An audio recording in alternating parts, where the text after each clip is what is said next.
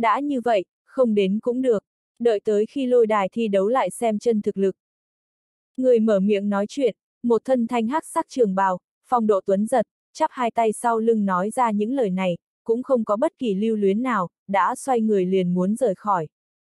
Bốn con lân mã kéo liễn đang chạy như bay đến trước thanh phong minh nguyệt lâu, bất chợt ngừng lại, bốn con lân mã thú trở nên không chút di động, tựa như tượng gỗ. Trong liễn truyền đến tiếng cười khẽ của Nguyễn Tử Mậu, nói. Dục kỳ công tử xin dừng bước, là tử mậu sơ sót, còn xin rộng lượng bỏ qua. Bức rèm tre trên long liễn nhấc lên, ba người Nguyễn Tử Mậu lần lượt bước ra, chọc cho mọi người ghé mắt liên tục, ánh mắt ngạc nhiên liên tiếp, nghĩ không ra ba vị công tử đức đầu quần luân trẻ tuổi lại dắt tay nhau cùng một chỗ. Để mọi người thấy được phong thái, chuyến đi này cũng không tệ rồi. Mà đồng dạng khiến mọi người khiếp sợ là người đang chuẩn bị rời đi dĩ nhiên cũng là một trong bắc vực tứ tú Trúc Dục Kỳ. Trúc Dục Kỳ sắc mặt bình tĩnh, lạnh nhạt nói. Chậm trễ thật không có, chỉ là cỗ long liễn quá quý khí, chúng ta đám lâu la này đứng ở bên cạnh có vẻ làm mất thân phận của ba vị, ta vẫn là cách xa một chút mới tốt. Cũng không thấy thân thể hắn có động tác ra sao, liền trực tiếp từ trên không trung thối lui đến ngoài trăm mét. Ha ha, nói rất đúng. Ta lộ vũ tinh lâu la cũng cùng với dục kỳ huynh đồng thời cách xa một chút. Chính là kẻ mới vừa rồi cùng với Trúc Dục Kỳ nói chuyện, mọi người đều giật mình không thôi, một trong tây vực ngũ kiệt lộ vũ tinh, chẳng biết từ lúc nào cũng đi đến ngoài trăm mét, cùng với Trúc Dục Kỳ sóng vai cùng nhau, trên mặt lộ ra dáng tươi cười châm chọc, mang theo một tia băng lãnh. Hai vị đều là lâu la, ta đây sao dám không biết xấu hổ tự xưng là tài tuấn. Lại là một đạo quang mang đi đến, mọi người mí mắt nhảy lên một cái, lập tức kẻ có kiến thức liền nhận ra được, kinh hô. Một trong đông vực thất tinh xà quan vũ. Lần này có ba người dẫn đầu, bao gồm đông, tây, bắc tam vực, lập tức có không ít đệ tử trẻ tuổi đã sớm lòng mang bất mãn đều bay ngược ra, cách rất xa đứng thẳng, tựa hồ muốn cùng với Nguyễn Tử Mậu đối lập. Xa xa Ninh Hàng Phong tựa hồ không nghe không thấy, vẫn như cũ đứng chắp tay, ánh mắt đục ngầu nhìn trên trời, hình như đang trầm tư cái gì. Bốn gã vũ đế cường giả mở ra thanh phong minh nguyệt lâu ngự phong phi hành, cũng chia ra đứng ở bốn phía xa, chỉ là mang tính tượng trưng chấn thủ ở trên trời, đối với những người trẻ tuổi này không hề nổi lên hứng thú chen vào. Nguyễn Tử Mậu vùng xung quanh lông mày nhíu lại thật sâu, trong lòng hơi nổi lên gợn sóng. Hắn vốn là dự định là thông qua ba người cùng ngồi long liễn mà đến, trải qua ba người kết bạn cùng đi, lợi dụng ưu thế trên thanh thế và danh khí, ở trong lòng mọi người hình thành quan niệm lớp trẻ tuổi tam vực lấy ba người cầm đầu vào trước là chủ, đầu tiên ở trên khí thế liền trở thành lãnh tụ tam vực. Không nghĩ tới trong tư tú, ngũ kiệt, thất tinh sẽ có người đứng ra đối kháng thanh uy của mình, mặc kệ bọn họ là vô tình hay là cố ý, lần này đã phá vỡ cục diện quân lâm thiên hạ Nguyễn Tử Mậu lúc trước tưởng tượng ra. Hơn nữa đám võ giả hướng về phía mấy người trúc dục kỳ bay đi cũng càng ngày càng nhiều, thể liên kết từng chút hình thành, tranh luận đã ức chế, thậm chí trong thất tinh lại có hai vị khác gia nhập vào. Nơi đây tuy rằng đều là một đám trẻ tuổi chơi đùa không có các trưởng bối tham dự, mấy người ninh hàng phong cũng bất quá là hộ vệ mà thôi, nhưng trên thực tế ánh mắt cả thành đều hội tụ ở trên thanh phong minh nguyệt lâu, nhân vật lãnh tụ tương lai toàn bộ thiên vũ giới, có ít nhất phân nửa sẽ ở trong những người tuổi trẻ đang đứng hôm nay sản sinh ra. Nguyễn Tử Mậu cũng cảm giác áp lực gấp bội, hắn có thể cảm nhận được Hồng Nguyệt Thành, thậm chí ánh mắt của các thế lực lớn đều tụ tập ở trên người mình. Ha ha, Dục Kỳ Huynh, Vũ Tinh Huynh, hai vị các ngươi nhảy qua vực đường xa mà đến, mau theo tiểu đệ cùng nhau tiến bên trong lầu nghỉ ngơi. Về phần quan Vũ Huynh, Lợi Tâm Huynh, Thiên Vu Huynh, mọi người đều là đông vực bằng hữu lần này hiếm có được gặp nhau, cũng nhất định phải uống thêm vài chén huyết trà. Còn có những khách nhân đường xa khác, lẽ nào mặc kệ Mỹ cảnh thanh phong minh nguyệt lâu ngự phong, mưa và cầu vồng cùng hiện, nghề kiều vân hiện, không muốn tiến lâu ngắm nhìn một phen sao. Nguyễn Tử Mậu cười tủm tỉm nói xong, thập phần lễ độ khách khí nói. Nếu là ở trong toàn bộ quá trình chiêu đãi có chỗ không chu toàn, Tử Mậu trước xin bồi lễ với mọi người, mong rằng nể tình Hồng Nguyệt Thành tha thứ nhiều hơn.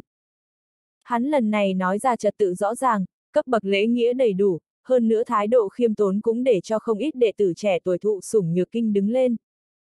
Trúc Dục Kỳ lạnh nhạt nói. Tử mậu huynh bồi lễ, thật sự là không dám nhận. Ta cũng muốn tiến lâu tụ họp một chút, bất đắc dĩ bốn đầu lân mã long liễn thật sự là hung mãnh uy nghiêm, để cho tiểu đệ lòng còn sợ hãi, không dám tiến lên. Nguyễn Tử Mậu miệng cười mở ra, nói. Là do tiểu đệ sơ suất. Hắn lâm không đánh ra vài đạo pháp quyết đền trên long liễn, bốn đầu lân mã thú nhìn như khúc gỗ từng con một tựa như từ trong ngủ mê tỉnh lại, trên người yêu khí tản ra, lôi kéo long liễn, đạp ở trên áng mây đi xa. Nguyễn Tử Mậu làm một thủ thế, nói. Mời.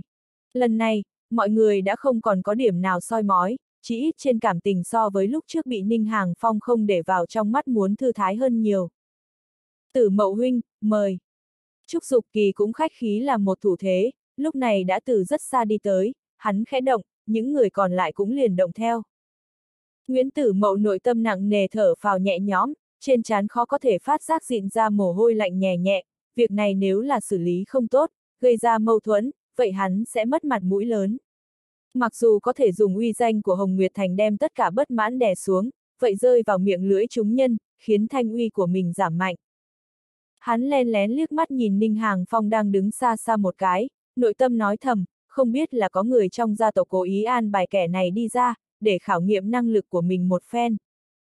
Trước mắt một trường phong ba hóa giải, khi mọi người đang định dắt tay nhau tiến lâu, xa xa lại truyền đến tiếng lân mã thú gào thét khôi khôi. Chỉ thấy bốn đầu lân mã thú chạy nhanh lần thứ hai lôi kéo long liễn mà đến, áng mây ở dưới chân tản ra, uy thế so với lúc trước càng thêm hung hãn. Nguyễn Tử Mậu trong lòng cả kinh, chấn nộ quát lớn. Người nào, dám khống chế tòa kỵ của mẫu gia? Ha ha, mấy con lừa nhỏ mà thôi, thay đi bộ mà thôi. Nếu không phải toàn bộ Hồng Nguyệt Thành chỉ tìm được chút đồ vật keo kiệt như vậy, người nghĩ rằng ta sẽ ngồi sao? Bên trong lòng liễn truyền đến thanh âm khinh thường, sau đó bức rèm che cuồn cuộn nổi lên, một đạo thân ảnh màu trắng khí vũ hiên ngang chậm rãi ánh vào mi mắt mọi người. Người nọ mặc trường sam rộng rãi, ngọc thụ lâm phong, tay phải cầm một thanh bội kiếm khảm nạm tràn đầy châu báu ở trong tay chơi đùa, khóe miệng hơi nhếch lên, cao giọng ngâm thơ, đúng là một bài từ khúc. Thuyết anh hùng tùy thị anh hùng, hoa quyền tú thối, đông vực thất túng. Phô mi thiêm nhãn, tây lai ngũ quỷ, thị hùng phi hùng. Thẳng bắc vực tứ cha, nại hà thái sử, kiến nghị chỉnh dung. Sổ phong lưu nhân vật, tấn thị quỷ mị võng lượng, nhượng mỗ tiếu tấn anh hùng A. Dịch nghĩa, nói anh hùng ai là anh hùng, khoa chân múa tay, đông vực thất túng. Mi dài che mắt, tây lai ngũ quỷ, là gấu mà không phải gấu. Còn lại bắc vực bốn tên cặn bã, xấu xí làm sao, đề nghị chỉnh dung. Mấy nhân vật phong lưu, đều là quỷ mị quỷ quái, khiến cho mẫu cười tận anh hùng A. Mọi người đều là sắc mặt đại biến, hắn ca một lần liền đem toàn bộ thiên hạ tuổi trẻ hào kiệt, đông vực thất tinh, tây vực ngũ kiệt, bắc vực tứ tú hết thảy mắng đi vào, giống như là thoáng cái liền đem thiên hạ anh hào đắc tội hết, coi như là người tới thực lực không tầm thường, loại chỉ số thông minh đem mình làm pháo bắn này cũng kẻ khác không chịu nổi a. À. Xa xa Ninh Hàng Phong cũng bị lòng hiếu kỳ đưa ánh mắt hấp dẫn, hướng tới trên người bạch y nam tử nhìn lại, bỗng nhiên con người đột ngột co rút. Bắc Minh Lai Phong cười lạnh nói. Còn tưởng rằng thần thánh phương nào tới, nguyên lai là một bình xịt. Tử mậu huynh, thiết hiến mời bằng hiếu, đầy bàn món ngon mỹ vị, phải đề phòng con ruồi a. Nguyễn Tử Mậu trong mắt hàn quang chấp động, lạnh lùng nói. Một cái bút cùn ở đâu đến, chờ quét sạch nhã hứng của mọi người, tử lăng, nên dọn dẹp vệ sinh đi. Nguyễn Tử Lăng từ trong đám người đi ra, vẫn nộ quát. Một cái bút cùn ở đâu đến, dám chào phúng anh hùng thiên hạ, niệm tình ngươi trẻ người non dạ, hiện tại quỳ gối xuống trước thanh phong minh nguyệt lâu cho ta, đợi quần anh tụ hội qua đi sau đó sẽ tiến hành xử trí. Ha ha! Bạch Hy nam tử che miệng cười, lộ hết vẻ quyến rũ phong nhã, tư thái nữ nhi, châm chọc nói. Một đám cặn bã vọng tưởng nói chuyện anh hùng thiên hạ, thật không biết trời cao đất rộng. Mỗ đến từ trong Nam Vực, bách chiến quốc công tử, hôm nay liền muốn hội một hồi các người đám ếch ngồi đáy giếng tự xưng là anh hùng. Xin nhớ tên của ta, ta là Lý Giật. Nam Vực. Nguyễn Tử Lăng sửng sốt một chút, không chỉ có là hắn, tất cả mọi người đều ngốc trệ một chút. Ngắn ngủi sau mấy hơi thở qua đi, đó là thanh âm cuồng tiếu kinh thiên động địa, từng người cười nói ôm bụng cười đến khom lưng, hình như nghe được chuyện buồn cười nhất trên đời vậy, cười ra nước mắt được. Ha ha, ta nói thế nào có người dám cản rỡ như thế, nguyên lai là nam vực đầu đất, ha ha. Thực sự là không biết nên nói cái gì cho phải, hắn là làm sao qua được. Lẽ nào Nam vực cũng có truyền tống đại trận nhảy qua vực? Không biết, nói vậy sẽ có đi. Bất quá đại trận phỏng chừng trăm năm cũng không dùng được vài lần. Nam vực cũng có võ giả sao? Nơi đó không phải đều là đám đầu đất và hầu tử sao? Tất cả mọi người cười nghiêng ngã ngửa, Nguyễn Tử Mậu cũng là vừa bực mình vừa buồn cười, nói. Mọi người theo ta vào đi thôi, hôm nay anh hùng thiên hạ tề tụ, không nên bị trò khôi hài của tên hề này ảnh hưởng. Hắn khẽ cười xoay người, liền hướng phía thanh phong minh nguyệt mà đi đến. Nguyễn Tử Lăng khóe miệng hiện ra một tia cười nhạt, phất tay nói. Quét dọn vệ sinh. Vài tên thanh niên nhân bộ dáng công tử trong nháy mắt bay ra, cười gần hướng tới Lý Giật phóng đi. Bội kiếm trong tay Lý Giật chắp ở sau lưng, tay trái hướng không trung đánh ra một chảo, tựa như kéo khoa xé mở một khe hở màu đen to lớn, hình như bầu trời mở ra một cái miệng lớn dữ tợn, trong nháy mắt đã đem vài tên công tử đều nuốt vào, trong sát na đã khôi phục thanh minh. Tính, tĩnh lặng, hình như chuyện gì cũng không phát sinh qua, chỉ có mây trắng trên bầu trời lẳng lặng trôi. Nguyễn Tử Lăng khiếp sợ nhìn chung quanh, mấy tên công tử vẫn một đi theo bên cạnh hắn đích xác không thấy, vừa rồi nhìn thấy, dĩ nhiên đều không phải ảo giác. Thân thể Nguyễn Tử Mậu cũng trong nháy mắt ngừng lại, không chỉ có là hắn, tất cả mọi người lộ ra vẻ khiếp sợ. Tay không xé rách bầu trời, hơn nữa lại dễ dàng thoải mái như vậy, chỉ ít cũng là tu vi cao dài vũ tôn. Bởi khí tức trên người hắn vẫn như ẩn như hiện, tựa hồ có đồ vật trong người áp chế tu vi, mọi người vẫn không cách nào dò xét, nhưng nghe được là người tới từ Nam Vực, cũng liền không có suy nghĩ nhiều. Đám người Nguyễn Tử Mậu đều là xoay người lại, hắn ngưng thanh nói. Người thật là người của Nam Vực. Mọi người cũng đều không giải thích được, trong ấn tượng của rất nhiều người, Nam Vực đều là đám đầu đất hầu tử mới đúng, cho dù có võ giả, cũng bất quá đều dừng lại ở trình độ nhất nguyên nhị phân tam tài. Thừa hạo miểu cũng là kinh ngạc nói. Nam vực dĩ nhiên cũng có bát hoang cảnh vũ tôn, chẳng lẽ là người của viêm vũ thành. Lý giật sắc mặt chợt biến, vừa nghe đến ba chữ viêm vũ thành lập tức cảm thấy huyết dịch bốc cháy lên, hắn cực lực áp chế cảm xúc trong lòng của chính mình, lạnh lùng nói. Ách ngồi đáy giếng, cũng chỉ biết có một viêm vũ thành mà thôi. Hừ, trong đám người lùn thật vất vả đi ra một tên vóc dáng cao lớn, lại là ếch ngồi đáy giếng. Một gã nam tử từ trong đám người từ từ đi ra, trong tay khẽ lay động quạt lông, cười lạnh nói. Chẳng biết tại sao, ta trận này đặc biệt chán ghét nam vực hầu tử. Mặc dù là bát hoang cảnh vũ tôn, thực lực cũng là khác nhau một trời một vực, hôm nay liền để cho ngươi biết, hầu tử vĩnh viễn chỉ có thể là hầu tử. Tây môn kim lăng, là Tây môn kim lăng công tử. Trong đám người có người kinh hô lên, nói. Hắc hắc, đối phó chính là một con hầu tử nam vực, đâu cần đông lăng thất tinh xuất thủ, khó tránh khỏi quá mức đề cao đám khỉ này rồi. Lại có người nói. Để cho bọn họ biết một chút về thực lực của đông vực chúng ta cũng tốt, để cho bọn họ biết bầu trời và biển rộng rốt cuộc là có bộ dáng gì. Mặc dù đều là vũ tôn, giữa hai bên cũng có hồng câu khó có thể vượt qua. Nguyễn Tử Mậu ánh mắt lộ ra tiếu ý, ôm quyền cười nói. Làm phiền Kim Lăng huynh vất vả rồi. Không có gì. Tây môn Kim Lăng nhàn nhạt phun ra hai chữ, lần này quần anh tụ hội cũng là vì mặt mày dạng dỡ, vừa rồi mấy người chúc dục kỳ đại triển tài hoa, nhưng không có phần của hắn, một mực buồn bực, hiện tại cuối cùng cũng có một cơ hội. Nội tâm hắn nói thầm, cơ hội đều là do chính mình sáng tạo, ta con mẹ nó đích thực là quá cơ trí. Hơn nữa sau khi nghe thấy viêm vũ thành, nội tâm cũng dâng lên phiền muộn, trong ánh mắt lộ ra sát khí, ở dưới mọi người chú mục, hướng phía Lý Giật đi đến, tuy là chỉ bước ra một bước, lại lập tức xuất hiện ở ngoài trăm thước, xúc địa thành thốn. Giết hắn, Tây Môn công tử nỗ lực lên. Lập tức có người hoan hô lên, ánh mắt lộ ra dử tợn cười nhạt, ồn ào nói.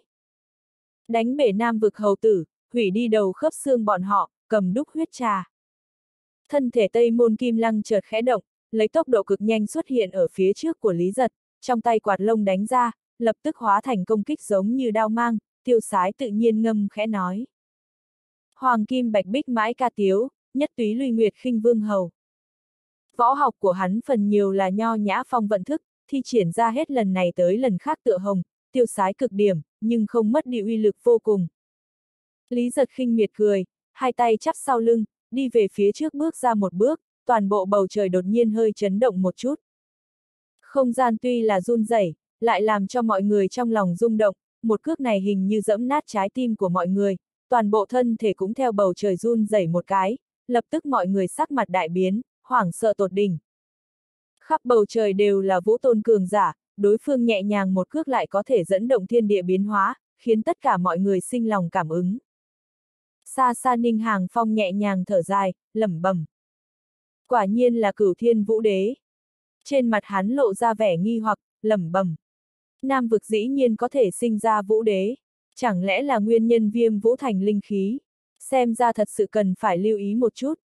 Lý giật một cước bước ra uy lực, cảm thụ sâu nhất đó là Tây Môn Kim Lăng, ở dưới không gian uy chấn, một chiêu vũ phiến luân cân của hắn, lại bị phá vỡ, hơn nữa một uy áp khó có thể địch nổi đem cả người hắn đều trói buộc lại, muốn chạy trốn đều không thể được, huống hồ lúc này anh hùng thiên hạ ngưng mắt nhìn xem, hắn làm sao có thể trốn. Tây môn kim lăng hoảng sợ nhìn Lý giật cười nhạt mà đến, lúc này hắn rốt cuộc hiểu rõ không tìm đường chết sẽ không phải chết câu nói này khắc sâu hàm nghĩa. Hắn vội vàng bí mật truyền âm nói. Huynh đệ, đại ca, đại nhân, thủ hạ lưu tình, trừ cho ta chút mặt mũi đi, ngài có điều kiện gì cứ việc nói ra. Lý giật cười nhạt một chút, chế giễu nói. Ta muốn ngươi ăn cứt. Hắn lâm không bay lên, trực tiếp một cước đá tới, dẫm nát trên mặt của Tây Môn Kim Lăng, phá hết phòng ngự quanh người hắn, gương mặt của Tây Môn Kim Lăng lập tức lõm xuống phía dưới, trong thất khổng đều chấn ra tiên huyết, cả người tựa như diều đứt dây bay mất. Đầy trời người đều là hút một ngụm khí lạnh, cả đám kinh ngạc ngây ra như phóng, tất cả mọi người là vũ tôn cường giả, thân thể Tây Môn Kim Lăng tuy rằng hướng phía phía dưới rơi xuống, nhưng trên mặt một dấu dày màu tím cũng để tất cả mọi người nhìn được thật sự rõ ràng, ngũ quan đều triệt để không còn, chỉ có một vết chân lõm xuống. Dầm!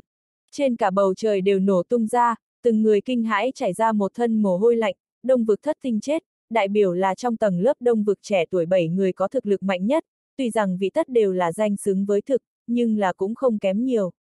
Lại bị một tên nam vực đầu đất một cước đem ngũ quan đều dẫm nát không còn, hơn nữa sinh tử chưa rõ. Tràng cảnh mãnh liệt này đánh vào thị giác, khiến mỗi người đều không thể tiếp thu. Nguyễn Tử Lăng càng là đáy lòng phát lạnh, trong mắt trợn tròn thẳng tắp, trước có nam vực Lý Vân Tiêu một trưởng đã đánh chết một trong tây vực ngũ kiệt, hiện tại lại có nam vực Lý giật một cước giết chết một trong đông vực thất tinh, đây đều là hắn tận mắt nhìn thấy, tuyệt không làm bộ. Hắn sờ một cái mồ hôi lạnh như băng trên mặt, có chút vô pháp lý giải thế giới này, rốt cuộc đã xảy ra chuyện gì. Nam vực không phải đều là đầu đất hầu tử sao? Ai nha, một cước này vốn dĩ muốn dẫm ra một con khổng tước xòe đuổi đỏ cam vàng lục xanh ra trời tím, ai biết đông vực thất tinh quả nhiên thân thủ bất phàm, cái mặt đều bị dẫm nát, thật sự là không thể xòe đuôi ra được, bêu xấu rồi bêu xấu rồi. Lý giật dáng tươi cười đáng yêu khẽ nói, một bộ dáng ngượng ngùng do học nghệ không tinh, ánh mắt ở trên người đám hào kiệt đảo qua, bất quá là vội vã thoáng nhìn, lại làm cho tất cả mọi người rõ ràng cảm giác được là đang nhìn thẳng hắn, không tự chủ được lui về sau một bước, vì vậy xuất hiện kỳ cảnh hơn trăm người cùng nhau sợ hãi thối lui. Ánh mắt của hắn cuối cùng rơi vào trên người Nguyễn Tử Mậu, đứng đầu đông vực thất tinh, người chủ sự quần anh tụ hội lần này. Đồng thời cùng với Bắc Minh Lai Phong, thừa hạo miểu ánh mắt va chạm, bốn người trong mơ hồ hình thành một cổ khí tràng vô hình, ở trên trời đẩy ra, lại có một loại cảm giác thế quân lực địch. Khí thế linh áp của bốn người, tựa như khi Sơn Vũ Dục lai loại cảm giác áp bách này khiến tất cả mọi người ngừng thở, lỗ chân lông mở ra, không nhịn được khẩn trương vạn phần.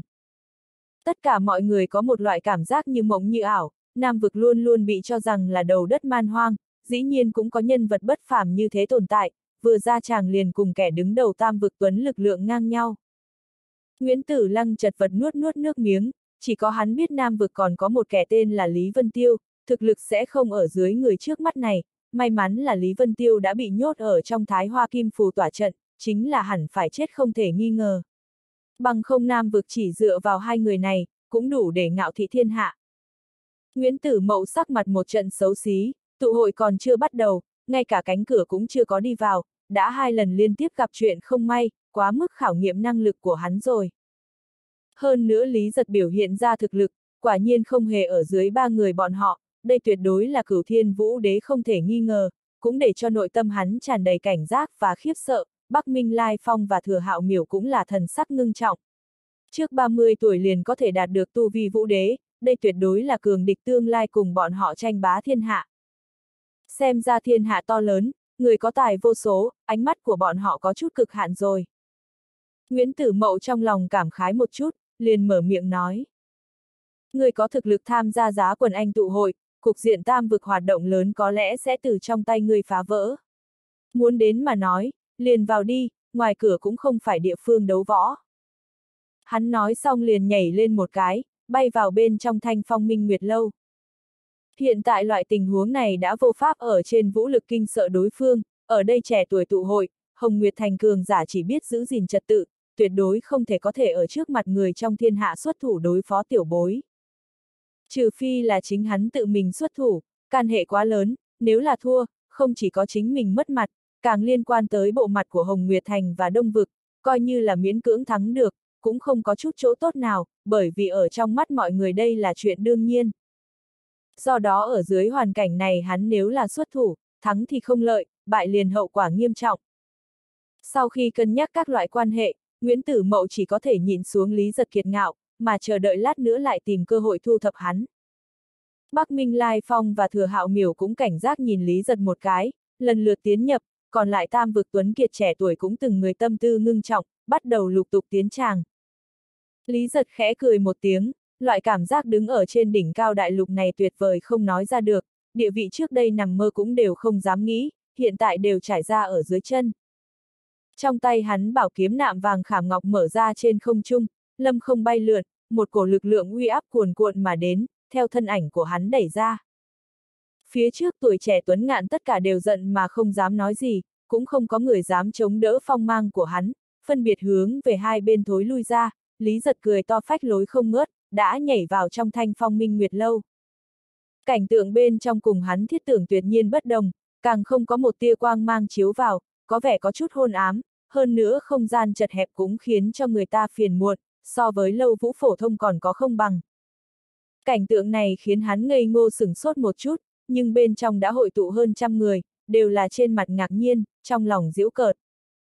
Trong lúc bất chợt, một đạo quang mang từ trên bầu trời rớt xuống, trên không trung tựa như đóa hoa chậm rãi nở rộ, bên trong hiện ra bảy cái vương tọa uy áp, sán lạn sinh huy, theo bạch quang chậm rãi đáp xuống.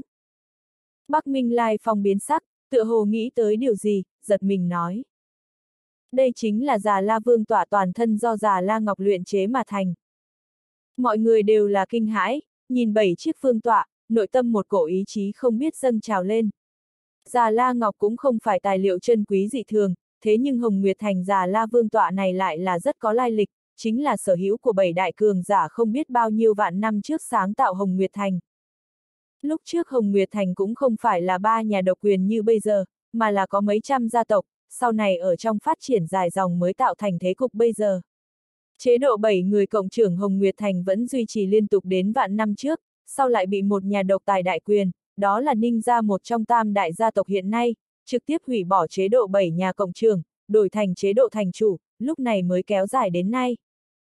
Bảy cái già la vương tọa này cũng liền trở thành lịch sử, chúng từng một lần là tượng trưng cho cơ cấu quyền lực tối cao của Hồng Nguyệt Thành.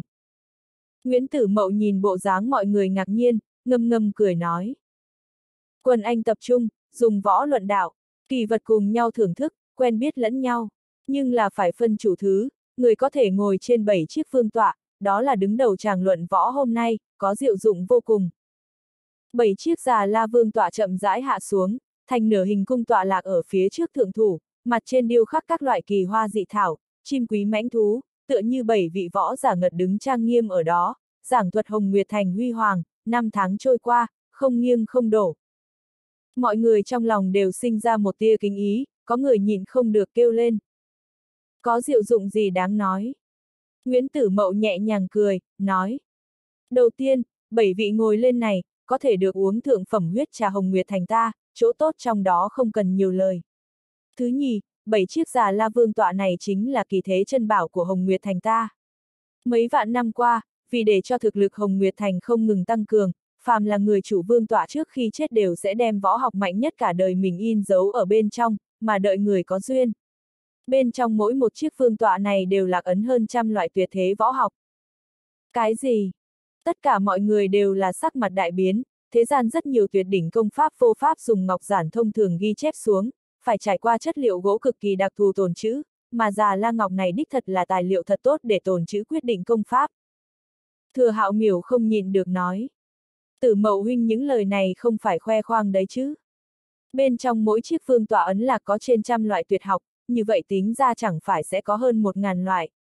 Kỳ vật hiếm thế như vậy, xếp hàng thứ nhất kỳ chân khắp thiên hạ cũng không quá đáng. Ha ha! Nguyễn Tử Mậu hơi có chút bất đắc dĩ nở nụ cười hai tiếng, không khỏi thở dài nói. Nguyên bản chính là như vậy không sai, hơn nữa lịch đại chủ nhân vương tòa cũng là chuyên tâm lĩnh ngộ các loại yếu quyết tu luyện, bởi vì bên trong không chỉ có công pháp yếu quyết, còn có lĩnh ngộ của lịch đại người nắm quyền Hồng Nguyệt Thành đối với võ đạo, bảy chiếc vương tọa này tuyệt đối là vô thượng bảo vật. Đáng tiếc, hắn tiếc hận nói. Từ trên bảy chiếc vương tọa này dấu vết tin tức càng ngày càng nhiều, cuối cùng dẫn đến bên trong ghi lại mài mòn lẫn nhau, trở nên hỗn loạn bất kham, đợi đến khi bị phát hiện, sớm đã thành một đoàn hỗn loạn, hết thảy là tin tức hỗn độn vô dụng, trái lại dẫn đến không ít cường giả tìm hiểu tẩu hỏa nhập ma, cuối cùng xác nhận bảy chiếc vương tọa này đã triệt để bị tổn hại, bị một đời thành chủ thi triển vô thượng thuật phong ấn lại. Từ đó về sau, liền chỉ là vật tượng trưng mà thôi. Thừa hạo miểu ngây ngô sừng sốt một chút, than thở. Thì ra là thế, thực sự là quá đáng tiếc. Tất cả mọi người cảm thấy tiếc hận một trận, của quý như vậy dĩ nhiên đã bị phá hủy, ai nấy đều tiếc nuối không nói nên lời. Lịch đại người nắm quyền Hồng Nguyệt Thành lĩnh ngộ võ học và võ đạo, đó là tài phú cỡ nào a? À? Nguyễn Tử Mậu cười nói. Thế nhưng năm đó vị thành chủ kia đem bảy chiếc phương tọa phong ấn, nhịn không được đem tuyệt học đắc ý của mình cũng lạc ấn đi vào, dùng bí pháp viết ở trên phong ấn. Chỉ bất quá qua nhiều năm như vậy cũng có thành chủ muốn đến tìm hiểu thấu đáo, lại chỉ có thể cảm ngộ được võ đạo ý niệm của vị thành chủ năm đó, đối với vũ kỹ chi học lại là không dấu vết có thể tìm ra. Hôm nay người có thể ngồi lên, nói không chừng có thể có được đại cơ duyên đấy. Bắc Minh Lai Phong nhìn không được cười to nói. Ha ha, tử mẫu huynh vẽ ra một miếng bánh thật lớn, lịch đại thành chủ đều không thể hiểu thấu đáo được, tỷ lệ này đã gần bằng không rồi. Bất quá ngồi lên có thể dùng để uống thượng phẩm huyết trà, điểm này cũng đã đủ rồi, còn có võ đạo ý niệm của tuyệt đại cao thủ, có thể thể hội một chút cũng là vinh hạnh lớn lao, không biết người phù hợp điều kiện như thế nào mới có thể ngồi lên được. Đơn giản. Trong miệng Nguyễn Tử Mậu phun ra hai chữ, ánh mắt nhìn quét mọi người một cái, cười nói. Ai ngồi lên trước đó là của người đó ngồi. Hắn nói xong cũng phi thân ra, trong lúc mọi người còn chưa phản ứng kịp, cũng đã bước ra mấy bước, ở trên chiếc phương tọa thứ nhất vui vẻ ngồi xuống. Ha ha, có ý tứ. Vài đạo tiếng cười to truyền đến, liền thấy bóng người chấp động, tất cả mọi người không cam lòng lạc hậu, phi thân lên, trong lúc nhất thời thiên quân vạn mã qua cầu độc mộc, hướng phía vương tọa vào tới. Trong lúc bất chợt mỗi người đều ngưng thân thể lại, vài đạo lực lượng cường đại ở trên không trung hiện lên, lập tức đem thân ảnh tất cả mọi người chấn trụ dừng lại. Chỉ thấy trên người Bắc Minh Lai phong tản mát ra hàn ý nhàn nhạt, huyền phù ở trên không trung, chỉ là khí tức đã khiến mọi người cực sợ, hắn mang trên mặt dáng tươi cười, lâm không đi bước một về phía vương tọa, những người còn lại trợn mắt nhìn, cũng không dám cướp đường. Ánh mắt Lý giật ngưng lại, trong con ngươi hàn quang lóe ra, trên mặt lộ ra vẻ lạnh lẽo. Công pháp tu luyện trước đây của hắn bắt nguồn từ Bắc Minh huyền cung mà đến, tiểu bát càng đem huyền băng yếu quyết hoàn chỉnh cho hắn, hôm nay hắn coi như là đệ tử chân truyền của Bắc Minh huyền cung, chỉ bất qua tu luyện yếu quyết thời gian quá ngắn, không có đạt tới lô hỏa thuần thanh giống như Bắc Minh Lai Phong. Không sai, có người có năng lực ngồi lên. Thừa hạo miểu gật đầu một cái, ở dưới khí thức uy áp của Bắc Minh Lai Phong, hắn cũng không dám khinh thường, trên thân thể mới có một tầng hoàng sắc khí nhàn nhạt quanh quẩn, nhìn chằm chằm khí thức lạnh như băng kia tiến lên. Ở bốn phía bảy thất phương tọa, trên già la ngọc tựa hồ có trận pháp cấm chế, đồng thời phát ra ánh sáng, nối thành một mảnh, đem hàn khí ngăn cách ở bên ngoài, Nguyễn Tử Mậu lẳng lặng ngồi ở trong đó, khóe miệng mỉm cười nhìn mọi người. Lai Phong huynh xem ra tiến giai vũ đế đã rất lâu rồi a. À. Trúc Dục Kỳ mở miệng nói rằng, trong giọng nói mang theo hâm mộ và kiêng kỵ, cũng không thấy hắn có động tác, thật giống như một cơn gió nhẹ thổi qua mà đến, thân thể trên không trung chậm rãi đi trước, thần sắc thanh nhạt như nước. Bắc Minh Lai Phong nói, Dục Kỳ huynh võ đạo từ trước đến nay là hậu phát chế nhân, vừa vào vũ đế cũng đã khiến ta không thở nổi, hiện tại thiên hạ hào kiệt nổi lên bốn phía, các loại thiên tài yêu nghiệt ùn ùn, lần thứ hai bài danh bắc vực tứ tú mà nói, mỗ sợ là lên bảng cũng khó khăn. Hừ, thiện nhân vẫn là già mồm cãi láo. Thừa hạo miểu mắng chửi một câu, liền bước vào trong vòng vương tọa, ba người cơ hồ là đồng thời đạt được, nhất tề ngồi xuống, bưng lên huyết trà trước bàn liền uống vào, tuy rằng động tác tiêu sái, đã có loại bộ dáng không kịp chờ đợi, có thể thấy được huyết trà công hiệu mạnh mẽ, khiến kẻ khác thèm nhỏ dãi. Bảy vị trí đã ngồi bốn người, đại bộ phận thanh niên nhân đều trong lòng thở dài, biết mình tuyệt đối vô vọng, còn dư lại ba cái ngay cả tứ tú, ngũ kiệt, thất tinh cũng không đủ phân, còn có một tên nam vực hầu tử không biết tên tuổi, thực lực cao dọa người kia nữa. Ba người sau khi ngồi xuống, Bắc Minh Lai phong đế khí uy áp cũng theo đó tiêu tán. Trong đám người lập tức lao ra mấy đạo quang mang, phân biệt bắn về phía ba vị trí cuối cùng, vừa vặn là sáu người, hai hai xuất thủ, lại ở trước vương tọa đánh nhau. Bất quá thoáng cái đã vượt qua hơn 10 chiêu, khiến không gian nguyên bản mờ tối trở nên ngũ quang thập sắc. Hừm.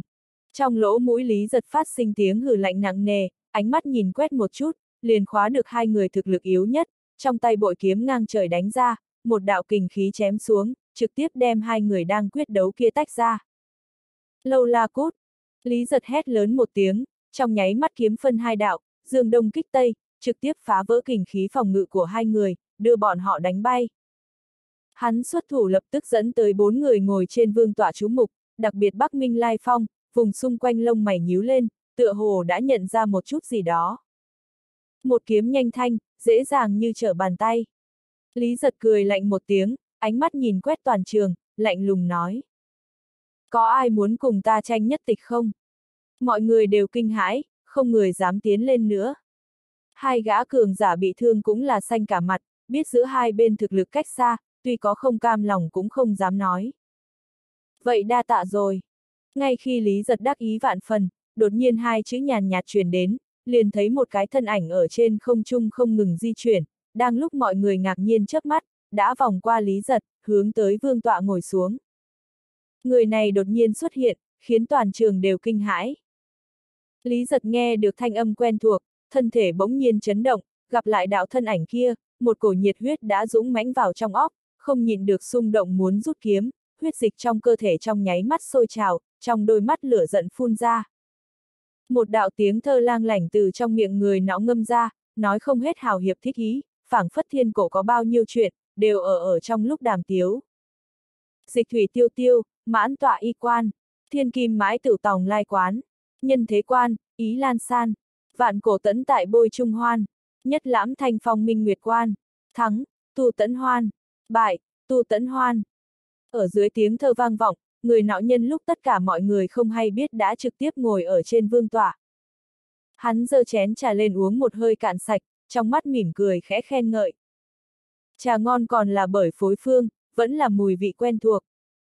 Lý Vân Tiêu đột nhiên xuất hiện, khiến tất cả mọi người đều là kinh ngạc nửa ngày, mãi không khôi phục tinh thần. Vương tọa trang nghiêm thần thánh như vậy, dĩ nhiên để cho một kẻ vô danh khó hiểu ngồi lên, hơn nữa nhìn bộ dáng bất quá là ỉ vào thân pháp đặc biệt, đầu cơ trục lợi, thoáng cái ai nấy đều phiền muộn cực điểm, ai thán lãng phí cơ hội thật tốt, nếu là mình có thể nắm chắc thật là tốt biết bao. Lý giật đảo mắt đã tựa như phát điên, thân thể nhẫn nhịn tới mức không ngừng run rẩy, thù mới hận cũ, tràn ngập phẫn nộ, bội kiếm trong tay cảm nhận được sát khí của hắn, cũng đang kịch liệt rung động. Đột nhiên một đạo bí âm lọt vào tai, khiến trên mặt của hắn hiện ra thần tình cực độ dẫy dụa, rốt cục đem cổ bi phẫn đè ép xuống, chỉ là hai mắt vẫn như cũ đỏ bừng như máu, gắt gao nhìn chằm chằm Lý Vân Tiêu. Lý Vân Tiêu ở đem chén trà uống một hơi cạn sạch, sau đó ánh mắt lộ ra vẻ vui mừng, một luồng hồng quang từ trên xuống dưới, tựa như đang gột rửa thân thể, trên da hiện ra một luồng hồng nhuận, một đạo quang mang từ trong cơ thể tức giận xông lên, đúng là trực tiếp thăng cấp. Ngươi, hự hự. Lý giật trơ mắt nhìn hắn tấn cấp, ngẩn ra, tức giận tới phun ra một búng máu tươi. Lực lượng ngũ tinh vũ tôn trong nháy mắt tăng lên tới lục tinh, người trong toàn trường đều cảm nhận được, đều đố kỵ người này tốt số, đầu cơ trục lợi, đồng thời cũng đối với công hiệu của thượng phẩm huyết trà tràn ngập huyễn tưởng.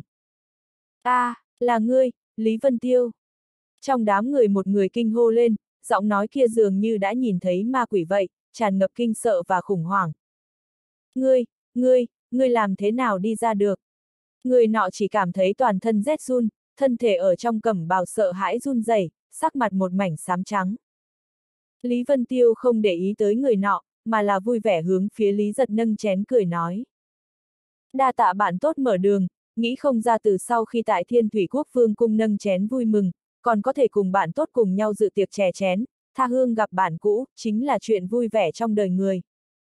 Thiên Thủy Quốc Hoàng Cung trong đầu mọi người đều hiện lên một cái dấu hỏi, cho tới bây giờ chưa từng nghe qua nơi này, ai nấy đều cau mày, cùng nam vực hầu tử quen thuộc như vậy, chẳng lẽ lại là một tên nam vực hầu tử. Lý giật lại nổi lên một cổ ý nghĩ tức giận, thiên thủy quốc vương cung đúng là bước ngoặt trong cuộc sống của hắn, lúc này bị nhắc tới, tức giận tới đầy mặt tái xanh, hắn lau vết máu bên miệng, cắn răng lạnh giọng nói. Thù mới hận cũ, ở trên lôi đài thi đấu, nhất quyết sinh tử. Lý Vân Tiêu cười tủm tỉm rót trà, ngạc nhiên hỏi. Lẽ nào bạn tốt cũng hứng thú mỹ nhân, ngươi không phải là thích màu hồng yêu màu tím thích sự thủy chung sao? Phốc, đầu óc Lý giật phát mộng, một cổ khuất nhục và phẫn hận vô biên lập tức dâng lên, trên người khí tức tuyệt mạnh bạo phát, dây buộc tóc màu tím trong nháy mắt vỡ ra, mái tóc toàn bộ xóa ra, tán loạn ở sau người, bộ dáng tựa như nhập ma vậy, hai mắt một mảnh đỏ bừng như máu, gào thét nói. Oa oa oa giết, ta ngươi nhất định phải giết ngươi. Ở bên ngoài thanh phong minh nguyệt lâu, ánh mắt của Ninh Hàng Phong cũng nhìn chăm chú vào bên trong lầu, lẳng lặng nhìn Lý Vân Tiêu, nguyên bản một chuyện nhàm chán không thú vị, theo thiếu niên tiến đến khiến hắn nổi lên một tia hứng thú. Trong lúc bất chợt vùng xung quanh lông mày khẽ nhíu lại, hắn ngẩng đầu lên nhìn phía trong hư không cách đó không xa. Ai nha, để cho quân đốc phát hiện rồi, làm sao bây giờ? Tiểu bát đột nhiên kêu lên, hướng phía Ninh Hàng Phong phất phất tay, khuôn mặt tươi cười lấy lòng nghênh đón. Phách thiên hổ cười khổ nói. Loại cách không thi thuật này nguyên lực ba động mạnh như vậy, Ninh Hàng Phong nếu là không phát hiện được nói, có tư cách gì trở thành Hồng Nguyệt Thành thống lĩnh cấm quân. Bất quá yên tâm đi, chỉ cần chúng ta không đối với tiểu bối xuất thủ, Ninh Hàng Phong chắc là sẽ không quản. Có trời biết có bao nhiêu lão quái ánh mắt đang nhìn chăm chú trận quần anh hội này. Ừm. Tiểu bát một bên đáp lời, một bên hướng phía người thi thuật bên cạnh nói. Lê tỷ tỷ, người không thể đem thủ pháp làm cho bí mật một chút được sao? Chúng ta chính là sát thủ nổi tiếng thiên hạ, ở cùng một chỗ với người trực tiếp bại lộ vị trí, đây là sỉ nhục chúng ta a. À. Lê gương mặt đạm nhiên nói. Nếu không dùng tính tâm thuật cường đại trực tiếp cách không chấn nhập trong óc Lý Giật, sợ là hắn đã bạo nổ muốn giết Lý Vân Tiêu, hậu quả các người cũng nên biết. Ai nha, vậy không có biện pháp, tiểu tử này còn không phải đối thủ của tiểu tử đó a. À. Tiểu bát gương mặt bất đắc dĩ, lắc đầu liên tục. Trên mặt phách thiên hổ lộ ra vẻ ngưng trọng, trầm giọng nói. Lý Vân Tiêu cũng không phải vật trong ao, lấy kiến thức của ta hẳn là mau chóng diệt trừ. Ta chỉ sợ khôi thủ lần này sẽ dẫn lửa lên thân, nếu để cho người này lớn lên, quá mức đáng sợ, hắn mới không đến 20 tuổi a. À. Tiểu bát cười nói. Hai tử còn bé thông minh, trưởng thành dễ trở nên ngốc nghếch. Tiểu tử này muốn uy hiếp được khôi thủ, còn kém xa, lớn lối cuồng vọng như thế, có thể trưởng thành được hay không còn là vấn đề.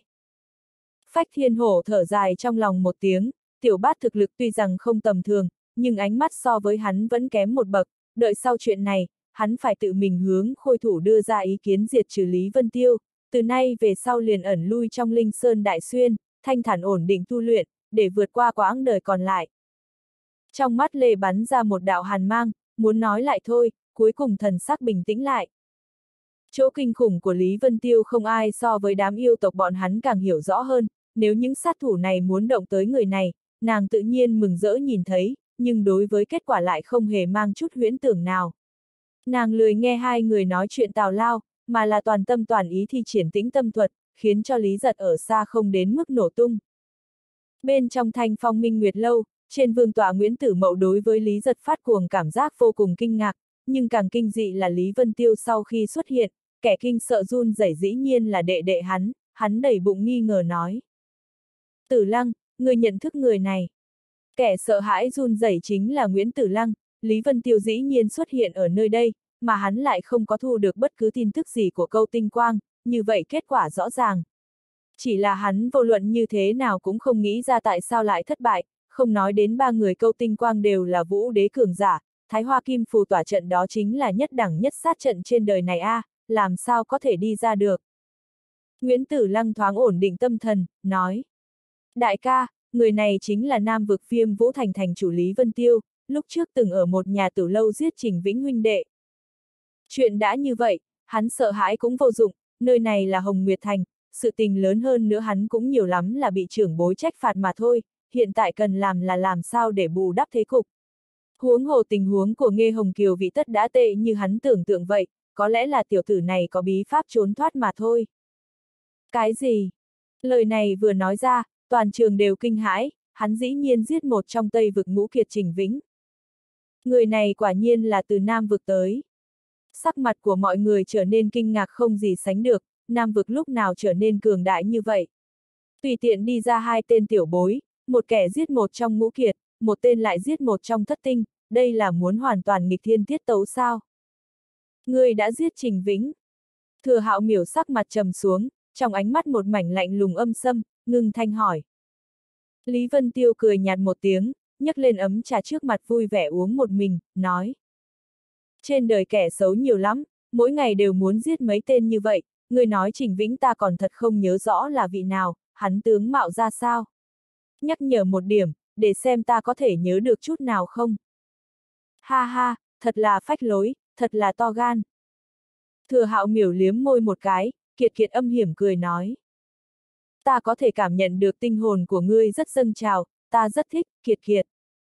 Lý Vân Tiêu nói. Nhưng ta đối với ngươi không có hứng thú, ngươi là một tiểu tử rất có tiền đồ, nghìn vạn lần không nên học theo đám người xấu này. Lời của hắn khiến tất cả mọi người đều là sửng sốt, cảm thấy vô cùng cổ quái. Thừa hạo miểu tuổi tác rõ ràng sơ với hắn lớn hơn. Ha ha, ha ha. Thừa hạo miểu bỗng nhiên cười ha hả, thanh âm vô cùng có lực xuyên thấu, vang ở trong tim mỗi người, chỉ bất quá lúc cười to, da mặt của hắn dĩ nhiên không cười, hơn nữa sắc mặt càng cười càng lạnh, trong mắt sát ý trực tiếp muốn đem Lý Vân Tiêu xử tử hình. Lý Vân Tiêu trong lòng thở dài một tiếng, con người vẫn luôn ở trong không ngừng tự cho trưởng thành, mới dần dần trở nên khiêm tốn hơn. Ở một bên không ngừng thấp giọng gào thét, cực độ dẫy dụa, Lý giật ở dưới sự trợ giúp Lê rốt cục dần dần yên tĩnh lại, cả người mồ hôi đầm đìa, thở dốc không ngớt.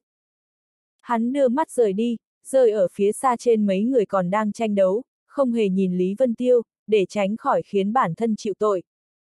Lúc này xa xa một người thắng lợi, chính là một trong ngũ kiệt lộ vũ tinh, trực tiếp ngồi lên vương tọa, đại hỉ nâng lên chén trà uống một hơi cạn sạch. Thất tịch còn lại có một cỗ, còn dư lại hai người chiến đến hôn thiên ám địa, ánh mắt Lý giật đảo qua, hừ lạnh một tiếng đã hướng tới một chiếc cuối cùng đi tới.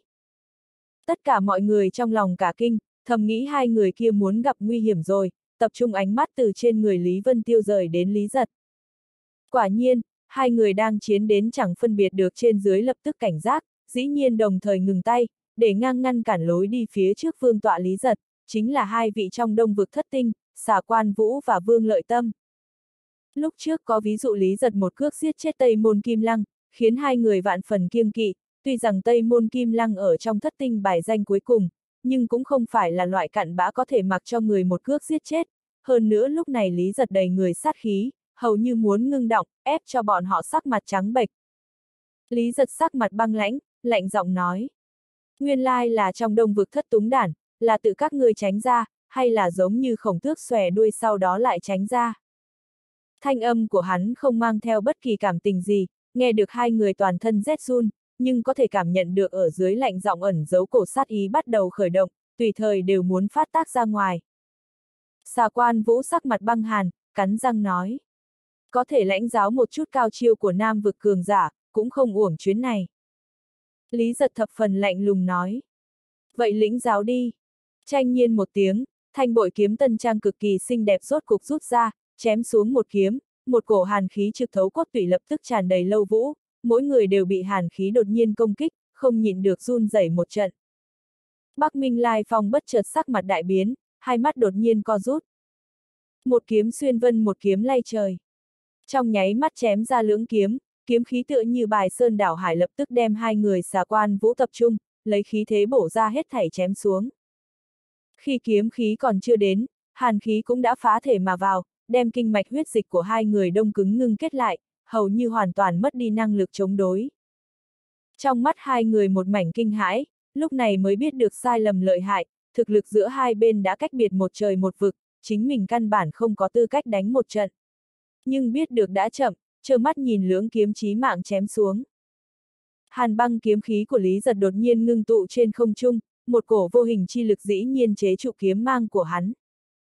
Nguyễn Tử Mậu chẳng biết lúc nào đã xuất hiện ở trước người xà quan Vũ và Vương Lợi Tân, trong mắt hàn khí chấp động, nhẹ giọng nói. Một hồi thịnh hội, không được phép máu tanh. Trong mắt Lý giật sát khí tuôn ra, đưa mắt nhìn Nguyễn Tử Mậu chỉ chốc lát, mới tranh nhiên một tiếng đem bảo kiếm thu hồi, khôi phục tâm cảnh bình thường, nói. Vậy cho ngươi một chút mặt mũi, hai cái trứng thối này tha cho bọn hắn một mạng đi, nếu là ở trên lôi đài thi đấu bị ta gặp phải, liền tự giác một chút đầu hàng là được rồi. Xà quan Vũ và Vương Lợi Tâm hai người tức đến toàn thân run lên, nhưng tài nghệ không bằng người có biện pháp nào. Nếu là không biết tốt xấu nổi nóng sông lên, vậy cũng chỉ có thể tự mình muốn chết, Nguyễn Tử Mậu chưa chắc sẽ cứu mình lần thứ hai. Nguyễn Tử Mậu lạnh lùng nhìn Lý Giật một cái, lúc này mới xoay người đối với hai người nói. Thắng bại là chuyện không quá bình thường, hai vị không cần để ý trong lòng. Hai người đều là cảm kích nhìn Nguyễn Tử Mậu một cái, sau khi nói lời cảm tạ liền không lên tiếng nữa, tự giác thối lui đến trong đám người. Khóe miệng Nguyễn Tử Mậu không dễ phát ra nở nụ cười một chút, Lý giật kiêu ngạo hắn tuy rằng không quen nhìn, nhưng lại để hắn kiếm được tiện nghi có sẵn, có ân với hai người này, đông vực thất tinh tử không thể nghi ngờ là đầu sỏ tương lai của đông vực, nhân tình này thực tại không nhỏ.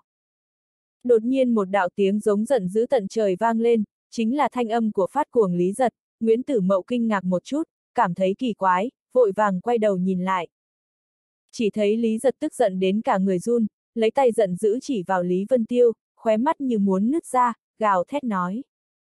Người người tên xúc sinh vô sỉ này dĩ nhiên uống hết huyết trà của ta. Nguyễn Tử Mẫu ngốc trệ một chút, hướng phía trên bàn nhìn lại, chỉ thấy trước mặt Lý Vân Tiêu đặt hai chén trà, đã đem nước trà bên trong toàn bộ uống cạn sạch, lá trà cũng nổi phồng lên, màu sắc cũng hóa thành màu sắc bình thường.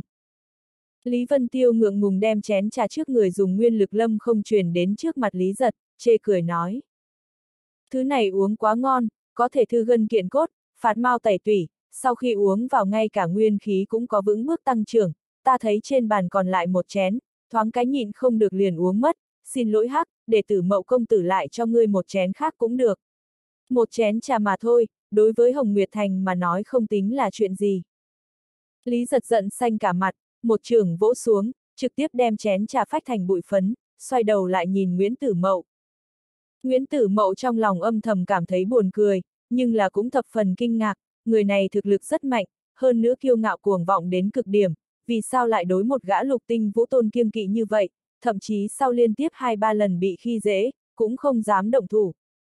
Không chỉ có là hắn, tất cả mọi người ở đương tràng đều cảm thấy thập phần không giải thích được. Bất quá viêm vũ thành thành chủ cái danh hào này cũng đủ để hấp dẫn ánh mắt người trong thiên hạ, huống hồ hiện tại Nam vực đột nhiên sinh ra hai tên yêu nghiệt như thế, chẳng lẽ là điểm báo trước muốn quật khởi. Kỳ thực trên đại lục cái gọi là các thế lực lớn, nói một cách thẳng thường thuộc về các đại linh mạch, linh mạch hội tụ đó là nơi nhân tài tụ tập, hiện tại viêm vũ thành đã thỏa mãn điều kiện cực lớn này, thành hữu xạ tự nhiên hương trong mắt người trong thiên hạ. Nguyễn Tử Mậu ho khan một tiếng, nói. Loại thượng phẩm huyết trà chính là bất thế chi vật, Hồng Nguyệt Thành cũng thực sự không lấy ra được càng nhiều hơn, ta liền mang đến cho vị Lý Giật công tử này đổi một chén trung phẩm đi. Lý Giật tức giận tới đầu óc choáng váng, hắn cũng biết trung phẩm và thượng phẩm khác nhau quả thực chính là cách biệt một trời một vực. Cái khác không nói, trung phẩm huyết trà ở các đại thương hội đều có thể dùng tiền mua được, mà loại thượng phẩm này căn bản là không có tiêu thụ, chỉ có thể ở trên một ít siêu cấp đấu giá hội mới có khả năng nhìn thấy. Nếu không phải lên một mực dùng tính tâm chú ở trong đầu hắn bồi hồi, hắn đã sớm bạo nộ tại chỗ, cùng với Lý Vân Tiêu sống mái một trận. Thực lực và địa vị của hắn bây giờ, tất cả đều nhờ vào yêu tộc và vị khôi thủ của tử thần cung kia, hai phe phái đều là nghiêm cấm hắn vào lúc này cùng với Lý Vân Tiêu phát sinh xung đột, vì vậy không dám ngỗ nghịch. Rất nhanh liền có hạ nhân đem một chén trung phẩm huyết trà pha sẵn, bưng tới. Lý Vân Tiêu cười làm lành nói. Uống nhanh, uống nhanh, giảm nhiệt, dễ nổi nóng, nên uống nhiều trà. Mọi người thấy khuôn mặt Lý giật hầu như nữ khúc, nội tâm cũng không nhìn được cười rộ lên, cả đám sắc mặt giãn ra, cảm giác thư thái không nói ra được. Lý giật nhìn chằm chằm vào chén trung phẩm trà kia, tức giận hừ một tiếng, lại là một trường nổ lớn vỗ xuống, cả chiếc chén lẫn nước trà cùng nhau hóa thành hư vô. Nguyễn Tử Mậu nội tâm cười lạnh một tiếng, làm bộ không phát hiện, nói. Bảy tòa thượng thủ đã toàn bộ tề tựu, chỉ là thiên hạ to lớn, kỳ tài không dứt, trong bảy tòa này có vài người khiến ta thật bất ngờ đấy. Tất cả mọi người đều là trầm mặc, trong bảy tòa nam vực dĩ nhiên chiếm hai người, quả thực chính là không thể tưởng tượng nổi, lẽ nào trước toàn bộ lời nói về nam vực đều là sai. Rất khó tưởng tượng một địa phương nghe đồn ngay cả vũ tôn cũng không có, lại có thể bồi dưỡng được hai gã vũ đế và vũ tôn trẻ tuổi như vậy. Quan niệm đối với nam vực, sợ là từ nay về sau phải đổi cái nhìn, thậm chí nam vực cũng bắt đầu tiến nhập trong tầm mắt của các thế lực lớn. Trong bảy tòa đông vực chỉ có một người, hơn nữa còn là bản địa chủ nhân, đông vực vừa chiếm ưu thế địa vực sân nhà, cư nhiên không một ai khác nhập tọa được, khiến cho đám thanh niên nhân đông vực ở đây đều cảm thấy cực kỳ mất mặt mũi.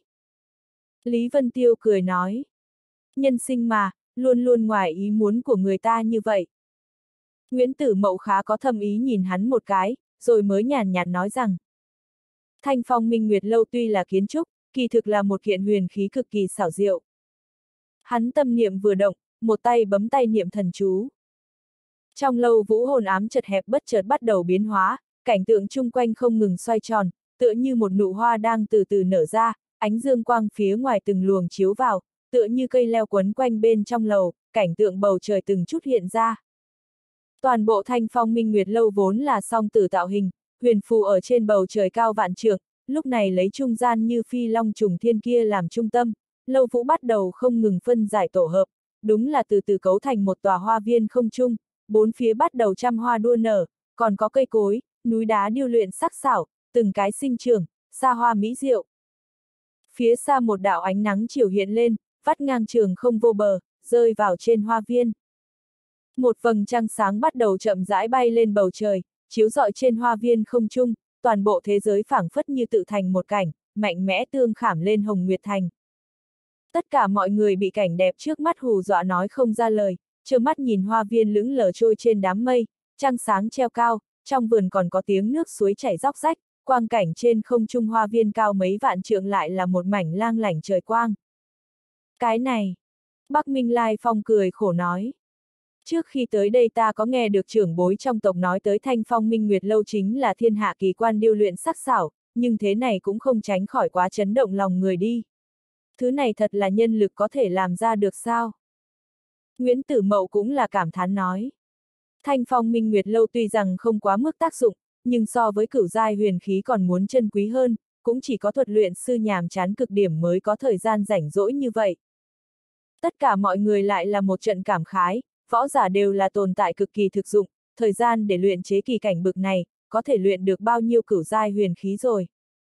Lý Vân Tiêu trợn mắt nói. Các ngươi hưởng thụ thành quả lao động của nhân gia, còn mắng người khác buồn chán. Hắn giơ ngón tay giữa lên tỏ ra khinh bỉ nói. Nếu kẻ nào cảm thấy không đáng, lập tức nhảy xuống phía dưới, tùy tiện tìm một quán rượu nhỏ ngồi một chút là được. Bắc Minh Lai Phong cười nói. Vân Tiêu Huynh tựa hồ đối với thuật luyện sư rất là giữ gìn, chẳng lẽ Vân Tiêu Huynh cũng là thuật luyện sư phải không? Lý Vân Tiêu nhìn hắn một cái, lạnh nhạt nói. Ngươi không phải cùng ta xưng huynh gọi đệ, ta đối với người của Bắc Minh huyền cung không có hảo cảm. Về phần thuật đạo, có học qua một ít. Tất cả mọi người đều là sửng sốt, toàn bộ ánh mắt tập trung ở trên người hắn, cảm thấy thập phần khó hiểu. Coi như là có oan có cừu, cũng không cần nói ra thẳng thắn như vậy, bề ngoài tỏ vẻ thân mật vẫn là hết sức cần thiết, lẽ nào người của Nam vực thực lực đề cao, nhưng chỉ số thông minh còn không có theo kịp. Bắc Minh Lai Phong cũng là ngây ngốc sửng sốt một chút, cười lạnh một tiếng, nói. Chẳng hay Bắc Minh huyền cung cùng với người viêm vũ thành thành chủ có ân oán gì. Giữa hai bên tựa hồ chưa bao giờ tiếp xúc qua đi. Lý Vân Tiêu nói. Tạm thời còn không có ân oán, nhưng sau này sẽ có, do đó chúng ta không cần đi lại quá gần. Mọi người lại là một trận không nói gì, đây không phải là rõ ràng cố ý kết cửu hận sao. Hơn nữa đối tượng còn là một trong bảy đại siêu cấp thế lực Bắc Minh huyền cung, lúc trước hắn đã đắc tội phệ hồn tộc thừa hạo miểu, xem ra đây là muốn tự mình tìm đường chết. Bắc Minh Lai Phong cũng là nghẹn lời, lại có người như vậy, khiến cho hắn đầu óc bối rối, không biết nên ứng phó như thế nào. Ha ha, có cá tính. Thừa hạo miểu cười gần nói. Sẽ không biết thực lực của ngươi có cùng với tính cách của ngươi đồng dạng hay không, trong cơ thể ta máu bắt đầu đốt lên đi, rất muốn hiện tại xem xem tinh hồn của ngươi mạnh mẽ cỡ nào. Hắn nói xong còn liếm môi một cái, làm người nhìn cực kỳ sợ hãi. Nguyễn Tử Mậu cũng là cao mày, hai tên hầu tử nam vực này xuất hiện cực nằm ngoài ý muốn của hắn, nguyên bản lôi đài thi đấu hắn có 10 phần lòng tin, tất cả đều nắm ở trong tay, hiện tại cạm bẫy duy nhất chính là hai kẻ trước mắt này rồi. Trúc Dục Kỳ ngẩng đầu nhìn trời, đầy bụng hồ nghi nói. Tử mậu huynh, vầng trăng sáng này cũng không phải là giả sao. Như thế nào còn có thể tản mát ra nguyệt quang chi lực cường đại như vậy, so với chân nguyệt không hề khác biệt. Hắn lúc này vừa hỏi, mọi người cũng đều cảm giác kỳ quái. Nguyễn Tử Mậu đem suy nghĩ riêng tư thu vào, cười nói. Nguyệt này tuy là do con người mô phỏng làm ra, nhưng là tính toán nguyệt quỹ tinh vi, bản thân chính là thông qua trận pháp bên trong hoa viên không trung hấp thu nguyệt quang chi lực, trình độ tinh diệu trong đó đích xác không thể tưởng tượng nổi, hơn nữa nguyệt quỹ này có một tác dụng vô cùng trọng yếu đó là đo lường tính toán hồng nguyệt. Đo lường tính toán hồng nguyệt. Tất cả mọi người đều một trận mê hoặc, thoáng có mấy người lộ ra vẻ giật mình và hoảng hốt. Lý Vân Tiêu còn lại là con người hơi co lại, tựa hồ nghĩ tới điều gì, ngẩng đầu nhìn vầng trăng sáng, trong con ngươi lộ vẻ suy ngẫm. Nguyễn Tử Mậu nói, chuyện này có liên quan tới lai lịch của cái tên Hồng Nguyệt Thành. Tuy rằng bầu trời trăng sáng quanh năm đều là vẻ bình thường, nhưng vào một thời khắc đặc biệt, thiên vũ đại lục chỉ có từ trong Hồng Nguyệt Thành ngắm nhìn thiên không, mới có thể thấy được một vòng trăng sáng đỏ tươi như máu, đây cũng là lai lịch của cái tên Hồng Nguyệt Thành. Hồng Nguyệt như máu, tại sao có thể có loại chuyện lạ này? Lộ vũ tinh giật mình nói. Trăng sáng chỉ có một vòng, có thể có trăng tròn trăng khuyết, lại chưa từng nghe qua có thể biến sắc, từ bất cứ nơi nào trên đại lục chắc hẳn đều là độc nhất vô nhị mới đúng a. À? Nguyễn Tử Mậu khẽ cười nói. Vũ Tinh Huynh nói đúng là như thế, nhưng Duy chỉ có ở một thời gian riêng biệt mới ngoại lệ, mà thời điểm đó chính là đông vực chi tiên cảnh, ngày mở ra địa lão thiên hoang. Mọi người đều là kinh hãi, ngoại trừ một số ít người biết chuyện ra, toàn bộ sắc mặt chợt biến. Nguyễn Tử Mậu tiếp tục nói. Thiên vũ giới tứ đại tiên cảnh, các loại hạn chế. Thời gian xuất hiện đông vực địa lão thiên hoang, nam vực tu di sơn thụ niên linh cực hạn vô pháp đột phá mơ hồ khó đoán, địa phương hàng lâm tây vực yên vân cổ chiếu khó có thể tìm thấy, bắc vực lang yên thiên càng cần có tu vi tuyệt đỉnh. Mà tứ đại tiên cảnh đều cần tới cơ duyên cực lớn cực khó cầu được, đủ để cải biến cả cuộc đời của võ giả. Trúc Dục Kỳ vuốt cằm nói. Ta hiểu được, thanh phong minh nguyệt lâu này tác dụng lớn nhất cũng không phải là học đòi văn vẻ, uống rượu ngắm hoa, mà là vì tinh toán chuẩn xác thời giờ tiên cảnh phủ xuống. Không sai. Nguyễn Tử Mậu cười nói. Thanh phong minh nguyệt lâu này một khi rời khỏi Hồng Nguyệt Thành, đó bất quá là một kiện huyền khí kiến trúc tinh mỹ mà thôi. Nhưng chỉ có ở Hồng Nguyệt Thành, nó lại là vô thượng trí bảo. Địa lão thiên hoang cũng không phải là đột nhiên phủ xuống, trước khi mở ra vẫn có rất nhiều dấu hiệu có thể tìm ra, nhưng đều cực kỳ khó dò, chỉ có đợi được dị tượng nổi lên, trăng sáng nhuộm đỏ, mới có thể xác nhận chính xác, nhưng thời gian đã không còn kịp rồi. Mà nguyệt quỹ này có thể đem lực lượng dị thường trước khi mở ra tụ tập đến, hóa thành hồng nguyệt. Trúc Dục Kỳ khen. Quả nhiên là kiệt tác điều luyện sắc xảo, chẳng hay có thể báo động sớm bao lâu. Nguyễn Tử Mậu nói. Một tháng. Mọi người đều bị giật mình, nghĩ không ra nguyệt quỹ này cường đại như vậy, có một tháng thời gian chuẩn bị, bất cứ chuyện gì đều có thể an bài thỏa đáng, như vậy đối với người của Đông Vực đồng nghĩa sẽ không bỏ qua bất cứ một lần mở ra nào. Nguyễn Tử Mậu nói, tứ đại tiên cảnh, đều có cơ duyên. Ánh mắt của hắn nhìn về phía Lý Vân Tiêu, cười nói. Tu Di Sơn chịu bản thân nam vực linh khí thiếu thốn ảnh hưởng, rốt cuộc ý nghĩa một chỗ bí cảnh ít nhất, hôm nay đổ nát cũng thành tựu cho viêm vũ thành, nói vậy qua không qua bao lâu nữa viêm vũ thành liền có thể quật khởi. Mà đông vực địa lão thiên hoang, chỉ bị một chuyện ảnh hưởng lớn nhất trong trăm năm qua là thành tựu phá quân cổ phi dương. Ai nấy đều kinh hãi, người người biến sắc, cũng không rõ nguyên nhân ở bên trong, cả đám vảnh tai lên, muốn biết bí ẩn trong đó. Tất cả mọi người biết năm đó cổ phi dương đại náo Hồng Nguyệt Thành, máu nhuộm thành sông, thảm trọng nhất đó là Nguyễn Gia. Bắc Minh Lai Phong cả kinh nói. Tử mậu huynh vì sao nói ra lời này? Trên mặt Nguyễn Tử Mậu cũng là nổi lên một tầng xương lạnh, không chút biểu tình nói. Thế nhân đều biết cổ phi dương đồng thuật vô song, lại không biết cặp hồng nguyệt huyết đồng kia của hắn, chính là đạt được ở trong đông vực tiên cảnh địa lão thiên hoang. Cái gì? Mọi người ai nấy đều kinh hãi không ngớt, Bắc Minh Lai Phong cũng ngưng thanh nói. Nghĩ không ra lại có chuyện bí mật như vậy, bất quá cũng may người này đã hóa cổ, trở thành bụi bậm trên dòng lịch sử. Nguyễn Tử Mậu lạnh lùng nói. Hừm, quả nhiên là tiện nghi cho cổ phi dương hắn gây thù hằn quá nhiều, cho dù là không chết ở thiên đáng sơn mạch, cũng sớm muộn bị người khác giết chết chỉ tiếc ta không thể chính tay đâm kẻ địch này, thay các tiền bối báo thù rửa nhục. Tất cả mọi người trầm mặc, Lý Giật đột nhiên cười quái dị nói. Ha ha, khi hắn chưa chết thì các ngươi không sớm đi trả thù, giờ hắn chết rồi lại thổi ra châu, không biết xấu hổ sao. Mọi người thất kinh, sự kiện này chính là nghịch lân Hồng Nguyệt Thành Nguyễn Gia A, tuy rằng nội tâm bọn họ cũng nghĩ như thế, nhưng không ai dám nói ra, trên trán mỗi người chảy xuống mồ hôi lạnh. Lý Vân Tiêu kinh ngạc nhìn Lý Giật một cái, trong lòng thầm nghĩ, nếu là hắn biết cổ phi dương chính là ta, có thể tức giận tự đánh mình mấy cái bạt tai hay không? Ngươi! Nguyễn Tử Mậu giận tím mặt, trên người khí thức kinh sợ dâng lên, cuồn cuộn áp tới Lý Giật, lạnh giọng nói. Dế nhũi ta đối với ngươi nhẫn nhịn đi nữa, đừng cho là ta tính nhẫn nại vô hạn. Ngươi ở Nam vực có thể xưng vương xưng bá, nơi này là Hồng Nguyệt Thành, ngươi kiềm chế một chút cho ta, lại chọc ta lần nữa, ta trước hết là giết ngươi. Nguyễn Tử Mậu một câu nói giết, lập tức khiến bầu không khí toàn trường đông cứng lại rồi. Lý giật đến từ Nam Vực, cũng không rõ ràng lắm ân oán giữa cổ Phi Dương và Hồng Nguyệt Thành, sở dĩ nói châm chọc, không ngờ lại gặp phải phản ứng kịch liệt như thế, ngược lại khiến hắn sửng sốt một chút. Bầu không khí thoáng cái khẩn trương lên, hai người đều là lạnh lùng nhìn thẳng đối phương, không nhường chút nào. Trong lòng Lý Giật cũng biết chính mình tất nhiên phạm vào kiêng kỵ của đối phương, nhưng trên khí thế lại không chịu thoái nhượng nửa phần. Đột nhiên một đạo thanh âm dễ nghe như chim hoàng oanh truyền đến, khẽ cười nói. Ngày tốt mỹ cảnh như thế, không cần đánh một trận giải yêu. Một đạo quang mang từ phía chân trời hạ xuống, hiển lộ ở trước mặt mọi người, dẫn đầu một vị Mỹ phụ nhân mặt mang lụa mỏng, thân ảnh thướt tha, chân thành cười nói. Tử mậu công tử, xin lỗi đã tới chậm. Lý Vân Tiêu sửng sốt một chút, trước mắt cô gái này đúng là Mai Gia Gia chủ cửu di, chỉ là sau lưng hai gã tỷ nữ lại không phải là Mai Đông Nhi. Khí tức trên người Nguyễn Tử Mậu thu liếm, ánh mắt lạnh lùng nhìn chằm chằm Lý Giật, nói.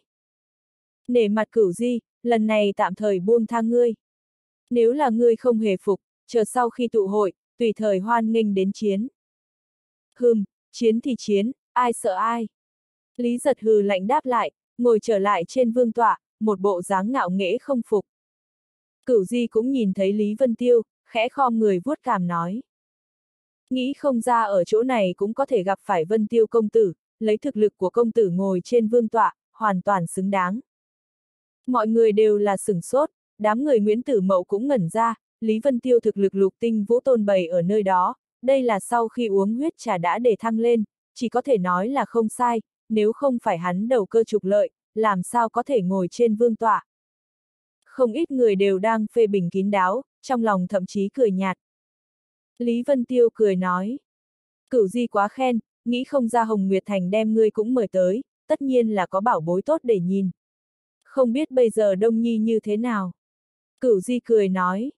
Đông Nhi hiện nay mạnh khỏe, đang ở bên trong môn phái bế quan tu luyện, nhưng đối với công tử vẫn nhớ mãi không quên. Ta là người làm ăn, phải cả ngày bôn ba khắp nơi mới có thể kiếm lấy một ít tiền tài nuôi gia đình sống tạm, cả đời số mệnh lao lực. Lý Vân Tiêu cười mà không nói. Nguyễn Tử Mậu sinh lòng nghi hoặc, thân phận của cửu di không phải người bình thường có thể biết, Lý Vân Tiêu này không chỉ có nhận thức nàng, hơn nữa tựa hồ cực kỳ quen biết. Hơn nữa vẻ tôn kính trong mắt cửu di cũng chỉ có nhìn lúc Lý Vân Tiêu mới có, đối với chính chủ như mình cũng không có yêu đãi như thế. Hắn thấy trong mắt mọi người không ít mê hoặc, hiển nhiên là cũng không nhận ra cửu di, lập tức giải thích. Vị cửu di đại nhân này là giám định thế gia nổi tiếng thiên hạ, mai gia chi chủ.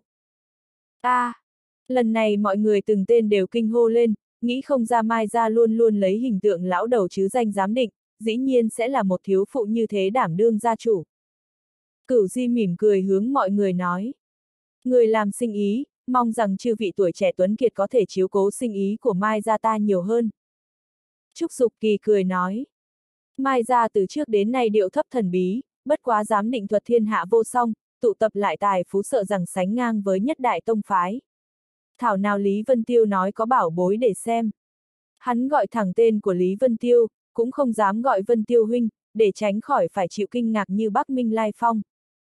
Cửu Di cười nói, lần này được xem tử mậu công tử xuất ra loại chân phẩm nào cho đại gia thưởng thức, nghìn vạn lần đừng quá khó khăn khiến ta ở trước mặt quần hào trong thiên hạ đánh mất mặt. Nguyễn Tử Mậu cười nói, Cửu Di đang tạo áp lực cho ta rồi. Hắn vỗ tay một cái, lập tức có người bưng ra một cái khay, dùng vải đỏ đắp lại, mọi người thần thức đều dò xét qua, chỉ biết là đồ vật kim loại, lại không biết là vật gì. Nguyễn Tử Mậu tiện tay đem vải đỏ xốc lên, nói.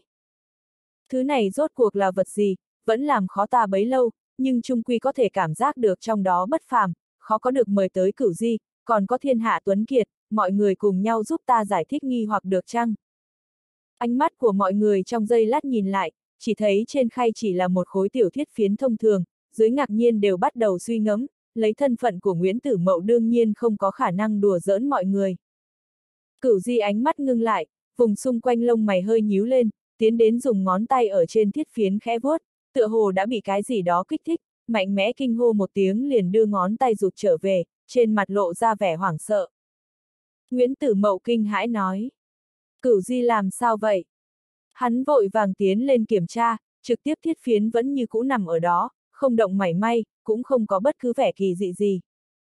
Nguyễn Tử Mậu chưa phát giác ra có chút hồ nghi, thiết phiến này ở trong tay hắn đã rất nhiều thời gian, bó tay chưa từng có xuất hiện qua dấu hiệu gì. Trên mặt cửu di lộ vẻ hoảng sợ quá mức, nói. Thiết phiến này là ở đâu ra? Nguyễn Tử Mậu nói. Nghe nói là đến từ Mai Cốt Chi Địa, hiện tại phiến địa phương phát sinh biến cố, đã mất dần linh khí, sau đó không lâu sẽ trở thành một mảnh đất hoang rồi. Lạc ca. Hai tay của Lý Vân Tiêu bỗng nhiên căng thẳng, phát sinh thanh âm cốt bạo, trong đôi mắt dị thường ngưng trọng, chỉ nhìn chằm chằm vào thiết phiến trong khay, thân thể hơi có chút run rẩy. Cùng tồn tại trên vương tọa mấy người lập tức phát hiện sự khác thường của hắn, cả đám sắc mặt thật là cổ quái, bọn họ không tin nam vực hầu tử còn có thể có kiến thức như vậy, nhận được loại kỳ vật này ngay cả mai gia chi chủ đều kinh sợ không ngớt. Nguyễn Tử Mậu hỏi tới. Cửu Di, đây rốt cuộc là vật gì? Sắc mặt cửu Di giấy dụa một hồi lâu, mời kềm chế được nội tâm gợn sóng, sắc mặt xám trắng lắc đầu, cắn răng nói. Không biết. Cái này. Nguyễn Tử Mậu cười khổ nói. Cửu Di có gì kiêng kỵ hay không? Đây bất quá là chính là một khối thiết phiến mà thôi, có thể nào khiến cửu Di kinh hãi như vậy? Lại có lời khó nói chăng? Cửu Di lắc đầu liên tục nói. Nói chung tử mậu công tử đừng hỏi, vật ấy cực kỳ bất tường, công tử cũng không cần giữ ở bên người, tận lực xử lý cho xong đi. Nguyễn Tử Mậu một lát không nói gì, mọi người cũng đều là bị treo khẩu vị, đều lộ ra vẻ bất mãn. Vật ấy có thể cho ta đánh giá hay không? Thanh âm của Lý Vân Tiêu vang lên, lập tức khiến toàn trường đều yên tĩnh.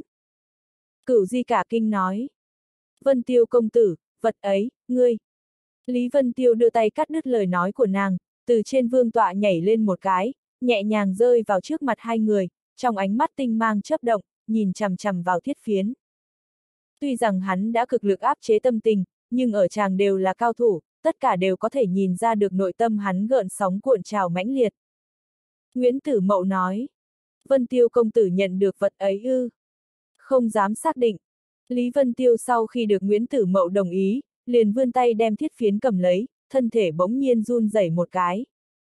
Thiết phiến này cùng với thiết phiến lúc trước khi chép chân ma pháp tướng giống nhau như đúc, hơn nữa trên thiết phiến ấn lõm xuống một ảnh tượng quái dị, mỗi lần chiến đấu cùng với ma chủ phía sau hiển hóa ra ngoài ma ảnh thật lớn giống nhau như đúc.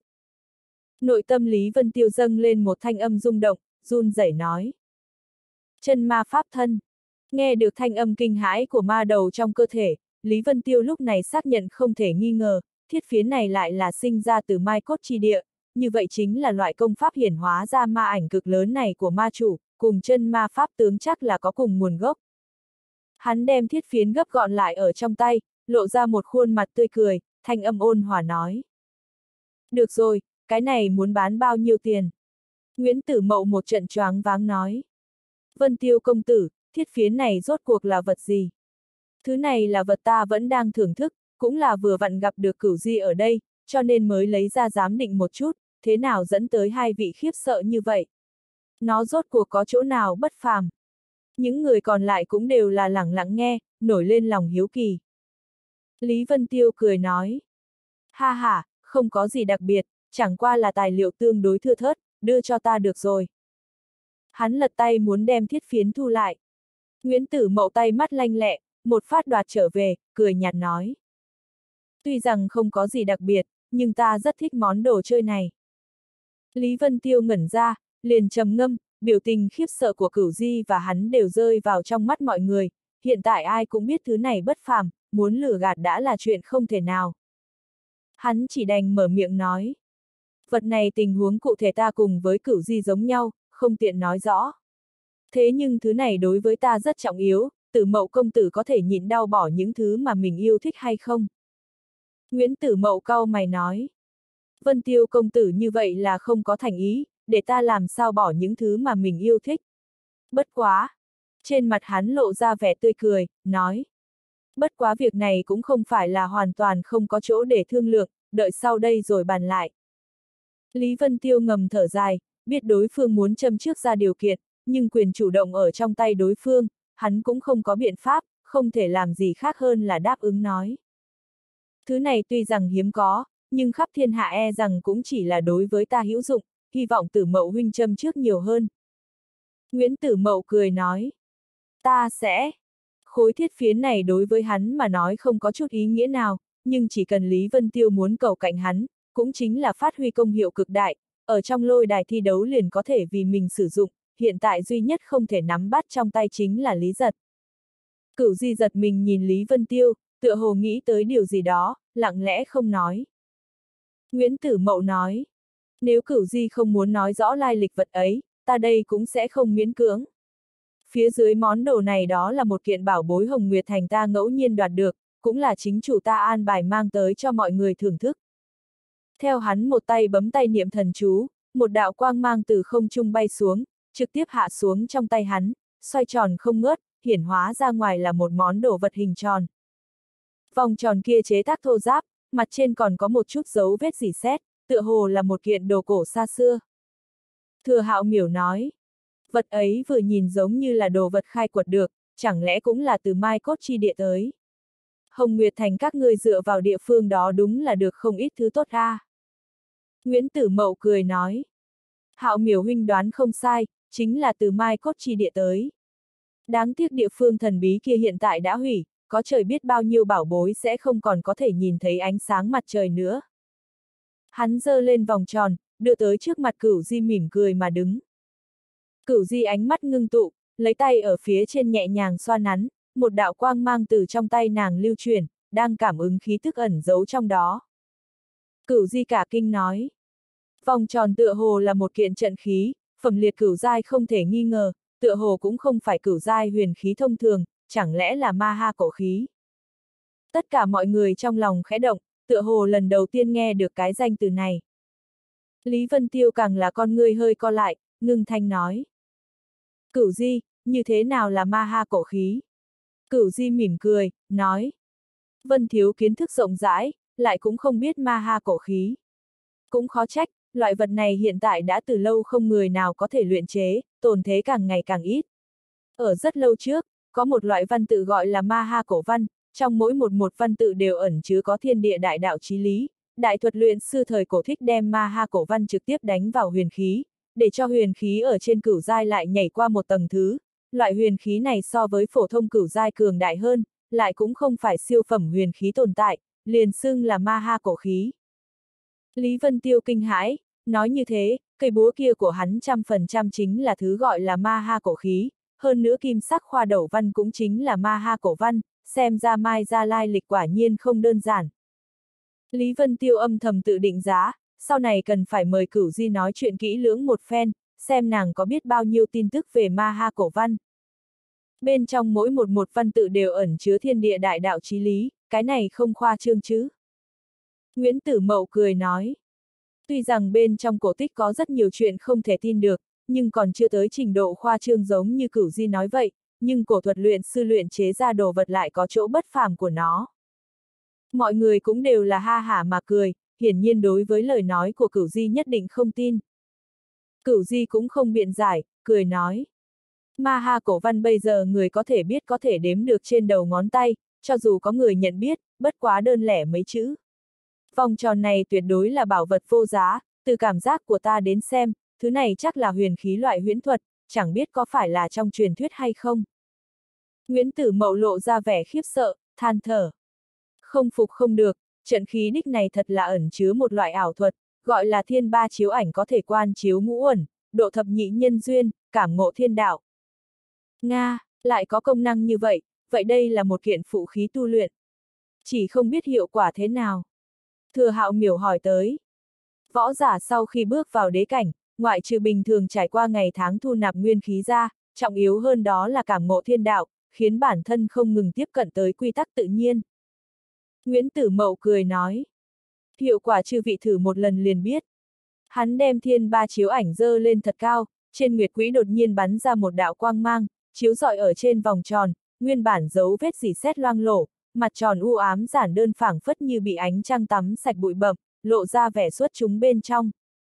Chín đạo hoa thải từ vòng tròn sông lên, ở trên trời hình thành dị tượng to lớn, thoáng cái dĩ nhiên đem thanh phong minh nguyệt lâu danh tiếng che đậy, trong hoa thải ý tưởng hàng vạn hàng nghìn, càng có tiên âm mờ mịt truyền đến. Cái này, mọi người đều là kinh hãi, trận thế to lớn như vậy, rất khó tưởng tượng chỉ là từ trong một đồ vật phát ra, Lý Vân Tiêu không bị dị tượng kinh động, mà là dừng ở mặt tròn kia, chỉ thấy phía trên một khoa đầu văn màu vàng đang không ngừng lóe ra lưu truyền, tình hình trong đó cùng với cây búa của hắn giống nhau như đúc. Ngay khi mọi người đang giật mình, cảnh tượng trước mắt bắt đầu biến hóa, ảo trận nổi lên tác dụng, dần dần mất đi thực cảnh trước mắt, xuất hiện toàn bộ tướng mạo trong lòng mọi người. Lý Vân Tiêu bỗng nhiên kinh hãi, chỉ thấy trước người của hắn đứng thẳng một người, lại chính là bản thân hắn, đang lạnh lùng nhìn vào hắn, khóe miệng hiện ra vẻ ngạo mạn, khí tức trên người khi thì biến hóa, chợt chính chợt tà. Đây chính là ngũ uẩn chi tướng, nhân duyên nghiệp quả sao. Dưới tình cảnh này, ánh mắt của Lý Vân Tiêu lộ ra vẻ ngưng trọng, nếu muốn phá vỡ huyễn thuật, tất nhiên phải dẫn động nguyệt đồng của hắn, nhưng đồng thuật một khi vận dụng, người của Hồng Nguyệt Thành trong nháy mắt sẽ đem hắn chân áp. Ở Hồng Nguyệt Thành nơi trung tâm phồn hoa nhất, phủ thành chủ to lớn trang nghiêm giống như một con mãnh hổ đang ngủ đông ở trên đại địa, ngưng mắt nhìn lại còn có thần quang lóe ra trong đó, tựa hồ là trận pháp cấm chế cực kỳ lợi hại nào đó. Bên trong phủ đệ, trên đại sảnh, một đạo thủy mạc hoa quang chuyển động, bên trong đều cho thấy cảnh tượng trong thanh phong minh nguyệt lâu, toàn bộ người và vật đều bị nhìn không sót một cái gì. Trong đại sảnh rộng lớn chỉ có một nam một nữ, đang lẳng lặng nhìn chăm chú vào tình cảnh trong màn. Nam tử một thân huyền bào, phong tư thần mạo, khí vũ phi phàm, mở miệng trầm giọng nói. Hồng Ngọc, cách làm của tử mậu như vậy thực sự tốt sao? Nếu là bị thế lực còn lại phát giác ra, Hồng Nguyệt Thành ta làm sao hạ được mặt bàn này? Bên cạnh Mỹ phụ kia mặc xong điệp tú la quần, mặt mũi đầy đặn, trên chân mày vẽ một bức cung trang, khẽ hé đôi môi đỏ mộng nói. Thiên ba chiếu ảnh này lưu lại ấn ký ngay cả phu quân ngươi đều không thể đơn giản phát hiện, toàn bộ thiên hạ có bao nhiêu người có thể công nhận. Làm sao vừa khéo mấy người này lại cố ý đi thăm dò. Coi như là lùi lại một vạn bước, thực sự bị người phát giác, cũng có thể trực tiếp từ chối ở trên bản thân thiên ba chiếu ảnh, trong loại thượng cổ huyền khí này ẩn chứa kỳ dị, há lại là chúng ta có thể đơn giản phát giác, cho dù là có thế lực khác bất mãn lời giải thích này, lại cũng không thể làm gì được.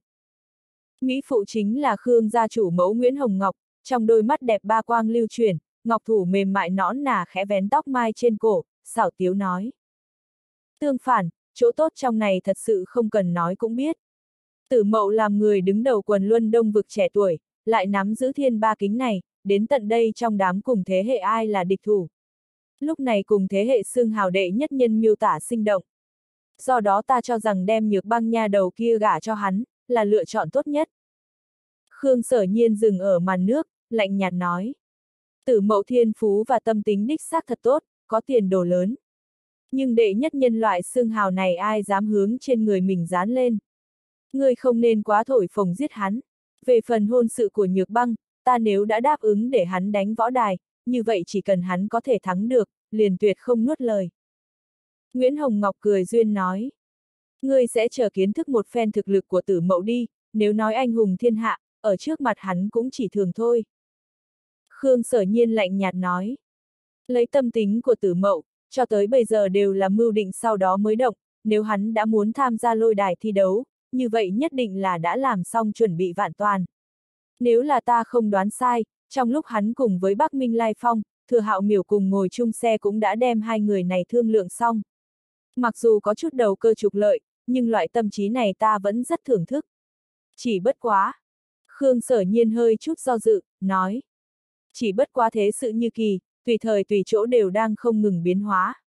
Nếu là hắn tự cho là nắm chắc phần thắng mà nói, tất nhiên sẽ thua tới mức thương tích đầy mình. Nguyễn Hồng Ngọc ngẩn ngơ, ngạc nhiên nói. Thua đến thương tích đầy mình, ngoại trừ Bắc Minh Thế Gia và phệ hồn cốc hai người, trên vương tọa kẻ có thể uy hiếp được tử mậu cũng chỉ có Trúc Dục Kỳ và tên Nam vực Vũ Đế Hầu Tử. Nhưng ta xem hai người này tuy rằng thực lực không tầm thường, nhưng so với tử mậu lại vẫn có tranh lệch cực đại. Nam vực Vũ Đế Hầu Tử sao? Khương sở nhiên cười lạnh một tiếng, nói. Con khỉ này lai lịch thật không đơn giản. Theo con khỉ này cùng đi có ba gã vũ đế cường giả, một người là yêu tộc, tựa hồ chuyên tu bí pháp tà thuật, còn có hai người lại là hai vị trong tử thần bát tượng. Hừm, nghĩ không ra hắn cũng đem chủ ý đánh tới trên đầu Hồng Nguyệt Thành này của ta. Nguyễn Hồng Ngọc cả kinh, nói. Tử thần bát tượng, chẳng lẽ là người nọ phái tới? Khương sở nhiên gật đầu nói. Ta mặc dù không sợ người nọ, nhưng trêu chọc hắn, đích thật là một đại phiền toái, thậm chí là một đại tai nạn.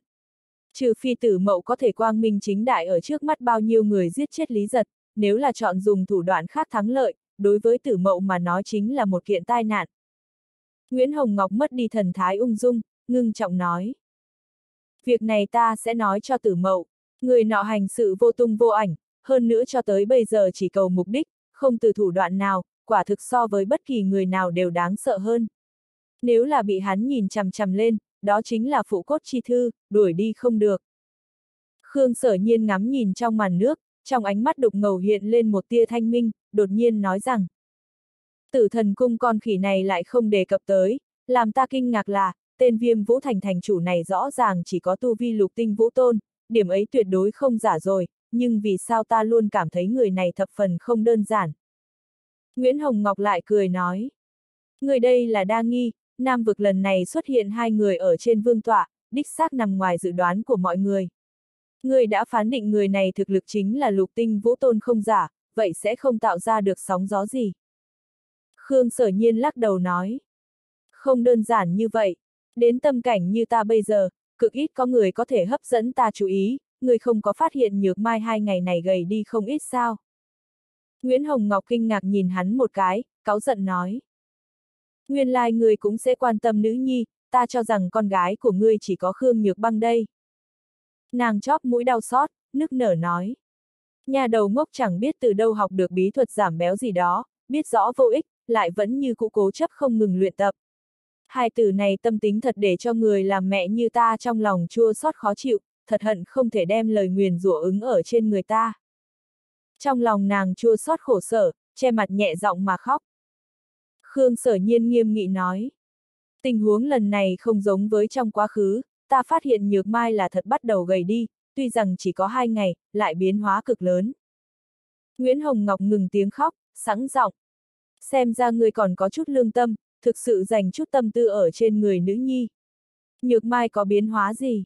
Ta thật sự vẫn không nhìn ra. Những năm gần đây, các loại biện pháp đều đã thử qua, cũng không thấy hiệu quả, nàng cũng dần dần mất đi quan tâm. Nhưng nghĩ không ra trưởng phu vẫn luôn thờ ơ không để ý, dĩ nhiên chú ý tỉ mỉ như vậy, khiến trong lòng nàng thoáng dễ chịu hơn chút. Khương sở nhiên trầm ngâm nói. Nàng áp dụng phương pháp giảm béo bất quá là trước đây bình thường vẫn dùng, bất đồng duy nhất đó là dĩ vãng cũng không có hiệu quả, lần này lại có hiệu quả. Mà hết thảy chuyện này, đều là từ sau khi Nhược Mai gặp được Lý Vân Tiêu bắt đầu. Thân thể Nguyễn Hồng Ngọc chấn động, thất thanh nói. Làm sao có thể, chú ấn của Nhược Mai chỉ có cổ phi dương đồng thuật mới có khả năng giải trừ, đây là lỗ thông tử đại sư chính mồm phán đoán tuyệt sẽ không sai, lẽ nào Lý Vân Tiêu này được cổ phi dương truyền thụ đồng thuật. Trong mắt nàng hiện lên vẻ kinh sợ, tràn đầy kích động và cừu hận, mất đi hình tượng đoan trang, nội tâm khó có thể ức chế tâm tình ba động. Khương sở nhiên lắc đầu nói. Tình hình trong đó ta cũng không biết rõ lắm, nhưng Lý Vân Tiêu cũng không phải cổ phi dương truyền thụ.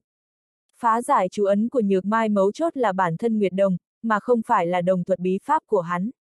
Coi như hắn có truyền thụ, cũng tuyệt không có cách đem Nguyệt Đồng từ trên người rời đi ra. Việc này quá mức kỳ quặc, Lý Vân Tiêu này ta nhất định phải điều tra rõ. Không sai, sự tình nhất định phải điều tra ra manh mối. Nguyễn Hồng Ngọc nghiến răng nghiến lợi, đại hận nói. Cổ phi dương chết quá tiện nghi nếu như Lý Vân Tiêu này thực sự cùng hắn có liên quan, hừm hừm, đó chính là lão thiên tặng hắn cho chúng ta tiết thù rồi. Khương sở nhiên nói. Cổ phi dương đã chết, việc năm xưa hà tất giữ mai trong lòng. Hết thảy đều đã qua đời, huống hồ năm đó mọi người từ địa lão thiên hoang đi ra, hắn thân bị nguyệt đồng ảnh hưởng, tà tính tăng nhiều, thị phi đúng sai đã khó mà định luận, giết chóc quá nặng cũng không phải bản ý của hắn. Huống hồ giải trừ chú ấn của nhược mai then chốt vẫn đang ở trên người hắn. Nguyễn Hồng Ngọc tức giận nói. Ta mặc kệ năm xưa Nguyễn Gia Hầu như diệt vong, tất cả chuyện này đều là cổ phi dương tạo thành, nhược mai những năm gần đây chịu khổ, cũng là cổ phi dương tạo thành. Coi như là không có Lý Vân Tiêu, chúng ta đã nắm giữ được manh mối thiên tư rồi, chỉ cần địa lão thiên hoang lần thứ hai mở ra, tất nhiên có thể tìm ra được thiên tư giải trừ chú ấn cho nhược mai. Khương sở nhiên cau mày nói. Bất quá là một ít manh mối mà thôi, có thể tìm được thiên tư hay không còn là chuyện khác, cho dù có tìm được rồi, sợ rằng cũng chưa chắc có thể khống chế được. Thiên tư uy lực còn ở trên Nguyệt Đồng, năm xưa cổ phi dương sau khi đạt được Nguyệt Đồng tâm tính cũng biến thành thô bạo, thẳng đến từ bên trong lang yên ngọc cảnh đạt được năm quyển đồng thuật bí pháp, lúc này mới hoàn toàn ngăn chặn tà tính của Nguyệt Đồng, thành tựu một đời vũ đế. Trong toàn bộ Hồng Nguyệt Thành, mặc dù là ta, cũng không có nắm chắc có thể khống chế được thiên tư. Trên mặt Nguyễn Hồng Ngọc hiện ra dáng tươi cười nghiền ngẫm, bộ dạng cổ quái, không khỏi châm chọc nói. Ngài là Hồng Nguyệt Thành chủ, lãnh tụ đông vực, thân thể vạn kim, chuyện khống chế thiên tư tất nhiên không thể để cho ngài xuất thủ. Nhược Mai là nữ nhi của ta, việc này một mình ta đi làm là được. Khương sở nhiên mặt vô biểu tình, một lúc lâu mới thở dài nói. Hồng Ngọc, người còn đang trách ta năm đó không chịu đi tìm cổ phi dương báo thù sao? Nguyễn Hồng Ngọc hạ thấp người vuốt cằm nói. Không dám, năm đó ngài là lão thành chủ khâm định tân nhậm thành chủ, người trong Hồng Nguyệt Thành cũng đối với ngài trung tâm ủng hộ. Huống hồ ta cũng biết, lúc trước lang yên ngọc cảnh mở ra, lão thành chủ đối với người ra nghiêm lệnh, nhất định không được cùng cổ phi dương phát sinh xung đột. Lão thành chủ quyết định đúng, Hồng Nguyệt Thành và cổ phi dương cũng không có thù, có cựu oán là Nguyễn gia chúng ta, không cần thiết đem toàn bộ Hồng Nguyệt Thành dẫn vào. Nếu không phải lão thành chủ anh Minh quyết định, chính là Hồng Nguyệt Thành sớm đã không có vinh quang như bây giờ. Khương sở nhiên lặng lẽ không nói gì, nhìn khuôn mặt đau khổ và châm chọc của ái thê, đột nhiên than thở. Xin lỗi, Hồng Ngọc, ta không có nghe lão thành chủ nói như vậy, ở trong lang yên thiên tìm tới cổ phi dương. Nguyễn Hồng Ngọc thân thể đại chấn, gương mặt hoảng sợ, trong đôi mắt đẹp đồng quang chớp động, tràn đầy khiếp sợ và ngạc nhiên. Khương sở nhiên cười nhạt một tiếng, nói. Xin lỗi, ta đã thua. Ở sau khi cực độ khiếp sợ qua đi, hai hàng thanh lệ từ trong đôi mắt xinh đẹp tuyệt trần của Nguyễn Hồng Ngọc chảy xuống, tràn đầy đều là giọt lệ hạnh phúc. Ngắn vài từ, ta đã thua, lại giống như một đạo chú ngữ, khiến người đã làm mẹ, Khương gia chủ mẫu như Nguyễn Hồng Ngọc, lại tựa như một thiếu nữ mới tới đôi mươi, khóc thật thương tâm, thoáng cái chui đầu vào trong lòng Khương sở nhiên, dường như hài tử nhận hết hủy khuất, không chút kiêng kỵ mà khóc. Khương sở nhiên lộ vẻ sầu thảm cười nói. Xin lỗi, ta không có năng lực giúp người báo thù. Nhưng Nhược Mai là con của chúng ta, coi như là liều mạng ta cũng nhất định sẽ chữa tốt cho nàng. Nguyễn Hồng Ngọc khóc giống một lát, lúc này mới dùng ống tay áo vuốt nước mắt trên mặt, nước nở nói. Xin lỗi sở nhiên, những năm gần đây ta vẫn luôn hiểu lầm ngươi. Nhớ tới hơn 10 năm nay, bởi vì nội tâm trách cứ và cố chấp, tuy rằng có thể lý giải hành vi đại cục làm trọng của trượng phu, nhưng vẫn không thể buông bỏ cái nhìn và thành kiến đối với hắn nhát gan sợ chết. Mười mấy năm qua phu thê hai người đều là chia phòng mà ngủ, chưa bao giờ chân chính ở chung cùng một chỗ. Nghĩ tới những thứ này, nội tâm Nguyễn Hồng Ngọc cực kỳ tự trách và đau lòng, nàng tự trách mình quá ích kỷ, quá cố chấp. Có người thương yêu mình như vậy lại không thể tín nhiệm đối phương. Nguyên lai mình trách cứ, trượng phu không để ý vi phạm tiền nhiệm thành chủ nghiêm lệnh, không tiếc đặt lên tiền đồ của Hồng Nguyệt Thành, không để ý tới cả tánh mạng của mình, từ lâu đã liều mạng sinh tử đi làm. Có phu quân như vậy, cuộc đời này còn cầu mong gì hơn. Nguyễn Hồng Ngọc trong lúc bất chợt cảm thấy thù mới hận cũ thoáng cái đã tan thành mây khói, hiện tại điều quan trọng nhất với nàng đó là quý trọng người trước mắt, nàng khẽ khóc nói. Trong cổ tịch ghi chép, thiên tư vô hình vô thể, chính là hội tụ thiên địa tinh thần mà sinh ra, khó có thể khống chế, ta không để cho ngươi đi mạo hiểm như vậy. Lý Vân Tiêu nếu có thể làm cho Nhược Mai thực sự gầy đi, tất nhiên là có biện pháp, chúng ta trước hết thử một chút biện pháp của hắn, nếu là không được lại nghĩ tới cách khác. Khương sở nhiên vuốt ve mái tóc của ái thê, nội tâm hổ thẹn không nói ra được. Tông chủ của một trong bảy đại siêu cấp thế lực, người đứng đầu một trong tứ đại vực, bằng đoàn cửu vạn, quân lâm thiên hạ, nhất hồ bá ứng, vạn người kính ngưỡng, nhưng ngay cả vì ái thê của mình báo thù cũng làm không được, ngay cả bệnh của nữ nhi đều không thể trị liệu, tông chủ, lãnh tụ như thế, nội tâm hắn tràn đầy thống khổ, không người nào có thể hiểu rõ. Hắn sờ nắn ái thê của mình, ôn nhu nói. Hồng Nguyệt thành chủ, thiên hạ vương đồ gì đó, ta chỉ cầu chúng ta người một nhà có thể thật vui vẻ ở bên nhau. Ngươi không có khúc mắc, nhược mai không có bệnh dữ, cuộc đời này cũng đã đủ rồi. Nguyễn Hồng Ngọc lau đi nước mắt, giận dữ dùng đôi bàn tay trắng như phấn đánh vào ngực hắn, nói. Trượng phu của ta cũng không thể uất ức như thế, vợ vì chồng mà hiển quý, ngươi là thiên hạ vị hùng chủ, ta và Nhược Mai, còn có Nhược Băng, còn có toàn bộ Hồng Nguyệt Thành, đều vây quanh ở bên cạnh ngươi, ngươi không thể để cho mọi người thất vọng. Khương sở nhiên hoạt kê cười, nói. Có ngươi và Hải Nhi ở bên cạnh ta, trong thiên hạ này không người nào có thể đánh bại ta. Khương sở nhiên chỉ cảm thấy một cổ hào khí dâng lên trong ngực, phu thê trải qua nhiều năm ngăn cách thoáng cái đã tiêu trừ, tràn đầy đều là ý nghĩ yêu thương. Bên trong thanh phong minh nguyệt lâu, trong mắt Nguyễn Tử Mậu tinh mang chấp động, khóe miệng hàm chứa mỉm cười, nhìn cả vườn đều là sắc mặt kinh khủng ngây dại, mọi người rơi vào ảo cảnh, nghiền ngẫm không nói ra lời. Trong một chỗ hư không bên ngoài lâu vũ, sắc mặt của Lê chợt biến, ngưng thanh hỏi. Có cần ta phải xuất thủ phá đi ảo cảnh này không? Tiểu bát kinh ngạc nói. Lê tỷ tỷ có thể phá sao? Lê nói. Ảo cảnh này có chứa quy tắc chi lực, muốn phá vỡ không dễ, nhưng còn không làm khó được ta. Ta chỉ cần dùng cửu lê chiến cổ, sau ba tiếng chống tất phá cảnh này. Không thể. Phách thiên hổ vội vàng nói. Thiên hạ anh hào tuổi trẻ toàn bộ tụ tập nơi này, Hồng Nguyệt Thành không có khả năng gian lận đối với bọn họ, Nguyễn Tử Mậu thi triển thuật này chắc chắn là có dụng ý, chúng ta nếu tùy tiện hành động, trái lại sẽ bị người chế nhạo. Lê mặt không thay đổi lạnh nhạt nói. Trách nhiệm của ta chính là bảo vệ mẫu thể tuyệt đối an toàn, về phần sĩ diện chê cười gì đó, cùng ta không quan hệ. Phách Thiên Hổ cười nói. Hắc hắc, nơi này là Hồng Nguyệt Thành, cô gái nhỏ yêu tộc như ngươi có thể không biết Hồng Nguyệt Thành là địa phương nào đi.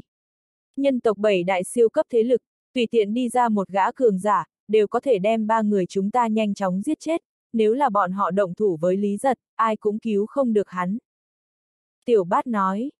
Phách thiên hổ tiền bối nói đúng, chúng ta vẫn là yên lặng theo dõi kỳ biến đi. Mặc dù là Hồng Nguyệt Thành cũng không thể không đối với khôi thủ kiêng kỵ vài phần, huống hồ còn có đông đảo Tuấn Kiệt, đều là hậu trường cực kỳ cứng rắn, Hồng Nguyệt Thành tuyệt đối sẽ không làm loạn. Ngoại trừ ba người phách thiên hổ, không ít địa phương đều xảy ra nhỏ nhẹ nguyên lực ba động, tựa hồ sinh ra dị nghị và nghi hoặc, nhưng ngắn lúc toàn bộ yên lặng xuống tới. Ninh Hàng Phong cùng với mấy tên vũ đế lẳng lặng ngồi xếp bằng ở bên ngoài hoa viên không chung, đối với chuyện bên trong làm như không thấy. Bên trong hoa viên, Nguyễn Tử Mậu ánh mắt lưu chuyển, nhìn thiên ba kính thượng màu hoa lưu chuyển, đem một pháp quyết đánh vào trong đó, khóe miệng mỉm cười. Trong toàn trường ngay cả cửu di cũng bị kính chiếu sáng rượu đi vào, gương mặt bình tĩnh vô thần, hãm ở ảo cảnh chung không thể tự thoát ra được. Lý Vân Tiêu nhìn trước mắt vẻ mặt kiệt ngạo bất tuân cổn vẻ mặt tà khí chính là chính mình, rơi vào trầm tư, lẩm bẩm. Nguyễn Tử Mậu nói thiên ba chiếu ảnh này có thể chiếu gặp người chi ngũ ẩn, nhân duyên quả nghiệp, chẳng lẽ trước mắt cái này chính mình đó là ngũ ẩn biến thành. Hắn tâm niệm vừa động, kiếm khí trong tay ngưng ra, một chỉ điểm qua. Đối phương trên mặt cười nhạt bất biến, vai phải hậu khuynh, sau đó cũng là theo chân một chỉ điểm ra, lưỡng đạo ngón tay mũi nhọn trên không trung đánh dưới, lại bị đối phương chiếm thượng phong, Lý Vân Tiêu bị bước lui một, lập tức nhíu đứng lên.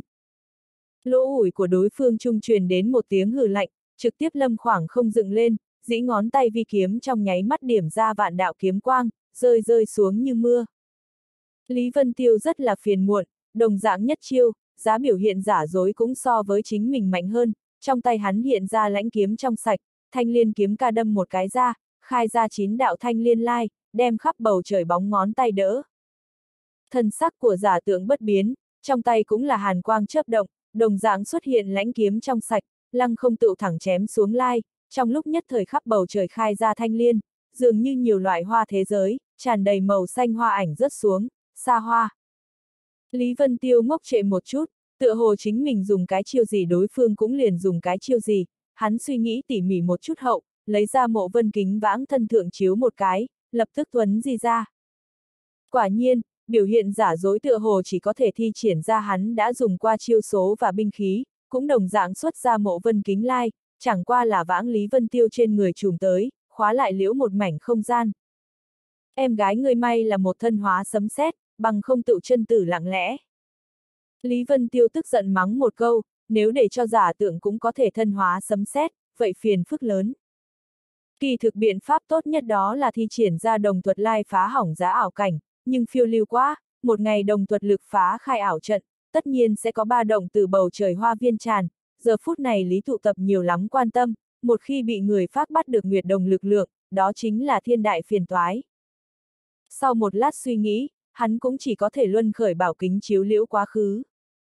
Lưỡng đạo kính quang trên không trung chạm vào nhau, dĩ nhiên chiết xạ ra nghìn vạn lần điều tia sáng, hướng phía bốn phương tám hướng tản ra, hai người đứng không gian lộ vẻ một mảnh xạ tuyến. Rất phiền phức a, nếu là ta tế xuất giới thần bi có thể hay không tịch thu hắn. Lý Vân Tiêu nhíu mày suy nghĩ một trận, tuy rằng loại này phạm vi lớn ảo cảnh rất khó nhìn trộm đáo đối phương thế giới tinh thần, nhưng giới thần bi thế giới lực có thể chấn áp và thôn phệ tất cả dị tượng, vạn nhất đem ảo trận phá, bị người nhận thấy được khí ẩn ba động, vậy cũng phiền phức. Thiên ba kính chỉ là một kiện phụ trợ tu luyện huyền khí, hắn cũng thăm dò liễu giá huyền khí ảo trận tác dụng, đem mình ngũ ẩn chi hợp nhau ảnh đi ra, chỉ có đánh bại mình biểu hiện giả dối tài năng phá trận ra. Hắn hiện tại cần làm đó là có ở đây không phá hư ảo trận điều kiện tiên quyết, giết chết mình biểu hiện giả dối, từ nơi này đi ra ngoài. Đã như vậy, ta tự an tâm tu luyện một trận được rồi, chỉ không biết nơi này thời gian quy luật làm sao. Ánh mắt Lý Vân Tiêu lộ ra một tia tinh mang, kiếm trong tay thế mở ra, chính thị thiên trinh cuồn cuộn bí quyết thức thứ nhất, xung phong liều chết liễu đi tới. Hắn dự định tận lực đem võ học thi triển ra, những biểu hiện giả dối người mang bao hàm toàn diện vũ kỹ, như vậy đánh nhau tài có ý tứ. Liên tiếp xuất thủ mấy trăm chiêu, đều là bất đồng vũ kỹ, chỉ cần hắn vừa ra tay, biểu hiện giả dối lập tức là có thể học được, đồng thời dĩ lực lượng càng mạnh thi triển ra. Rất nhanh, Lý Vân Tiêu tự rơi vào liễu rõ ràng hạ phong, bị chiến liên tục bại lui. Có ý tứ A, đúng vũ kỹ tinh diệu nối liền và thi triển, tựa hồ chia ra một chút nào đều bị tính toán ở chiêu thức trong vòng, không dư lưu nửa điểm khe hở và kẽ hở, vận dụng chi hay duy hô nhất tâm. Lúc này, đột nhiên một kỳ dị lực lượng trực tiếp hiện lên ở Lý Vân Tiêu linh đài trong, yếu ớt mà nhẵn nhụi, từ từ hướng tới trong linh hồn vọt tới, đúng là khó có thể phát hiện. Nhưng hồn lực của Lý Vân Tiêu so với bát giai thuật luyện sư phổ thông mạnh hơn nhiều lắm, trong nháy mắt liền cảm giác được, một đạo phân thân lập tức từ trong linh hồn tách ra, ngũ chỉ một chảo đã đem cổ lực lượng kia vây khốn trong lòng bàn tay, nhíu mày quan sát. Cổ lực lượng kia chi một người trong cực kỳ thật nhỏ ký hiệu, đang xoay tròn liên tục. Ấn ký mầm móng.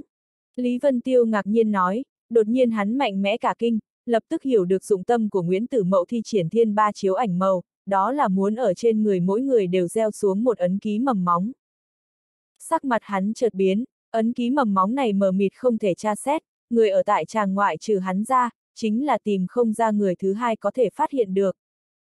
Hơn nữa bên trong thanh phong minh nguyệt lâu hội tụ đều là thiên hạ anh hào, tương lai tuyệt đối chính là nhất phương bá chủ hào kiệt, nếu là đều bị hắn trồng xuống ấn ký mầm móng mà nói, hậu quả khiến kẻ khác cực độ sợ hãi. Tiểu tử này thật là có dũng khí a. Lý Vân Tiêu thần sắc bất định, nói. Cũng không biết là chủ ý của mình hắn còn là chủ ý của Hồng Nguyệt Thành, nếu là người sau, như vậy ý nghĩa có thể rất lớn. Đúng lúc này, cảnh tượng trước mắt khôi phục về trong thanh phong minh nguyệt lâu, mọi người tựa hồ cũng trong nháy mắt tỉnh lại, đều là từng con mắt dò xét, cả đám ngây ngốc không ngớt, nhìn ngó lẫn nhau. Lúc này, đột nhiên từng đạo quang mang cũng không đồng nghiệp trên người của nỡ rộ dựng lên, chính là tấn cấp ánh sáng, lại có hơn phân nửa người cũng bắt đầu tại chỗ tấn cấp. Thậm chí có người trực tiếp liên nhảy qua sổ tinh, cả kinh toàn trường hoảng sợ. Ngay cả vương tọa trên thừa hạo miểu cũng là mặt lộ vẻ vẻ vui mừng, một đạo quang mang từ trong cơ thể vọt lên, bước vào đến rồi hai sao vũ đế cảnh. Nguyễn Tử Mậu sắc mặt đại biến, trong mắt một tia hối hận lóe lên rồi biến mất. Chư vị, cảm giác thế nào? Nguyễn Tử Mậu thu liếm nội tâm tâm tình phức tạp, vẻ mặt mang mỉm cười nhìn cả đám người không giải thích được. Đột nhiên có người kinh hô một tiếng, nói. ta nơi này là thanh phong minh nguyệt lâu, ta nhớ ra rồi. Bắc Minh Lai Phong đầy bụng nghi ngờ nói. Tử Mậu Huynh, đây rốt cuộc là chuyện gì vậy? Ta bất qua tiến nhập ảo cảnh hơn tháng, thế nào có người có thể liền phá tứ tinh đẳng cấp, chuyện này khó tránh khỏi quá khoa trương đi. Phải biết rằng ở đây cũng đều là cường giả cấp bậc vũ tôn A, một tháng trùng kích tứ tinh, điều này làm cho khắp thiên hạ thiên tài chưa từng pháp sống. A, à, hơn tháng. Tên thiếu niên kia liên tục phá tứ tinh vũ tôn giật mình nói. Ta nhớ kỹ ta tại nơi trong ảo cảnh đợi tròn 5 năm A cùng mình ảo giác đánh 5 năm tài thắng đi ra. Hơn tháng, 5 năm, ta nhớ kỹ rõ ràng là nửa năm A. Ta là một năm lẻ bảy tháng. Mọi người lúc này mới đều kinh hãi, phát hiện mỗi người thời gian dĩ nhiên không giống nhau, nhưng duy nhất giống nhau đó là đánh bại mình biểu hiện giả dối mới ra ngoài. Nguyễn Tử Mậu khẽ cười nói. Đây cũng là kỳ hiệu của thiên ba chiếu ảnh, kỳ thực chư vị tiến nhập ảo cảnh bất quá thập tức mà thôi. Không tin có thể gặp các ngươi bên người nước trà. Do đó dị tượng này cũng gọi là thập tức chiếu ảnh. Mọi người đều nhìn sang huyết trà bên cạnh mình, chỉ thấy hương khí xông vào mũi, nhiệt yên hoàn không ngừng mà lăn ra đây, tỉ mỉ ký ức dưới, đích xác cùng mình tiến nhập ảo cảnh tiền thị độc nhất vô nhị. Bắc Minh Lai Phong cả kinh nói. Sao thần kỳ như vậy? Nếu là chiếu một cái dưới chỉ có thập hơi thở, nhưng có thể trải qua sổ. Nhiều năm, như vậy dùng giá thiên ba kính tu luyện, chẳng lẽ không phải một ngày liền có thể vấn đỉnh vũ đế đỉnh núi? Hắn thốt ra lời này, lập tức tất cả mọi người đảo hút một cái lãnh khí, hoảng sợ kinh hãi không thôi.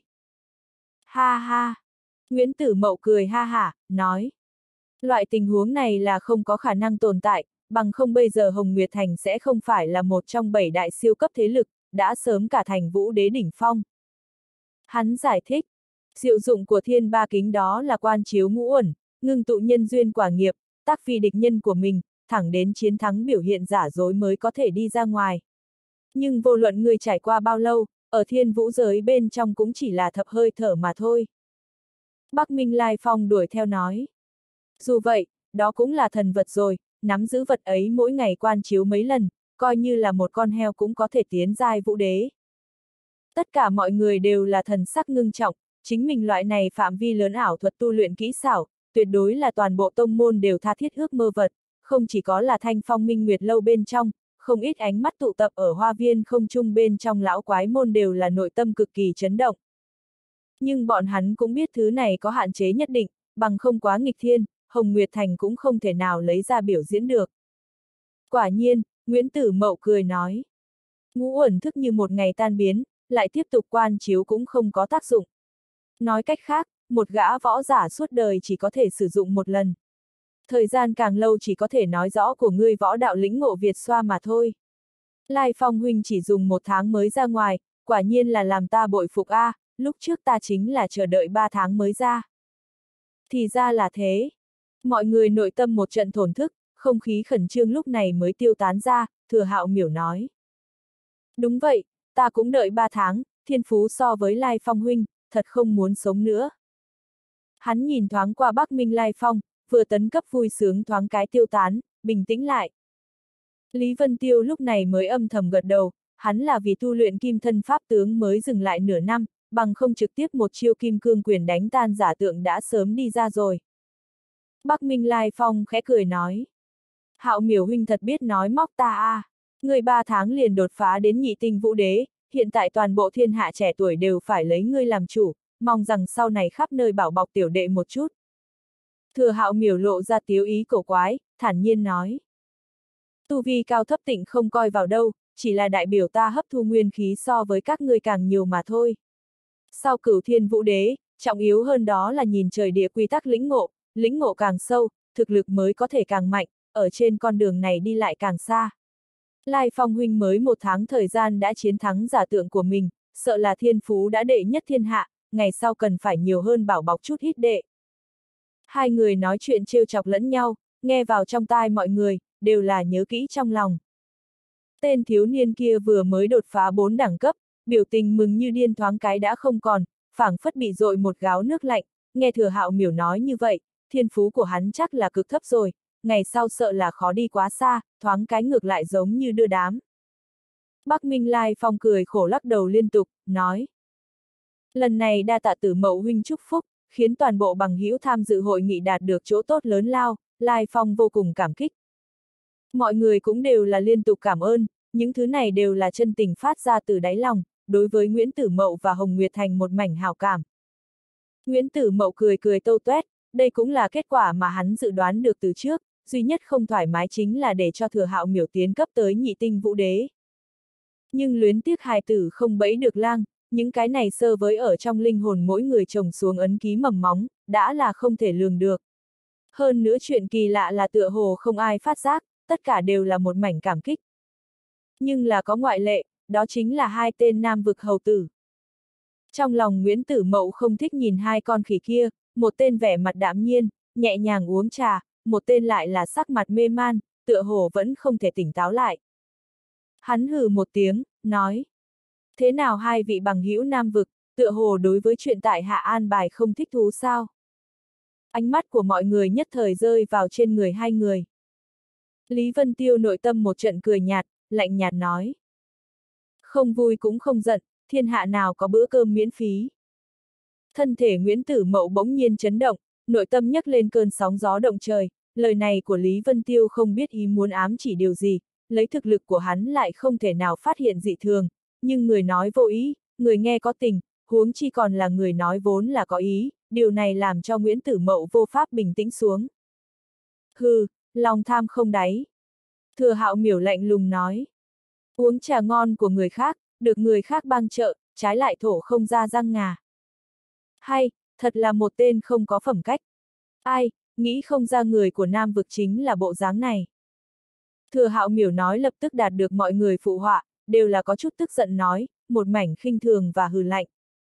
Nguyễn Tử Mậu thấy Lý Vân Tiêu vẫn chưa nhiều lời, một trái tim treo lên cao lúc này mới thoáng an định xuống, nói. Bất cứ chuyện gì đều không thể khiến mọi người đều thỏa mãn, mọi người không cần trách móc nặng nề ai.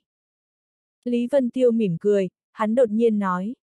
Đồng hương, nhìn thần sắc của ngươi ngưng trọng, khí sắc cũng rất mạnh, mơ hồ đã đạt đến nhất tinh vũ đế đỉnh phong, giống như tùy thời đều sẽ đột phá, lại không biết ngươi hao tốn bao lâu thời gian. Tất cả mọi người theo lời của hắn, đưa mắt rơi vào trên người Lý Giật. Lý Giật từ lúc đi ra khỏi vẫn là ánh mắt nghi hoặc, thậm chí còn có một tia thoải mái. Lúc này bị Lý Vân Tiêu hỏi một câu, trong mắt hắn bắt đầu lộ ra vẻ nghi hoặc, trong giây lát bên trong con ngươi tinh quang hiện ra, căm tức nhìn Lý Vân Tiêu quát dẹp đường. Lý Vân Tiêu ngươi là Lý Vân Tiêu. Lý Vân Tiêu. Hắn lau mồ hôi, ngượng ngùng nói. Lẽ nào đồng hương ở bên trong đợi 10 năm 20 năm?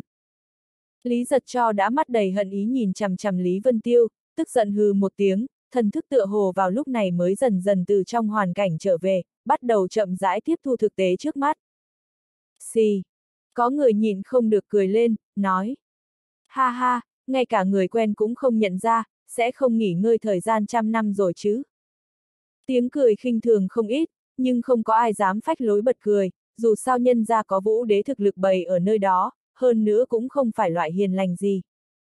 Mấy người Nguyễn Tử Mậu cũng là thầm giật mình, nếu không có Lý Vân Tiêu vạch trần, bọn họ cũng một chú ý tới khí sắc của Lý giật đích sắc có biến hóa không nhỏ, hơn nữa trong mơ hồ khí tức cũng ở trên người bọn họ, thật là nhất tinh vũ đế đỉnh phong. Nguyễn Tử Mậu và Bắc Minh Lai Phong giật mình không nhỏ, trước khi tiến vào thiên ba chiếu ảnh, khí tức trên người Lý giật tối đa cùng với Trúc Dục Kỳ và Lộ Vũ Tinh không sai biệt lắm, bây giờ lại hoàn toàn ở trên hai người bọn họ. Vũ đế đột phá chính là so với Vũ Tôn khó khăn hơn gấp trăm lần, thừa hạo miểu cũng là đứng ở nhất tinh vũ đế đỉnh phong hồi lâu, hơn nữa nhờ có công hiệu hai chén huyết trà cùng với thiên ba chiếu ảnh, lúc này mới đột phá đi tới. Lẽ nào hắn thật là ở bên trong nghỉ ngơi thời gian cả chục năm? Lý giật thần sắc từ trong ngưng trọng và nghi hoặc chậm rãi phục hồi tinh thần lại, rốt cục bước vào hiện thực, khôi phục vẻ ngạo mạn, ánh mắt lạnh như băng hướng trên người mọi người đảo qua một cái, càng khiến người khác cực kỳ sợ hãi. Lý Vân Tiêu tâm trạng hơi kinh ngạc, mắt thấy ngoại hình của Lý Giật, tinh mang nội liếm tại thân, thân hình lại phóng tới bách hải khiếu huyệt, trong mơ hồ càng có đặc thù của cao thủ, so với trận đấu lần trước tuyệt nhiên bất đồng. Trong lúc giơ tay nhấc chân lại có võ uẩn trong đó, hắn đột nhiên có loại cảm giác, lần này ở trong thập tức chiếu ảnh thu hoạch lớn nhất chính là Lý Giật, mặc dù nói không rõ vì sao, loại cảm giác này quả thực rất mãnh liệt. Lý Giật đem ánh mắt bén nhọn thu hồi lại, trực tiếp nội liếm đi vào, hai mắt trở nên có chút đục ngầu, dầm gì cười nhạo nói. Thiên ba kính này không tệ, bao nhiêu tiền ta mua? Mọi người đều té xỉu, loại pháp bảo này không những được chiến đấu, đối với một tông môn ý nghĩa càng trọng đại, cơ hồ là cấp bậc bảo vật chấn phái, tên quê mùa này thật đúng là dám mở miệng đòi mua. Nguyễn Tử Mậu cũng là hừ một tiếng, thiên ba kính không nói đến đối với một tông môn ý nghĩa trọng đại, chỉ là ở trong cơ thể mỗi người gieo xuống mầm móng, đó chính là ý nghĩa khó có thể thay thế. Lý giật dùng ngón tay gõ nhẹ mặt bàn, ánh mắt lưu chuyển nói. Đồ vật này vô cùng tốt, đáng tiếc mai một ở trong tay kẻ tầm thường. Nguyễn Tử Mậu sắc mặt trầm xuống, lạnh lùng nói. Đầu óc ngươi lại mắc bệnh sao? Lý giật hừ nhẹ một chút, nói. Vừa mới nghe các ngươi nói chuyện võ đạo, quả thực chính là cười chết người. Thời giờ gì càng lâu thiên phú càng thấp, làm trò cười cho người trong nghề. Thừa hạo miểu lạnh lùng nói. Nga, nói như vậy ngươi càng có lời bàn cao kiến hơn. Hôm nay vừa đúng là dùng võ luận đạo, ta cũng có hứng thú nghe xem nam vực hầu tử các ngươi đối với võ đạo có kiến giải gì. Nhưng ta không có hứng thú với nói chuyện với đám cặn bã các ngươi. Lý giật châm chọc nói. Võ là dùng để đánh, mà không phải dùng để luận. Hắn vừa nói ra lời, khí tức trên người theo ngôn ngữ phập phồng, mơ hồ có cổ uy áp thấu đi ra, khiến người ta cảm thấy cực kỳ áp lực. Lý Vân Tiêu hơi nhíu vùng xung quanh lông mày, loại uy áp chi lực hắn lại có chút quen thuộc, tựa hồ ở trên người của Vũ đã từng cảm thụ qua, đích thật là yêu khí không thể nghi ngờ, nhưng so với phổ thông yêu khí lại phải tinh thuần và cường đại hơn nhiều. Lý giật không ngừng kiêu ngạo cuồng vọng, khiến không khí trong hoa viên không trung không ngừng khẩn trương ngưng trọng lên. Nguyễn Tử Mậu sắc mặt trầm xuống, hắn thân là chủ nhân nơi đây, người khởi xướng lần yến hội này, đụng phải tên cứng đầu như thế, chỉ có thể âm thầm hô không may, nếu là xử lý không tốt thì có vẻ hắn vô năng. Lúc này đã là phải đứng ra. Nguyễn Tử Mậu thu hồi thiên ba kính, cười lạnh nói. Ha ha, cho ngươi nếm chút ngon ngọt, cho rằng thực lực chiếm được một ít tinh tiến, có thể bế nghĩa thiên hạ hào kiệt rồi. Trên người hắn khí thế dâng trào, trực tiếp bước tới, trước người Lý giật hiện ra một đạo linh áp, đem lực lượng cản lại, hai người rằng co lẫn nhau tại nơi đó. Tất cả mọi người đều mừng thầm trong lòng, chờ xem kịch vui, đứng đầu đông vực thất tinh rốt cục không thể nhịn được nữa, sắp xuất thủ với hầu tử quê mùa. Nhưng tên hầu tử quê mùa này cũng là thực lực phi phàm, vô cùng có khả năng diễn biến thành một trường ác đấu. Bọn họ ước gì hai người đấu tới lưỡng bại câu thương, nói không chừng còn có thể kiếm chút tiện nghi. Lý giật cười lớn một tiếng, cuồng vọng nói. Không phải ta bế nghễ quần hào, quả thật trời phú thiên tài mà thôi. Cười đến rụng răng. Nguyễn Tử Mậu châm trào quát lạnh một tiếng, bất chợt xuất thủ, một đạo hàn quang ở trước mắt mọi người hiện lên, tất cả mọi người cảm thấy trong nháy mắt gai mắt, kinh hô một tiếng đều nhắm hai mắt lại. Ha ha! Lý giật cười lớn một tiếng, trên người phối kiếm đột nhiên xoay tròn, phát sinh tiếng len keng, một đạo kiếm quang lâm không dựng lên, cùng với kiếm khí của Nguyễn Tử Mậu quyết đấu. ầm ầm, lưỡng đạo kiếm quang cực mạnh chảm kích, kiếm khí bị vỡ thành vô số quang mang bắn tản ra bốn phía, bên cạnh người Nguyễn Tử Mậu hiện ra ánh sáng nhạt, đem kiếm khí tách ra, mà trước người Lý giật lại là nhiệt độ chợt giảm xuống, hiện ra một lớp băng, kiếm khí vỡ vụn đều đông cứng lại, đọng lại trên không trung. Bắc Minh Lai Phong trong lòng giật mình, năm ngón tay chợt nắm chặt, trong mắt từng đạo lệ mang lóe ra. Hắn đã có thể trăm phần trăm xác định sở học của Lý Giật chính là hàn băng yếu quyết của Bắc Minh thế gia bọn hắn. Trong hoa viên không trung vũ tôn cường giả thoáng cái kinh hoàng, vũ đế quyết đấu, chỉ là dư uy kiếm thức cũng không phải bọn họ có thể chống đỡ, lúc này đột nhiên trên hoa viên nổi lên một đạo linh áp, đem toàn bộ kiếm khí đều ngăn chặn, sau đó di rời đến bên ngoài không gian, chính là hệ thống phòng ngự của bản thân hoa viên. Lý giật hừ lạnh một tiếng, múa một kiếm hoa ngạo nghễ mà đứng, vẻ mặt khinh bạc. Nguyễn Tử Mậu cau mày, lần này hắn xuất thủ cũng là để ấn chứng tình huống tu vi của Lý Giật, dưới một chiêu nhìn như bình thủ, kỳ thực hắn lại rơi vào hạ phong, trong mắt sát ý tăng thêm. Cho rằng nhất tinh vũ đế đỉnh phong, sẽ nhất định có thể thắng được nhất tinh vũ đế sao. Audio điện tử võ tấn bền. Kiếm trong tay Nguyễn Tử Mậu dùng khí ngự ở trên khoảng không, hai tay không ngừng bấm tay niệm thần chú, cửu giai huyền khí cùng hắn nhân thân hợp nhất, một đạo ảnh tử nhàn nhạt hiện lên ở trên thân kiếm, đúng là khí linh, cùng với khí tức trên người Nguyễn Tử Mậu không ngừng cộng minh. Nhất kiếm bình xuyên. Nguyễn Tử Mậu khẽ quát một tiếng, kiếm thế như hồng, tê một tiếng trực tiếp đem bầu trời chia cắt, một cái khe nứt theo kiếm thế hướng tới trên người Lý giật chém xuống. Hai người quyết đấu hấp dẫn ánh mắt của mọi người, càng dẫn động mấy lão quái thần kinh đang âm thầm quan sát bên trong Hồng Nguyệt Thành. Phách Thiên Hổ liên tục than thở. Tiểu tử này có chút bản lãnh đã kiêu ngạo, khó thành đại sự, ta xem hắn sớm muộn sẽ hao tổn ngã xuống. Có sao?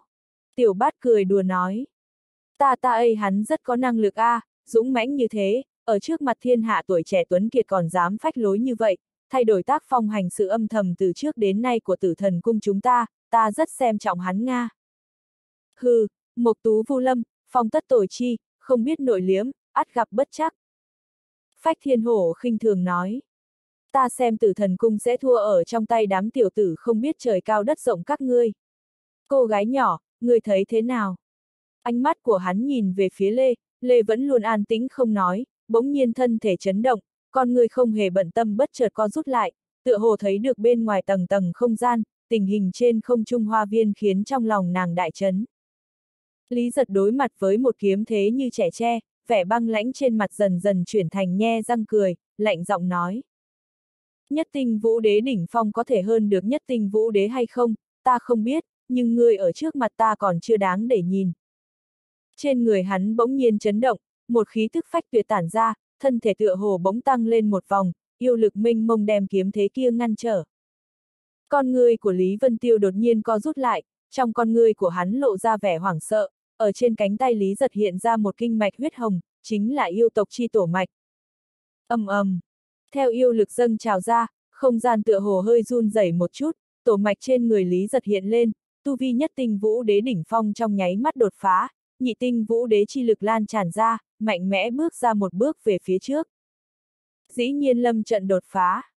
Tất cả mọi người đều là hoảng hốt, mấy người trên vương tỏa toàn bộ biến sắc, lộ ra vẻ kinh sợ. Nguyên bản suy đoán sẽ là một hồi ác chiến võ quyết, cán cân trong khoảnh khắc đảo hướng về phía Lý Giật. Nhất khí chấn cửu thiên. Lý Giật đánh ra một quyền, uy lực kiếm thế của Nguyễn Tử Mậu trong nháy mắt tan rã, quyền thế kinh thiên động địa, ầm ầm đánh nát không gian, đem Nguyễn Tử Mậu triệt để chấn áp xuống. Xúc sinh đừng vội cuồng vọng.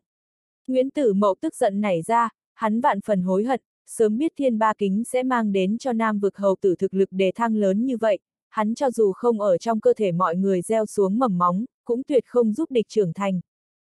Hôm nay tụ tập ánh mắt của thiên hạ, nếu là chiến thua, một đời anh danh sẽ trôi hết theo dòng nước.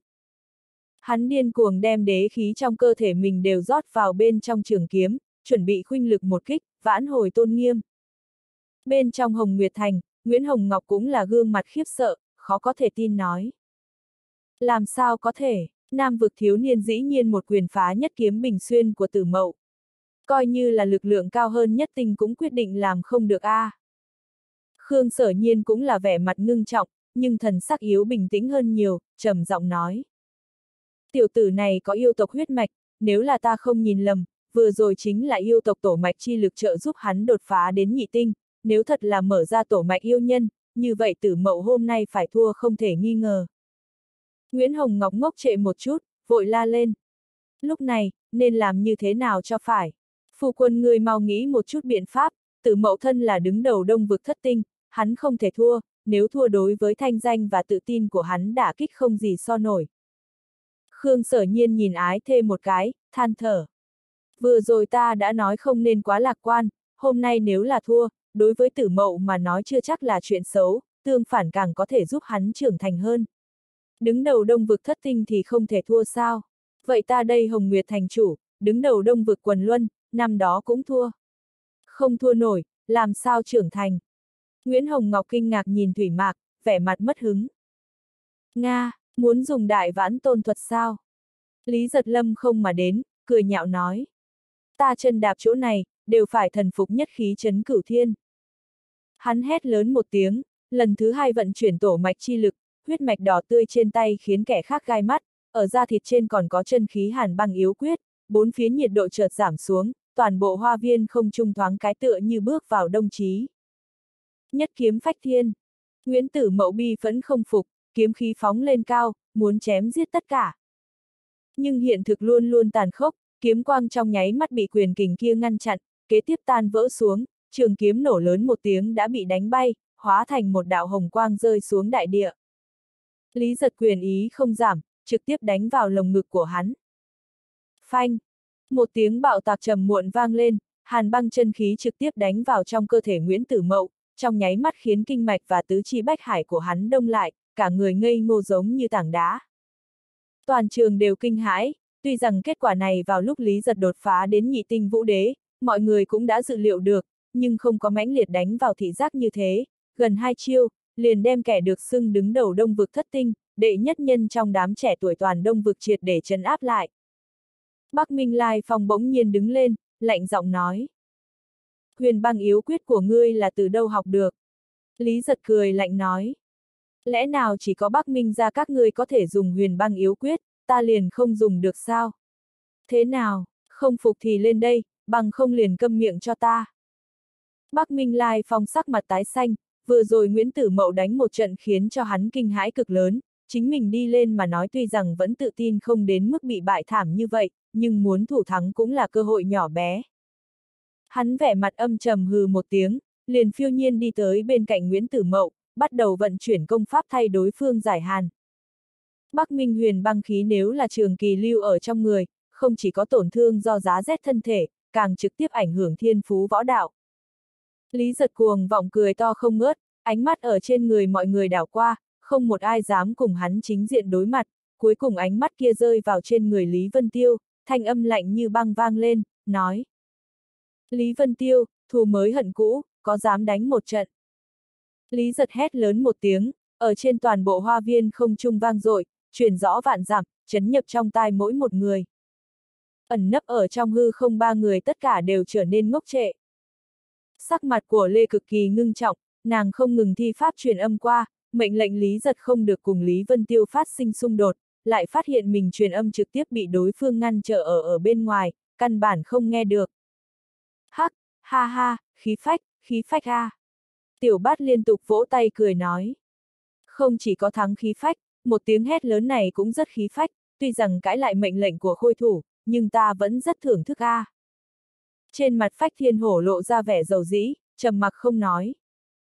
Toàn trường ánh mắt nhất thời rơi vào trên người Lý Vân Tiêu, hai người cảnh giới cách biệt quá lớn, Lý giật bay thẳng đến hắn khiêu chiến, dẫn tới mọi người không giải thích được, lấy loại tính cách cực kỳ cuồng vọng này của hắn, hẳn là trực tiếp lựa chọn thừa hạo miểu mới đúng a. À.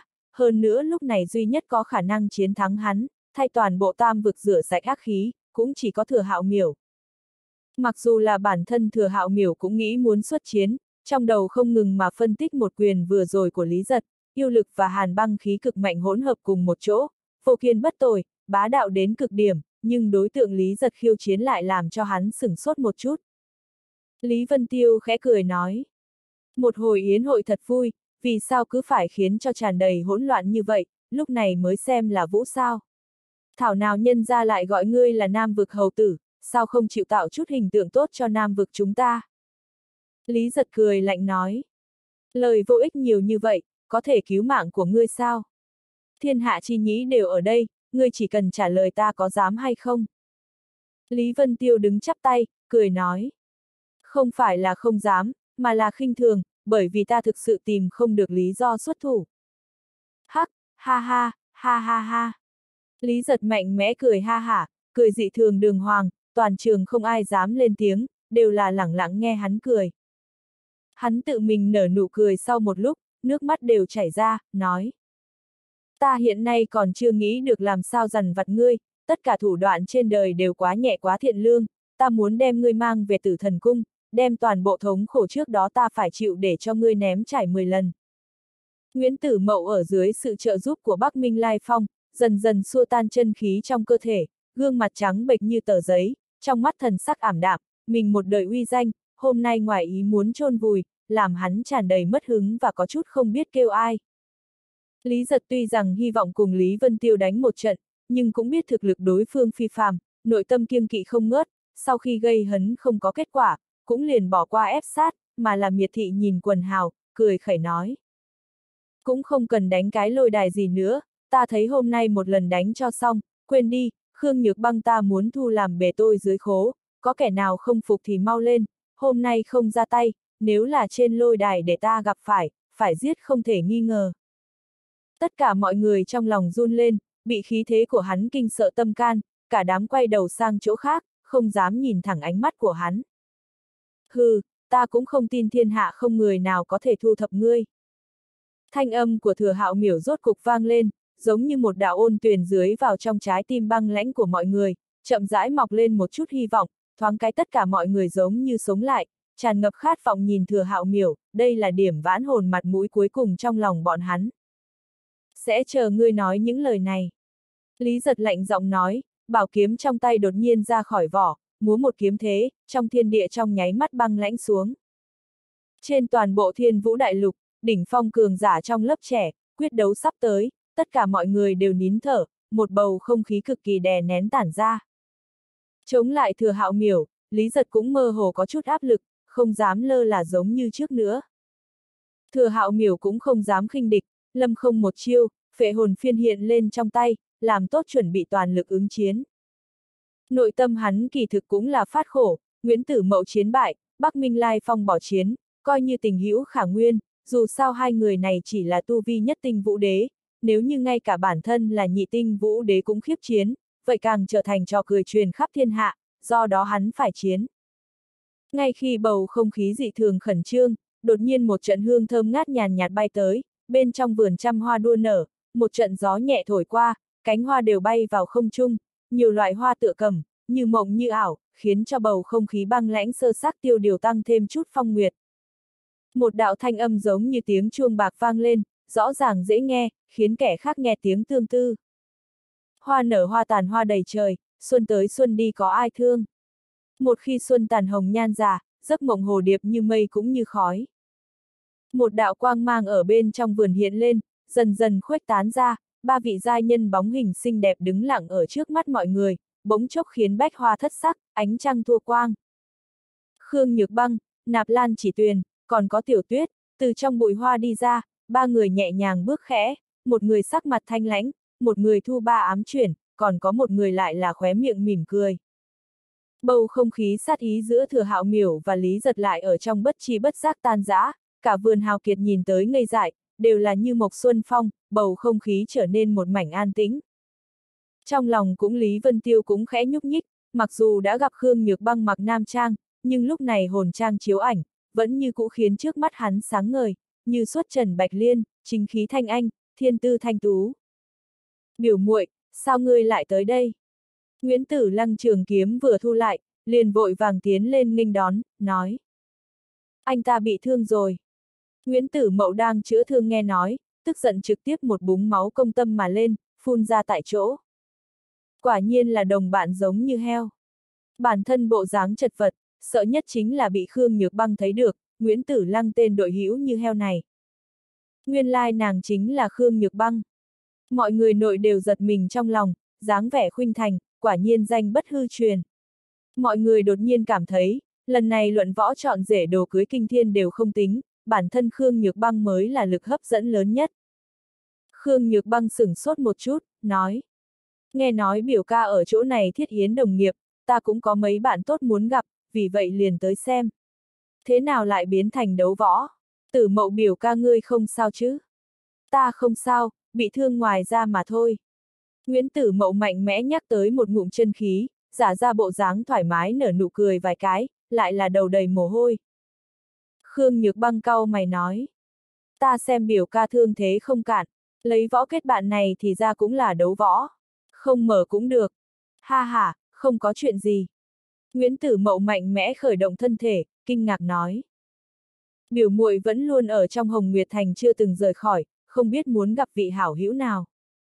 Ánh mắt của Khương Nhược Băng ở trong mọi người đảo qua, toàn bộ nam tử đều tận lực đem bộ ngực ưỡn lên, hơi ngẩng đầu bày tạo hình, lấy một góc độ tốt nhất nghênh hướng ánh mắt của giai nhân, lý giật mang đến bầu không khí áp lực và xấu hổ toàn bộ băng tiêu tản mát, tự như chưa từng có việc gì xảy ra. Sao chỉ có một mình ngươi, Thanh Vân đại ca đâu? Khương Nhược Băng đem cả đám đang tạo hình này đều xem như không thấy, trong tay ném ra một vật, hóa thành một đạo lưu quang bắn về phía Lý Vân Tiêu. Toàn bộ ánh mắt đều theo đạo ánh sáng kia rơi vào trên người Lý Vân Tiêu, tràn đầy kinh ngạc, không giải thích được, oán niệm, phẫn hận, đố kỵ. Sắc mặt của Nguyễn Tử Mậu cũng trầm xuống, ánh mắt nhìn Lý Vân Tiêu bắt đầu trở nên cực kỳ bất thiện. Lý Vân Tiêu cảm thụ được hơn 10 đạo ánh mắt các loại, dường như mình bị gác ở trên lửa mà nướng, cười khổ một tiếng, nói. Hắn khả năng ngày hôm qua ngủ trễ, bây giờ còn chưa rời giường đi.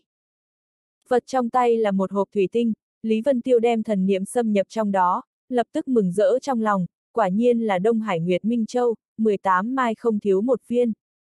Lần này hơn 10 đạo thần niệm đều quét tới, hắn hử lạnh một tiếng, một cổ tinh thần lực vô hình từ trên người tràn ra, đem toàn bộ tra xét đều ngăn cản, tay phải vừa lộn đã đem hộp thu vào.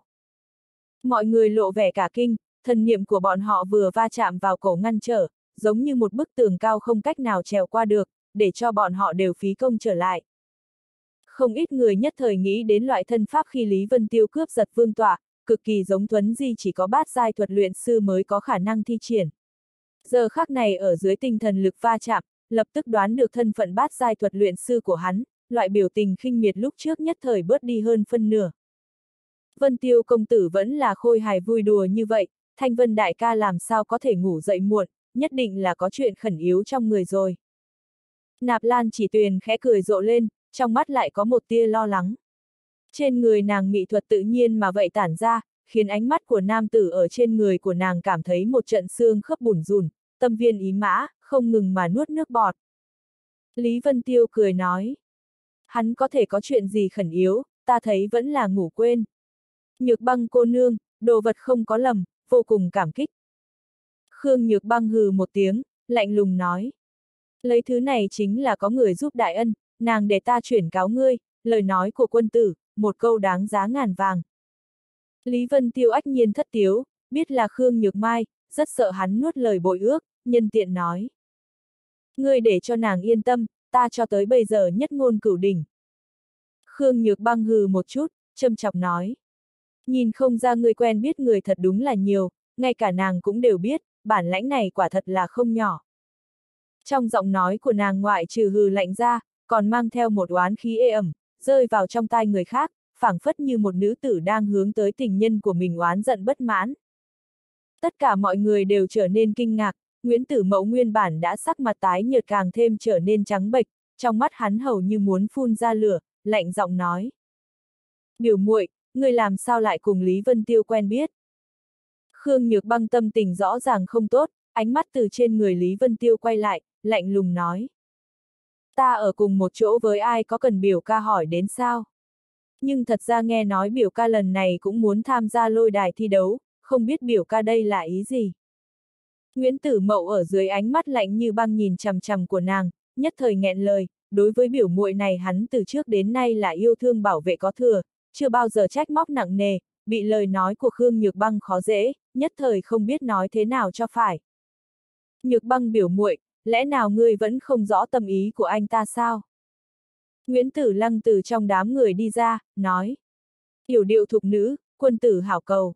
Biểu ca ta cùng ngươi thanh mai trúc mã, hắn để cầu được cơ hội dự thi, đã phải tìm bác dượng cầu xin không biết bao nhiêu lần, lúc này mới lấy được cơ hội.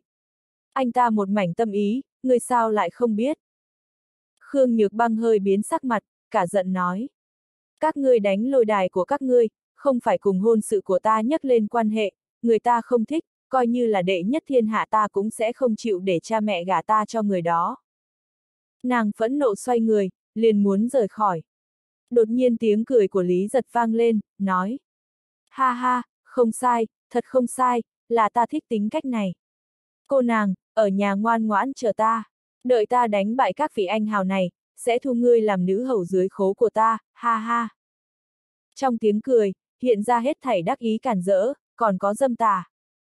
Nguyễn Tử Mậu lửa giận công tâm, mạnh mẽ nhắc tới một ngụm chân khí, lập tức cảm thấy toàn thân bách hải tựa như xương giá, chân khí trong nháy mắt tan rã, nôn ra một búng máu. Thừa hạo miểu lạnh lùng châm chọc nói. Không thấy nhân gia đã có lòng chú ý rồi sao? Ngươi thích làm nhận mâm hiệp.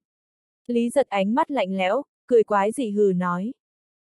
Hắc hắc, chỉ cần thành nữ nhân của ta, coi như là tâm như thiết thạch, ta cũng có thể đem nàng dạy thành chó mẹ.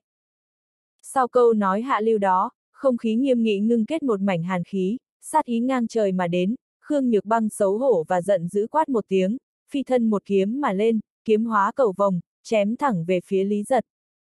Kiếm thế của nàng phiêu giật tuyệt mỹ, giống như tiên tử, nhưng thực lực có hạn, thuần túy là lấy trứng trọi đá. Ai nha, tính tình còn không nhỏ, ta rất thích chơi trò chinh phục. Lý giật khinh bạc đưa đầu ra ngoài trên không trung khẽ ngửi một cái, thở dài nói. Thơm nha. Sau đó nhìn cũng không nhìn cầm bội kiếm trong tay đánh lên, nhẹ nhàng đập vào trên thân bảo kiếm của Khương Nhược Băng, một cổ lực lượng đem bảo kiếm ép tới hơi cong, mạnh mẽ bắn lên, trực tiếp đem Khương Nhược Băng chấn bay ra ngoài. Nạp Lan chỉ tuyển phân thân nhảy lên, đem Khương Nhược Băng tiếp được, cả giận nói. Lớn mật, dám đả thương Nhược Băng tiểu thư. Lý giật vẻ mặt khinh thường, cười lớn một tiếng liền lấn người mà lên, cười dâm đãng nói.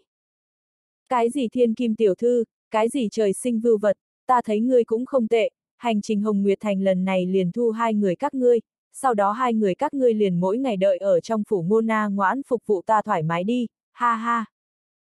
Thân pháp của hắn cực nhanh, trong nháy mắt liền đến trước người nạp lan chỉ tuyền, một chiêu lộ ra, liền hướng tới trên người nạp lan chỉ tuyền và Khương Nhược Băng chộp tới. Trong lúc hai nàng kinh hãi, đột nhiên Lý giật vẻ mặt biến đổi, một cổ hàn ý không rõ từ đáy lòng nổi lên, toàn thân chợt sinh ra một sợ hãi. Vẻ mặt của hắn đúng là hoảng sợ, mạnh mẽ thu tay về, lâm không lộn mèo, đưa người trở ra. Một đạo thanh âm lạnh nhạt truyền đến, mở ảo du dương, nói. Ngươi không phải để ta tìm lý do quạt ngươi a? À. Lý giật kinh sợ không ngớt, phẫn nộ quát. Lý Vân Tiêu, ngươi dám động ta. Trên mặt Lý Vân Tiêu hiện ra vẻ ngạc nhiên, đứng chắp tay, bật cười khanh khách. Đồng hương, ngươi kể chuyện cười sao? Chẳng lẽ thật sự giống như bọn họ nói, tu luyện tới mức đầu óc bị hư? Quen biết ngươi là chuyện không quá mấy phút, thế nào lại nhắc lên quan hệ có dám hay không? Lúc trước chỉ là khinh thường mà thôi. Sắc mặt Lý giật trầm xuống, lạnh lùng cả giận nói.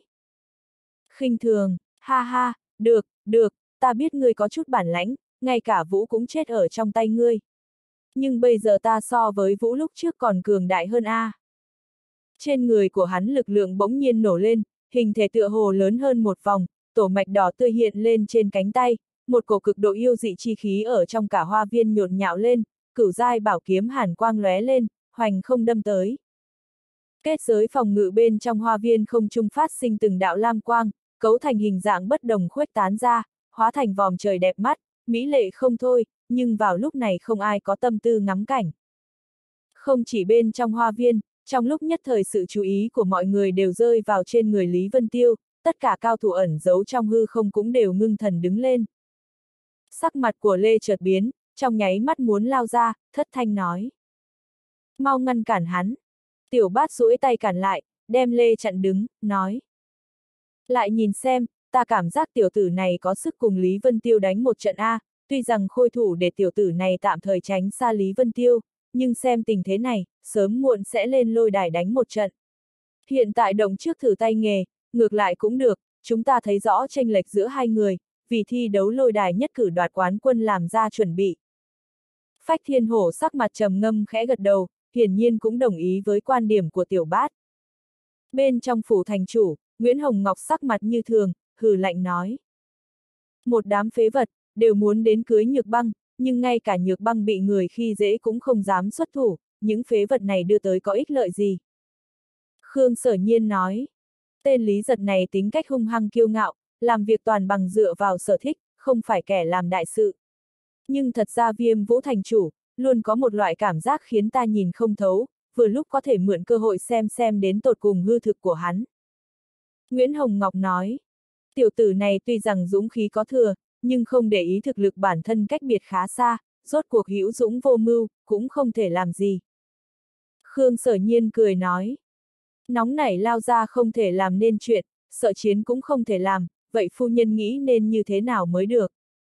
Nguyễn Hồng Ngọc hừ nói, tử mậu lúc trước tích thua là bởi chuyện đột nhiên xảy ra, nếu để cho hai người bọn họ đều chuẩn bị đầy đủ, công bằng đánh một trận, hưu chết vào tay ai còn khó nói đấy. Khương sở nhiên mỉm cười nói. Tử mậu thật là không tệ, nhưng lại xem viêm vũ thành thành chủ này thế nào đã, nhược băng tựa hồ cùng hắn có quan hệ không tệ, ngay cả Đông Hải Nguyệt Minh Châu đều trộm đi ra ngoài đưa cho người này. Trên bầu trời hoa viên, yêu khí vô cùng bá đạo hành không, thoáng cái đem Lý Vân Tiêu bao phủ đi vào, kiếm quang càng chém rách hư không, trong nháy mắt hạ xuống. Tất cả mọi người đều nín thở, sắc mặt trắng bệch, không tự chủ được lui lại một bước. Thừa hạo miểu cũng là sắc mặt ngưng trọng, từ khí thế của một kiếm này để xem, thực lực của Lý Giật vẫn là nằm trên dự liệu của hắn, hắn hiện tại chỉ hy vọng Lý Vân Tiêu có thể chống đỡ thêm một hồi, tiêu hao thêm một ít tinh lực của Lý Giật, như vậy chờ hắn lên đài thu thập tàn cục, sẽ có nắm chắc hơn. Ngày xưa từ biệt, sau đó thật là hoài niệm, vốn cho là có thể đem rượu nói chuyện mừng, nhưng không nghĩ vẫn phải để ta đánh vào miệng ngươi mới có thể thoải mái. Đã như vậy, ta đành làm tiếp một lần hoạt lôi phong vậy.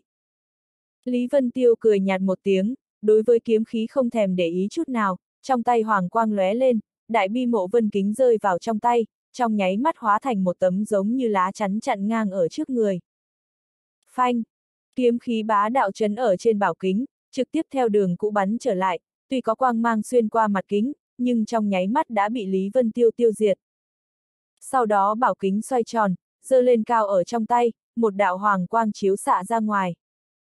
Lý giật quá ư sợ hãi, kiếm quang bắn ngược trở về cơ hồ là trăm phần trăm lực lượng, hắn trong lúc hoảng sợ vội vàng cánh tay vận công, đánh ra một lực lượng càng mạnh hơn, mới đưa kiếm khí kia đánh tan. Lúc này quang mang của đại bi kính lập tức hạ xuống, trực tiếp đem hắn chiếu dọi đi vào, bốn phía không gian đột nhiên trở nên dính đặc, hắn nguyên lực vận chuyển khó khăn, thân thể hành động cũng biến thành cực kỳ thong thả. Không gian chi lực. Lý giật bỗng nhiên cả kinh, thân thể trực tiếp dẫm ở trên mặt đất, một cổ kinh khí từ tứ chi bách hải tràn ra, bên trong hoàng quang phát sinh tiếng sấm, hắn không ngờ muốn dùng yêu lực phá vỡ phong tỏa. Lý Vân Tiêu cười lạnh một tiếng, trên không trung lóe lên liền thuấn di mà lên, một thức kim cương quyền đánh xuống phía dưới. Trong con người của Lý giật hung quang đại thịnh, bỗng nhiên quát to. Toái băng chân giáp. Một cổ hàn khí màu xanh nhạt từ trên thân thể hắn tản ra, ngưng tụ thành nhất bộ băng giáp bao trùm ở quanh thân, quả đấm của Lý Vân Tiêu trực tiếp đánh vào hàn khí, đã bị trở ngại cực lớn tựa như đánh vào trong đống cát. Không chỉ có vậy, hàn khí càng từ trên người Lý giật bắn ra, trực tiếp khiến cánh tay đông lạnh thành đạm lam sắc băng côn. Vân Tiêu đại ca. Khương Nhược Băng vừa nhìn liền khẩn trương, dự kiếm muốn xông lên trợ giúp. Nạp Lan chỉ tuyền vội vàng đem nàng ngăn cản, nói. Nguy hiểm đừng đi Vân Tiêu công tử thực lực phi phàm, không có nguy hiểm gì đâu. Nàng tuy là an ủi như vậy, nhưng nội tâm cũng không nắm chắc. Lý Vân Tiêu lợi hại nàng biết, nhưng là không cho rằng hắn có thể chiến thắng nhị tinh vũ đế cường giả. Ha ha, bị hàn băng chân khí của ta đông lạnh, cánh tay này của ngươi hoàn toàn phế đi. Lý giật đắc ý cười ha hả, nói. Ngươi có còn nhớ Trần Đại Sinh và Tiêu khinh Vương? Hai người bọn họ chính là bị sư phụ ta dùng hàn băng khí gây thương tích, hiện tại ngươi cũng bước theo vết xe đổ của bọn họ. Kiếm quang trong tay Lý giật lóe lên, lấy thế xét đánh không kịp bưng tay đâm về phía mi tâm của Lý Vân Tiêu, cười gần nói. Hết thảy đều kết thúc, nghĩ không ra ngươi kém như vậy, quá khiến ta thất vọng rồi. Kiếm tới mi tâm, con người trong mắt Lý giật đột nhiên co rút, một cảm giác xấu từ trong lòng truyền ra, lập tức lan tràn đến toàn thân. Bởi vì hắn thấy được Lý Vân Tiêu không hề bận tâm, trong tròng mắt dĩ nhiên mỉm cười nhìn hắn, khóe miệng hơi nhếch lên không biết là châm chọc hay là cười nhạt, khiến cả người hắn đại chấn, rồi lại lửa giận ngút trời. Chính là khuôn mặt tươi cười này, cái khuôn mặt tươi cười buồn nôn đáng chết này, không biết huyễn tưởng qua bao nhiêu lần sẽ xé nát nó. Hiện tại lại xuất hiện ở trước mắt hắn. Lý Vân Tiêu cười nhạt một tiếng, nói. Ấu chỉ. Phanh! Trên cánh tay hắn hàn băng màu xanh nhạt trong nháy mắt bị đánh văng ra, một tia hắc khí ở trong tay vần quanh, ma văn ẩn hiện trong đó. Cái gì? Lý giật trong nháy mắt hoảng hốt, cả kinh tới mức cánh tay cầm kiếm cũng sợ run rẩy một chút.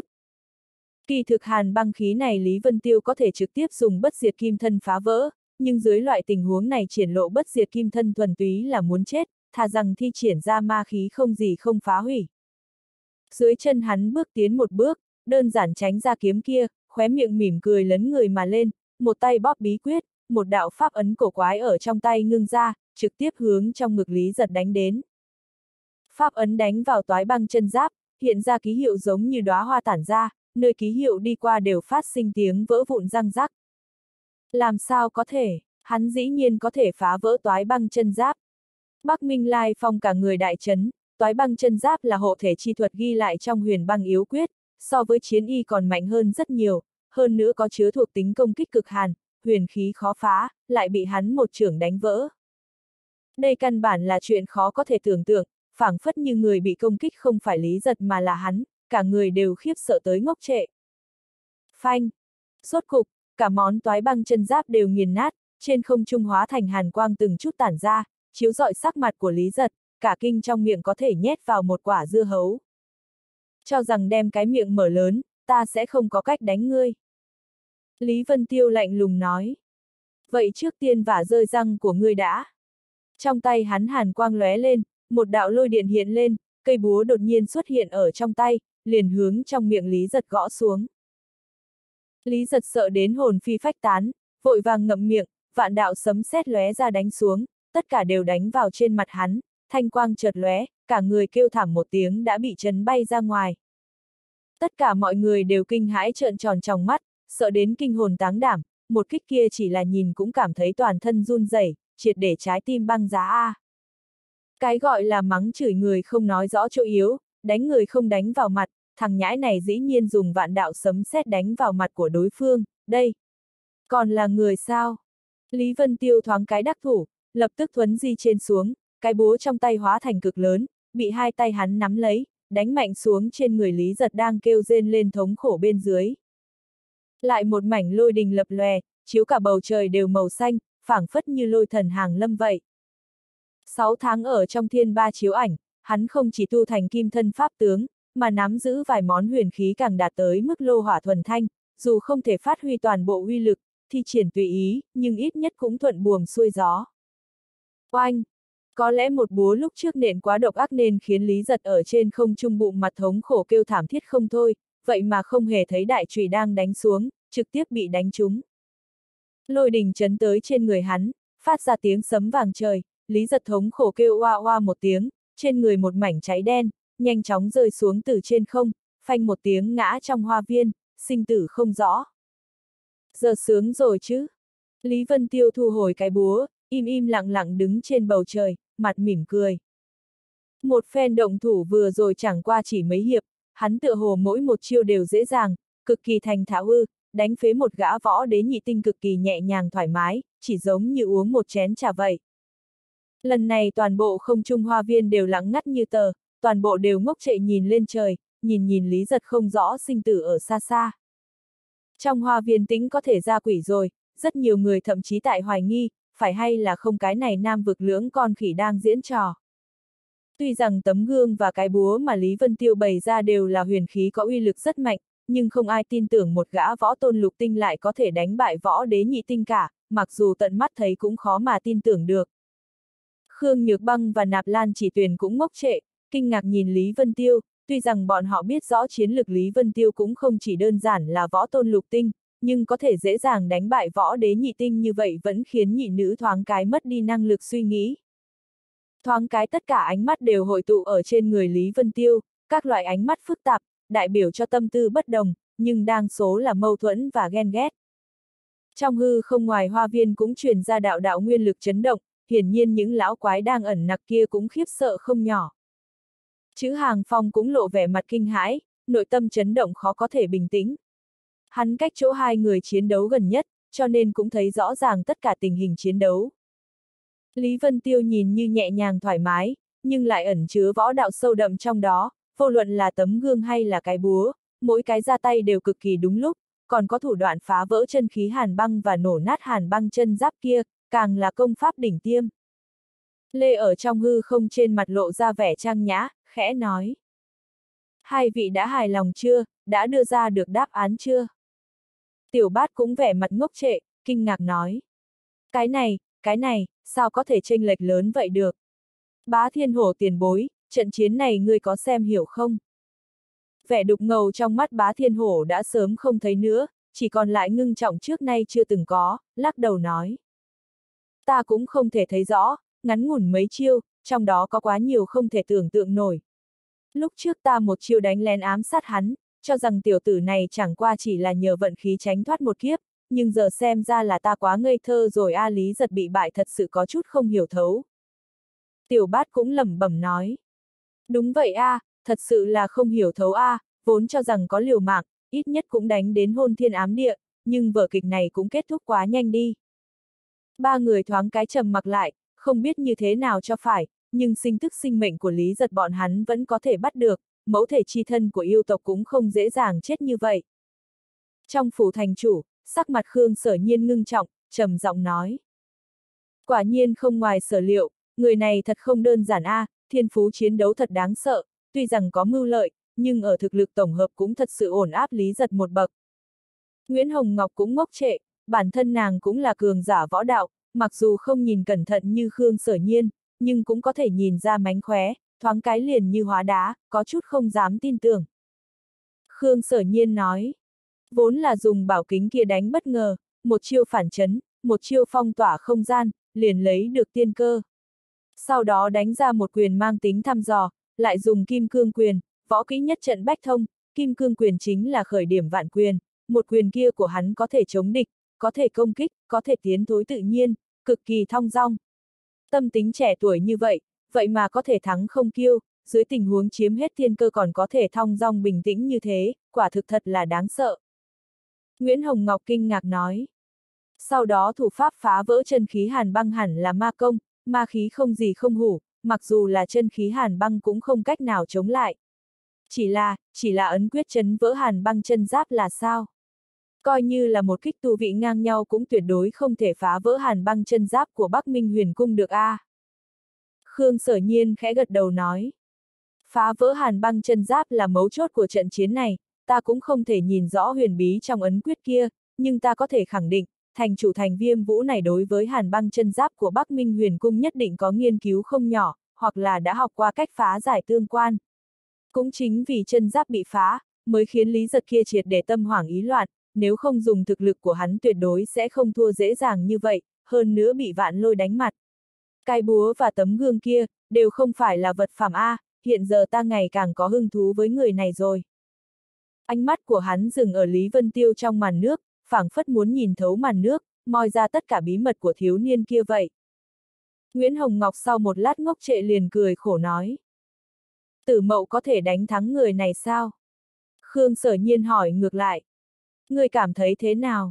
Người này đáng sợ nhất không phải huyền khí cổ quái của hắn, cũng không phải bí pháp ma công, mà chính là loại tâm tính dù núi cao sụp trước mặt vẫn có thể bình tĩnh thong dong, cùng với sự tự tin và tính toán tất cả tình huống có thể xảy ra trong thực chiến kia.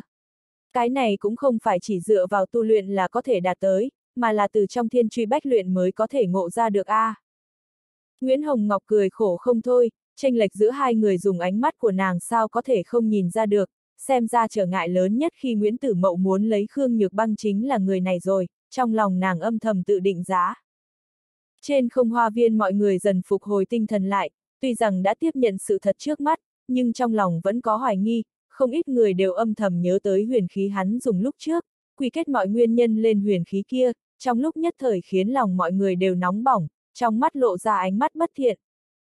Huyền khí có thể vượt qua một đại cảnh giới, dùng võ tôn lục tinh đơn giản đánh bại võ đế nhị tinh, ai lại không động tâm. Mặc dù là những cường giả ẩn nấp trong hư không kia, tuyệt đại đa số cũng cho rằng như vậy, bắt đầu nhao nhao nổi lên tâm tư. Bên tai Lý Vân Tiêu đột nhiên truyền truyền đến một đạo mật âm, chính là Nguyễn Tử Mậu đang truyền âm nhập mật, nói. Nếu ngươi muốn miếng sắt kia thì, mau giết người này cho ta. Lý Vân Tiêu ngây ngốc một chút, nhìn xuống, chỉ thấy trong mắt Nguyễn Tử Mậu một mảnh hàn khí, sát ý ngang nhiên, hắn lạnh nhạt nở nụ cười truyền âm nói. Chỉ đơn giản vậy thôi sao? Nguyễn Tử Mậu nói. Một, giết người này. Hai, người cũng rời khỏi lôi đài thi đấu. Hắn đây chính là một hòn đá ném hai chim, hoàn toàn loại trừ đi hai nhân tố ngoài khống chế. Giờ phút này trong lòng hắn cực kỳ tâm thần bất định, không biết sức nặng miếng sắt kia đến cùng bao nhiêu, có thể khiến đối phương đáp ứng không nữa. Rất nhanh Nguyễn Tử Mậu liền nhẹ nhàng thở ra, Lý Vân Tiêu truyền đến hai chữ lạnh nhạt, nói. Thành giao, đều là đồng hương nam vực, tánh mang Lý giật lại cứ vậy bị Lý Vân Tiêu mang ra trao đổi với một miếng sắt rồi. Hắn lâm không vọt xuống dưới, hóa trưởng thành đao, chém tới trên người Lý giật đang không rõ sinh tử kia. Không tốt! Tiểu bát đột nhiên hét lớn một tiếng, lập tức vọt ra khỏi hư không, cơ hồ như thuấn di vọt vào, thân pháp còn nhanh hơn cả kiếm mang, người chưa tới, đế khí đã tới trước, ngưng tụ lấy cả không gian, nhiếp ở Lý Vân Tiêu. Hắn cũng không ngây thơ cho rằng chỉ đế khí là có thể ngăn được người trước mắt, sau đó lập tức kiếm khí ngang trời, tiểu bát nhân kiếm hợp nhất, chém ra một đạo kiếm quang. Lý Vân Tiêu hơi có rút đồng tử, lập tức nhận ra người trước mắt, hừ lạnh một tiếng liền thi triển thân pháp tránh qua một bên trên không trung. Kiếm khí vọt lên, trọt thẳng vào trời cao, giống như cầu vồng, cực kỳ xinh đẹp. Tiểu bát sau một kiếm liền đáp xuống bên người Lý Giật, đồng thời bá thiên hổ và Lê cũng chạy tới, ba người thủ hộ ở trước người hắn. Nguyễn Tử Mậu kinh sợ nói. Người phương nào, gan dám xông vào thanh phong minh nguyệt lâu, đáng chết. Hàng phong thúc thúc, kính xin ra tay bắt lấy ba người này. Vốn tưởng rằng Lý giật hẳn phải chết không thể nghi ngờ, đang kích động vạn phần lại bị ba người trước mắt phá hư, hắn hận không thể tự mình xé nát đám người kia ra. Ánh mắt chữ hàng phong ngưng tụ, năm đạo đế khí đồng thời đã tập trung vào ba người tiểu bát, hắn lập tức đi vào trong viên, lạnh lùng nói. Ba người các người dám phá hư quy củ nơi này sao? Tiểu bát ngượng ngùng cười nói. Quân đốc đại nhân bất giận, chúng ta đại biểu lý giật rời khỏi tụ hội, bây giờ lập tức rời đi. Hắn một bà ôm lấy lý giật trên mặt đất muốn nhanh chóng rời đi. Đột nhiên tiểu bát cảm thấy toàn thân nặng nề, một cổ áp lực khó nói nên lời giống như núi cao chấn lên người hắn, hắn lập tức biến sắc, kinh hãi nhìn qua không trung, chỉ thấy trong hư không truyền đến một hồi chấn động nguyên lực, một lão giả toàn thân ngân y xuất hiện phía trên, sau lưng còn đi theo bốn gã võ giả. Bắc Minh Lai Phong nhìn người tới, trong lúc kinh ngạc vội vàng nghênh tiếp lấy, tất cung tất kính khom người thở dài nói. Bái kiến kháng thiên trưởng lão. Bắc Minh kháng thiên có chút gật đầu, sau đó ánh mắt rét lạnh nhìn chằm chằm vào tiểu bát, âm thanh lạnh lùng nói. Đã đến, vậy thì cứ lưu lại uống vài chén trà, hảo hảo nói chuyện tâm tình. Trong lòng lão phu nội tâm cũng có mấy nghi vấn rất muốn biết đây. Trên chán tiểu bát chảy ra hạt hạt mồ hôi ra, không thể tưởng được người này vậy mà cũng tới, không cần phải nói cũng biết nghi hoặc của hắn chính là chuyện lý giật thông hiểu huyền băng yếu quyết. Hắn ngượng ngùng nở nụ cười nói. Kháng thiên tiền bối chính là danh thúc thiên hạ, chuyện biết còn nhiều hơn chúng ta mấy chục lần, sao có nghi hoặc cần hỏi chúng ta được, tiền bối nói đùa. Mấy người tại hạ thân thể không khỏe, muốn uống trà tâm sự vẫn nên để hôm khác đi. Hắn mang theo lý giật toàn thân cháy đen, cùng hai người khác muốn phá không mà đi, lại phát hiện bốn phía một mảnh băng hàn, không gian đã bị trực tiếp đóng băng lại rồi, Bắc Minh kháng thiên trong lúc lặng yên đã động thủ. Tiểu bát trong lòng hoảng sợ, vội vàng nói. Kháng thiên tiền bối, dùng thân phận của ngài sẽ không muốn động thủ với đám lâu la chúng ta đấy chứ. Bắc Minh kháng thiên lạnh lùng nhìn hắn, khẽ nói. Ngươi ngược lại cũng tự mình hiểu lấy đấy, ta chỉ cần khẽ động ngón tay lập tức liền có thể khiến các ngươi tan thành mây khói, chứ đừng nói đến động thủ. Các ngươi đến cùng sống hay chết, cũng không phải ở ta, mà là ở chính các ngươi. Tiểu bát cười làm lành nói. Mong rằng tiền bối chỉ rõ. Bắc Minh kháng thiên sắc mặt trầm xuống, quát. Vừa khen ngươi thông minh, lại ở trước mặt ta giả ngu sao. Hắn chỉ tay về phía Lý Giật đang hôn mê bất tỉnh, lạnh giọng nói. Huyền băng yếu quyết mà hắn tu luyện là từ đâu đến hả? Huyền băng yếu quyết chính là bảo vật chấn phái của Bắc Minh huyền cung, tuy rằng vài vạn năm cũng từng lưu lạc, tăng thêm những võ giả khác dình coi và phỏng đoán, cũng diễn hóa ra các loại võ học. Nhưng Lý Giật thi triển lại là huyền băng yếu quyết chính tông nhất, không phải đệ tử hạch tâm quyết không thể học được. Khí thế trên người Bắc Minh kháng thiên ngưng tụ, lập tức khiến ba người tiểu bát như rơi vào hầm băng, chỉ cần bọn hắn nói dối, hoặc là trả lời không vừa ý, sợ rằng kết cục sẽ là bị diệt trong nháy mắt ngay. Thân hình bá thiên hổ run lên xuống, xua tán đi một ít hàn khí, lúc này mới run rẩy nói. Kháng thiên trưởng lão, chuyện huyền băng yếu quyết lão đại nhà ta nhất định sẽ phái người đi nói rõ ràng với các ngươi.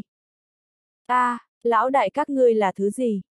Thần sắc Bắc Minh kháng thiên trong mắt phát lạnh, hiển nhiên rất không hài lòng với câu trả lời này, ngữ khí không nhanh không chậm, nhưng sát cơ lại tăng thêm, trên mặt càng lộ ra vẻ châm chọc. Lý Vân Tiêu cũng thần sắc khẽ động, lắng tai nghe, tuy rằng hắn đối với người đứng đầu của bọn tiểu bát cũng có phán đoán, nhưng không cách nào kết luận. Bá thiên hổ toàn thân phát lạnh, vội vàng khẽ nhếch môi, truyền âm nhập mật qua.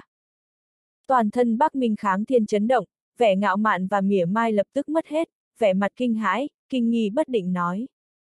Đúng là hắn, ngươi không gạt ta đấy chứ. Bá thiên hổ cười làm lành nói. Mấy người chúng ta sao dám lừa gạt ngài. Việc này cung chủ Bắc Minh huyền cung tất có biết. Bắc Minh kháng thiên trầm tư một hồi, nói.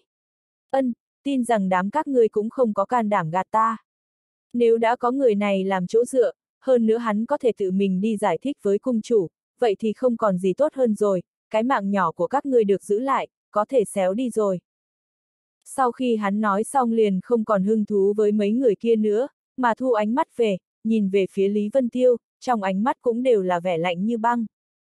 Lý Vân Tiêu chỉ cảm thấy thấy lạnh cả người, toàn thân đều như muốn đông lại, âm thầm đau đầu.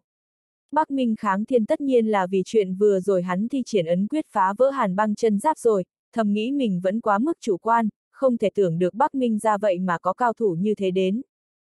Tiểu bát dẫn theo lý giật, phất tay với mọi người, không ngừng hôn gió lấy cười nói. Chư vị, xin tạm biệt, gặp lại sau, đã mang đến phiền toái cho mọi người rồi, thật có lỗi a. À. Nguyễn Tử Mậu đột nhiên vội la lên. Không được, ba người này cưỡng ép xâm nhập thanh phong minh nguyệt lâu, làm hỏng quy củ thành hồng nguyệt, đi hay ở là do thành hồng nguyệt ta làm chủ. Bắc Minh kháng thiên thu hồi ánh mắt, quay người nhìn hắn một cái, cười lạnh nói. Có bản lĩnh người đi lưu bọn hắn đi. Nguyễn Tử Mậu đỏ mặt lên, không dám lên tiếng, trơ mắt ếch ra nhìn ba người tiểu bát nghịch chuyển không gian, muốn phá không mà đi. Đột nhiên một đạo hừ lạnh cực kỳ bất mãn truyền đến, không gian bị nghịch chuyển lập tức khôi phục như thường, ba người đã nửa thân thể đều tỏa nhập hư không bị một cổ cực lực phản chấn sơ ra, đồng thời sắc mặt đại biến, nhưng lại không cách nào chống lại được. Ba đạo thanh âm nặng nề vang lên, bá thiên hổ, tiểu bát và lê đều bị thương, bị chấn lại không trung hoa viên, liên tiếp lui về phía sau mới hóa giải được cổ cực lực kia. Ba người đều lộ vẻ đắng chát, kinh hãi nhìn qua không gian kia, biết rõ lại có phiền toái đến. Không gian có chút chấn, một trung niên nam tử đứng chắp tay đi ra, cười lạnh nói. Kháng thiên trưởng lão, người đây là ý gì, cười thành hồng nguyệt ta không người sao. Nguyễn Tử Mậu đại hỉ, cùng Nguyễn Tử Lăng bước vội tới trước, hai người huynh đệ đồng thời kêu. Cha! Bắc Minh kháng thiên nhướng mày, nhân vật khó giải quyết đã đến, hơn nữa còn là trên địa bàn người ta, hắn chỉ đành cười nghênh nói.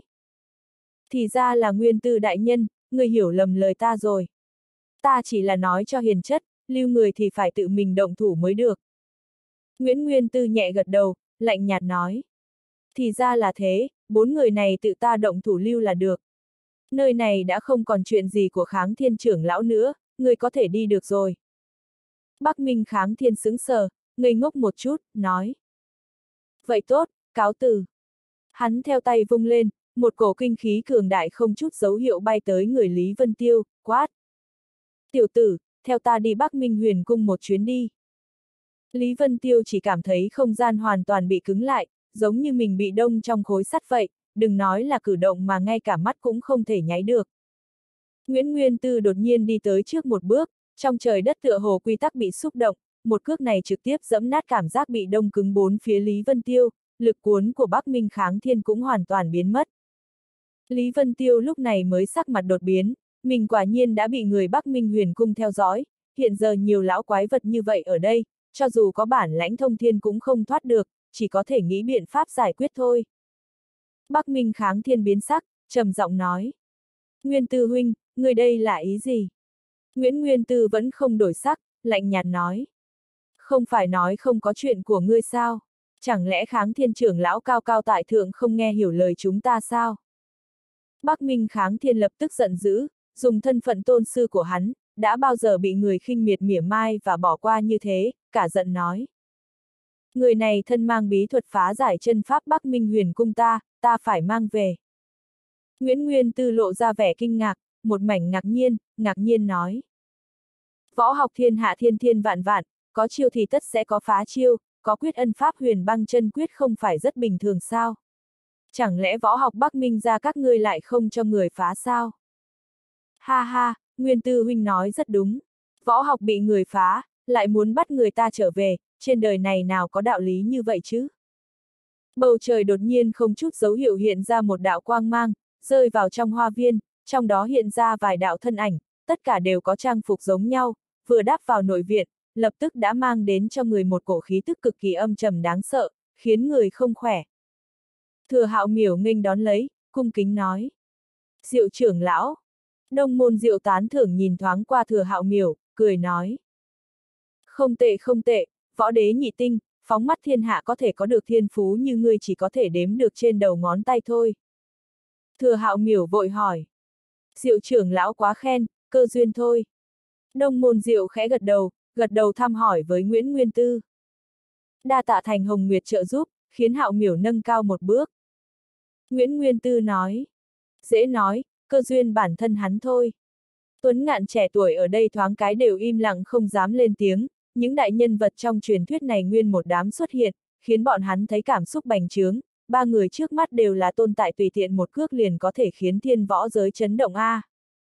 Trong hư không không ngừng có nguyên lực chấn động truyền đến, còn có không ít cường giả che giấu, nhưng dưới khí trận cường đại của ba người này cũng không ai dám hiện thân, chỉ có thể yên lặng chú ý. Tiểu bát và ba người cũng cảm thấy đau đầu, cũng không biết lá bài tẩy thủ lĩnh có hữu dụng không nữa. Bắc Minh kháng thiên mặt âm trầm, nói. Đông môn diệu, người cũng chạy đến gom góp náo nhiệt này sao?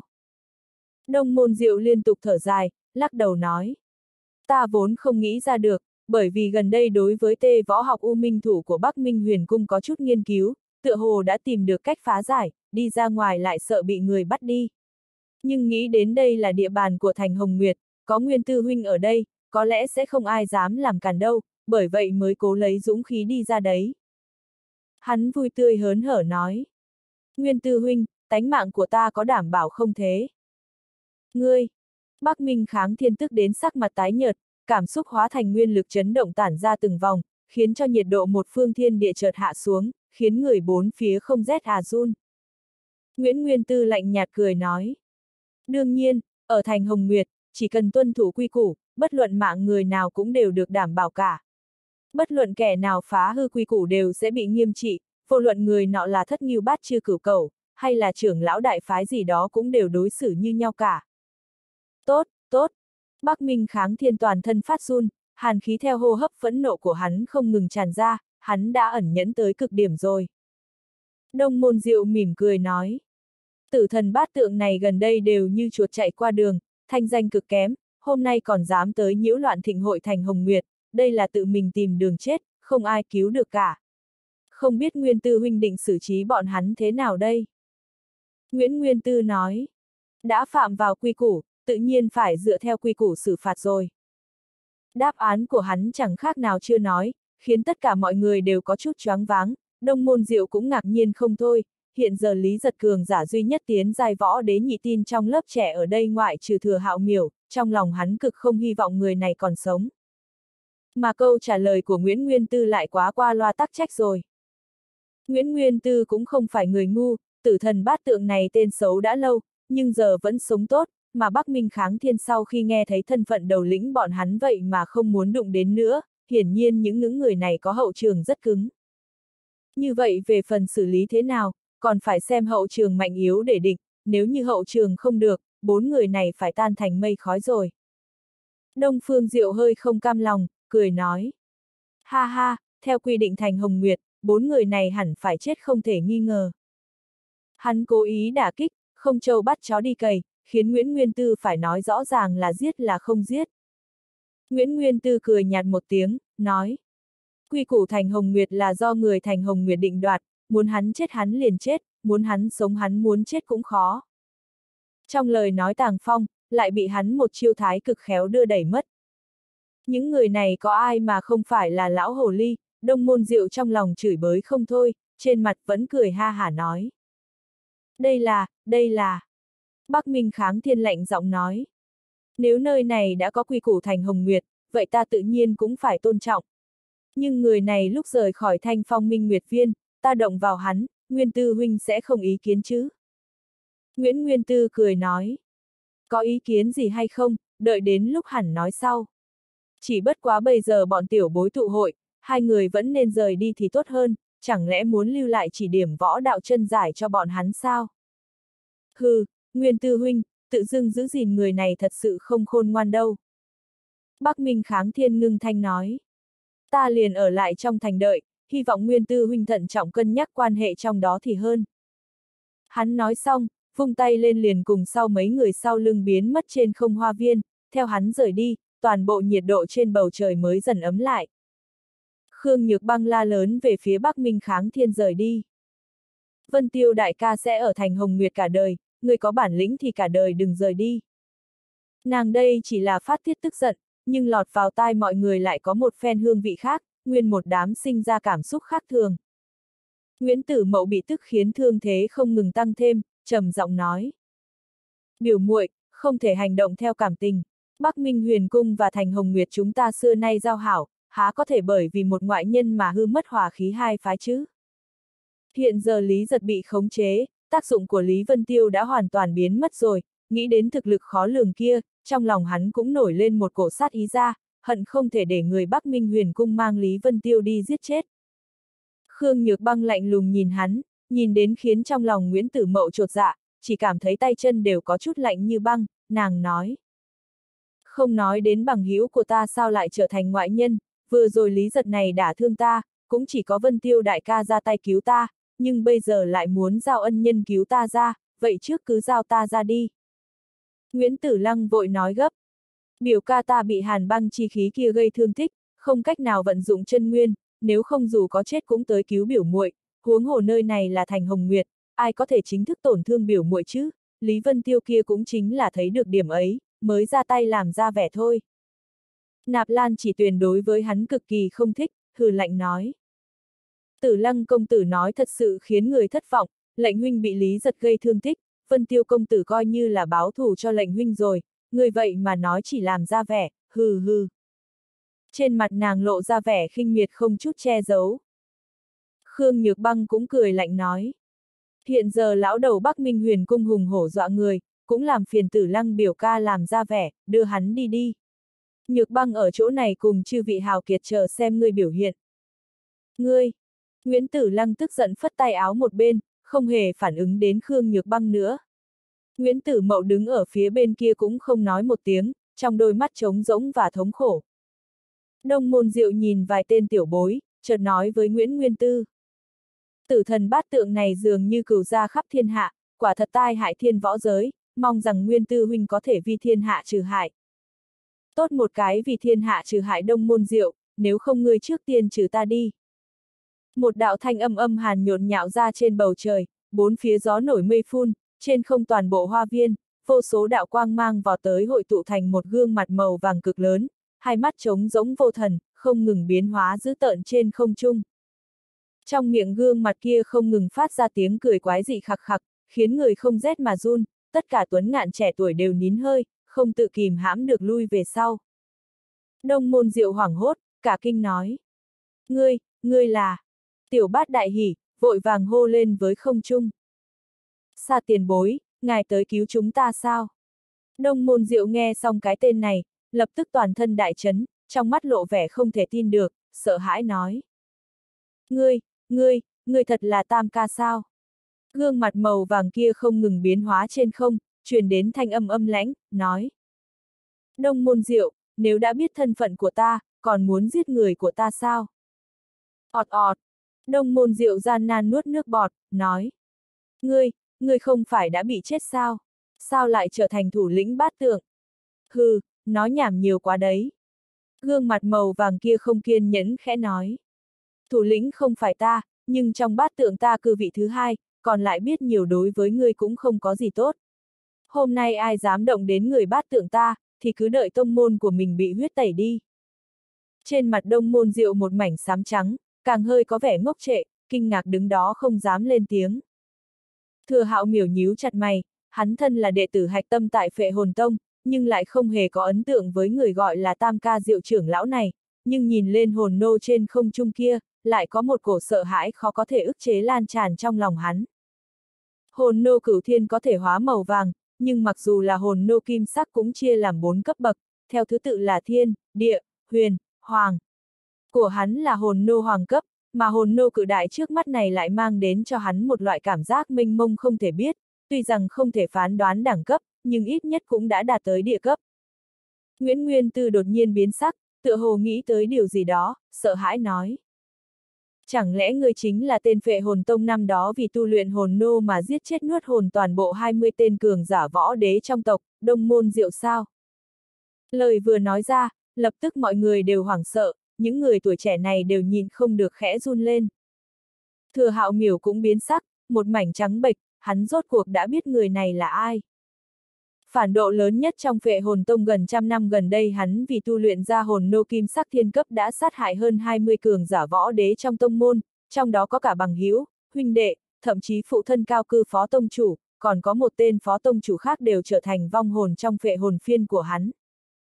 Mà ngay cả tông chủ Hoàng Phủ Bật cũng bị hắn gây thương tích, nhưng đồng thời cũng dùng đại uy năng đánh chết đông môn diệu, trở thành một kiện thảm án lớn nhất trong phệ hồn tông gần trăm năm này, đồng thời cũng là một kiện mê án.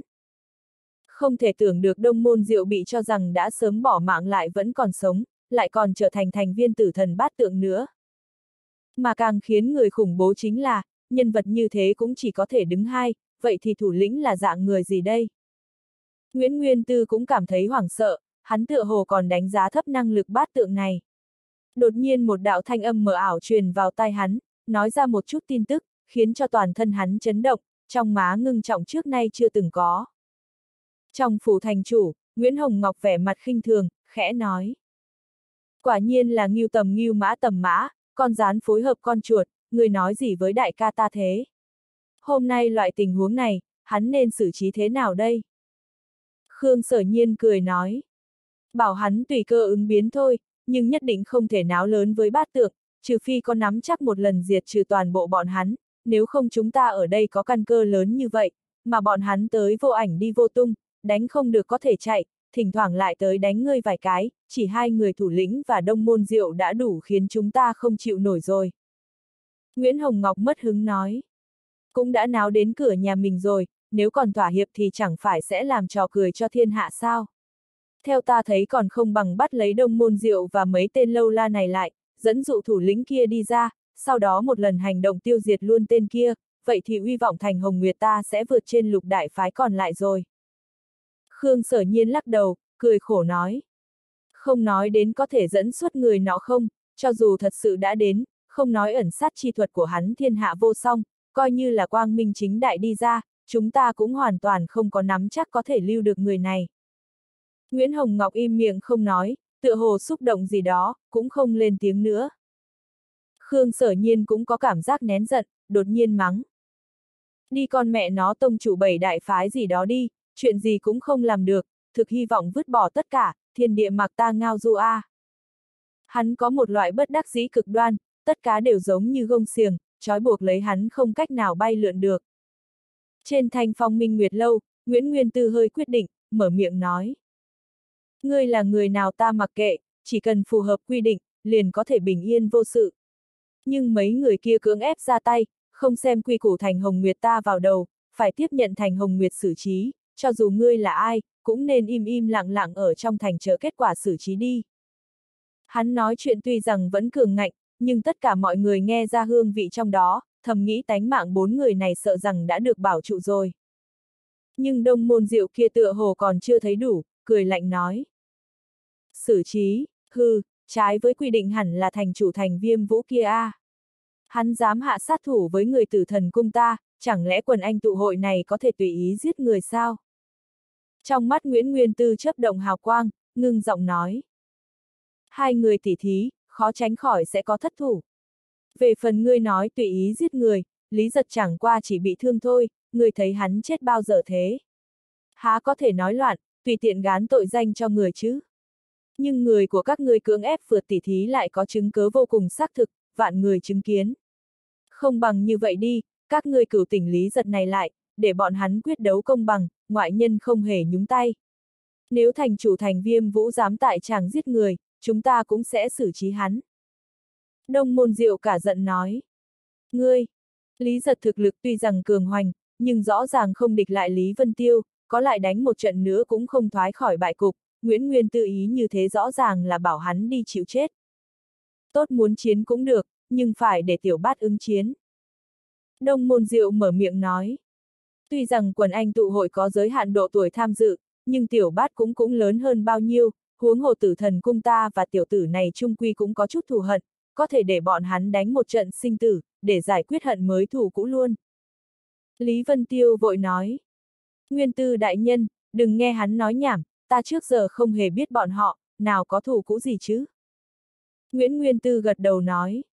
Đông môn diệu, người xem, mọi người đều nói người nói dối. Gương mặt màu vàng trên bầu trời hét lớn một tiếng, cả giận nói. Tiểu tử muốn chết, ngươi cùng chúng ta không oán, nhưng chúng ta với ngươi có cừu, về phần là cừu gì thì ngươi cũng không cần biết, thành thành thật thật đánh một trận đi, nếu thắng còn có thể sống, nếu không đánh hoặc thua thì phải chết. Tất cả mọi người đều choáng váng, nào có đạo lý bá đạo như thế chứ, xem ra Lý Vân Tiêu giữ nhiều lành ít rồi. Khương Nhược Băng vội vàng nói. Nguyên tư bá bá, không thể. Nguyễn Nguyên Tư nhìn qua Lý Vân Tiêu nói. Ý kiến của ngươi thế nào? Nếu ngươi đồng ý, ta liền không ngăn trở, nếu ngươi không muốn, vậy ta liền thay ngươi đuổi người này đi. Ít nhất ở thành Hồng Nguyệt ngươi sẽ an toàn, an toàn sau khi ra khỏi thành ta liền không cách nào phụ trách được rồi. Khương Nhược Băng nói. Vân Tiêu đại ca không cần lo lắng, dùng thiên phú của ngươi cứ ở lại thành Hồng Nguyệt tiềm tu, nơi này là nơi linh khí sung túc nhất tại Đông Vực, có mấy chục năm đủ để ngươi vấn đỉnh đỉnh phong võ đọa, đến lúc đó lại đi tìm kháng thiên lão đầu kia, xem hắn có dám bắt ngươi về không. Mặc tất cả mọi người đều lộ hắc tuyến, thầm nghĩ cái này Khương Nhược Băng quả nhiên là muốn bắt hắn làm lão công tiết tấu A, cái này lôi đài thi đấu còn đánh cho cái rắm, không nói đến đánh không lại cái kia Lý Vân Tiêu, cho dù đánh thắng đoán chừng cũng là tiếp bàn hiệp. Trong phủ thành chủ, Nguyễn Hồng Ngọc cũng nhíu mày lại, không thoải mái nói. Nhược băng nhà đầu kia nói chuyện cũng thật không biết trước sau, một nữ hài tử lại không có chút sụt rè, bảo người thiên hạ nhìn chúng ta thế nào đây. Lý Vân Tiêu cười khổ nói. Viễn đại nhân, có thể tôn trọng ý kiến của ta có được không? Chuyện của ta ngươi tới an bài, đây là lý nào chứ? Hồn nô của ngươi đã luyện đến thiên cấp sao? Sao lại có thời gian rãnh rỗi chõ mõm vào chuyện người khác thế chứ? Tính, hoàn toàn yên tĩnh, mỗi người đều há to mồm ngốc trệ. Lại dám nói chuyện như vậy với đông môn viễn, hắn điên rồi sao? Tất cả mọi người cảm thấy có một loại cảm giác hoang đường, người trước mắt này chưa nói đến đã giết 20 võ đế, ngay cả cha mình cũng hạ đao, chỉ riêng hồn nô kim quang lóng lánh trên bầu trời kia, vừa nhìn đã khiến người tâm kinh đảm hàn, hiện giờ biện pháp tốt nhất không thể nghi ngờ chính là như Khương Nhược Băng nói, có đầu rút cổ ở thành Hồng Nguyệt mấy chục năm, dùng thiên phú của hắn đi ra ngoài chỉ là chuyện sớm hay muộn, đến lúc đó tự nhiên không ai dám ngăn cản nữa. Chết hôm đừng ai mong cứu được ngươi. Đông môn viễn nổi giận gầm lên một tiếng, đạo hồn nô kim sắc trên bầu trời lập tức xông ra một đạo tia chớp kim sắc, bổ tới Lý Vân Tiêu. Trên trán Lý Vân Tiêu chảy ra từng giọt mồ hôi lạnh, hắn cũng là đánh cuộc một lần, dùng ngôn ngữ châm ngòi đông môn viễn, dùng tính cách người này tất nhiên sẽ tức giận công kích, như vậy Thành Hồng Nguyệt muốn giữ gìn hình tượng kim sắc không thể không ra mặt bảo vệ mình, chỉ cần khiến cả hai nổi lên xung đột vậy thì mình liền có không gian để thở rồi.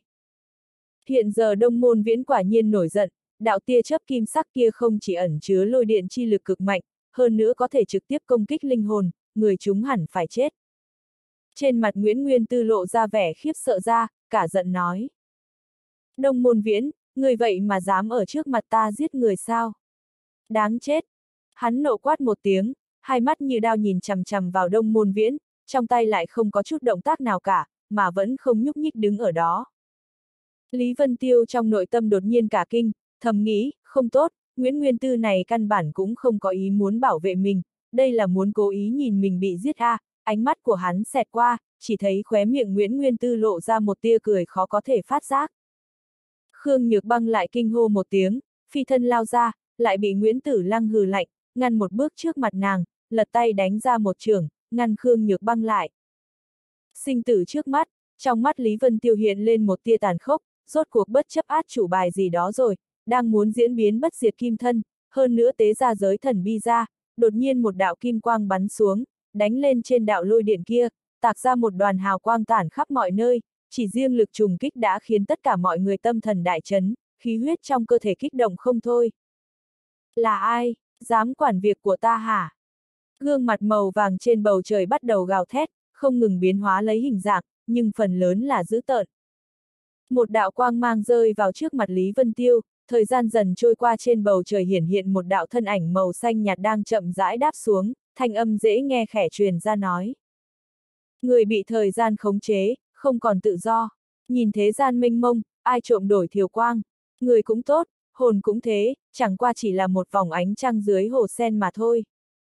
Bóng hình xinh đẹp rơi vào trước mặt Lý Vân Tiêu, tóc búi lên cao, hai lọn tóc bên má theo gió nhu hòa quất vào mặt, một thân váy dài xanh nhạt, vòng eo tinh tế, dung nhan tuyệt mỹ kia lại không hề dưới khương nhược băng, đẹp đến không tì vết, phảng phất như không ăn khói lửa nhân gian, khiến mọi người thấy đều phải ngẩn ngơ. Sư phó. Khương Nhược Băng đại hỉ, vội vàng chạy đến, làm nũng nói. Sư phó không ở đây, bọn hắn cả đám đều khi dễ ta, còn khi dễ bằng hữu ta nữa. Chữ hàng phong cách đó không xa trong nội tâm cả kinh, vội vàng chạy như bay xuống, cung kính nói. Nhị tỷ. Trong lòng hắn lấy làm kinh ngạc, nhị tỷ đã ở ẩn nhiều năm, chưa bao giờ hỏi đến thế sự, sao lại vì Lý Vân Tiêu mà xuất hiện ở chỗ này, hơn nữa nhìn khuôn mặt nàng, đã không còn loại tang thương chán nản như trước kia nữa, mà là một mảnh bình thản, tĩnh như xử nữ. Nguyễn Nguyên Tư cũng chấn động trong lòng, vội hỏi. Thì ra là khả nguyệt muội tử, người sao lại rời khỏi đào hoa ổ rồi.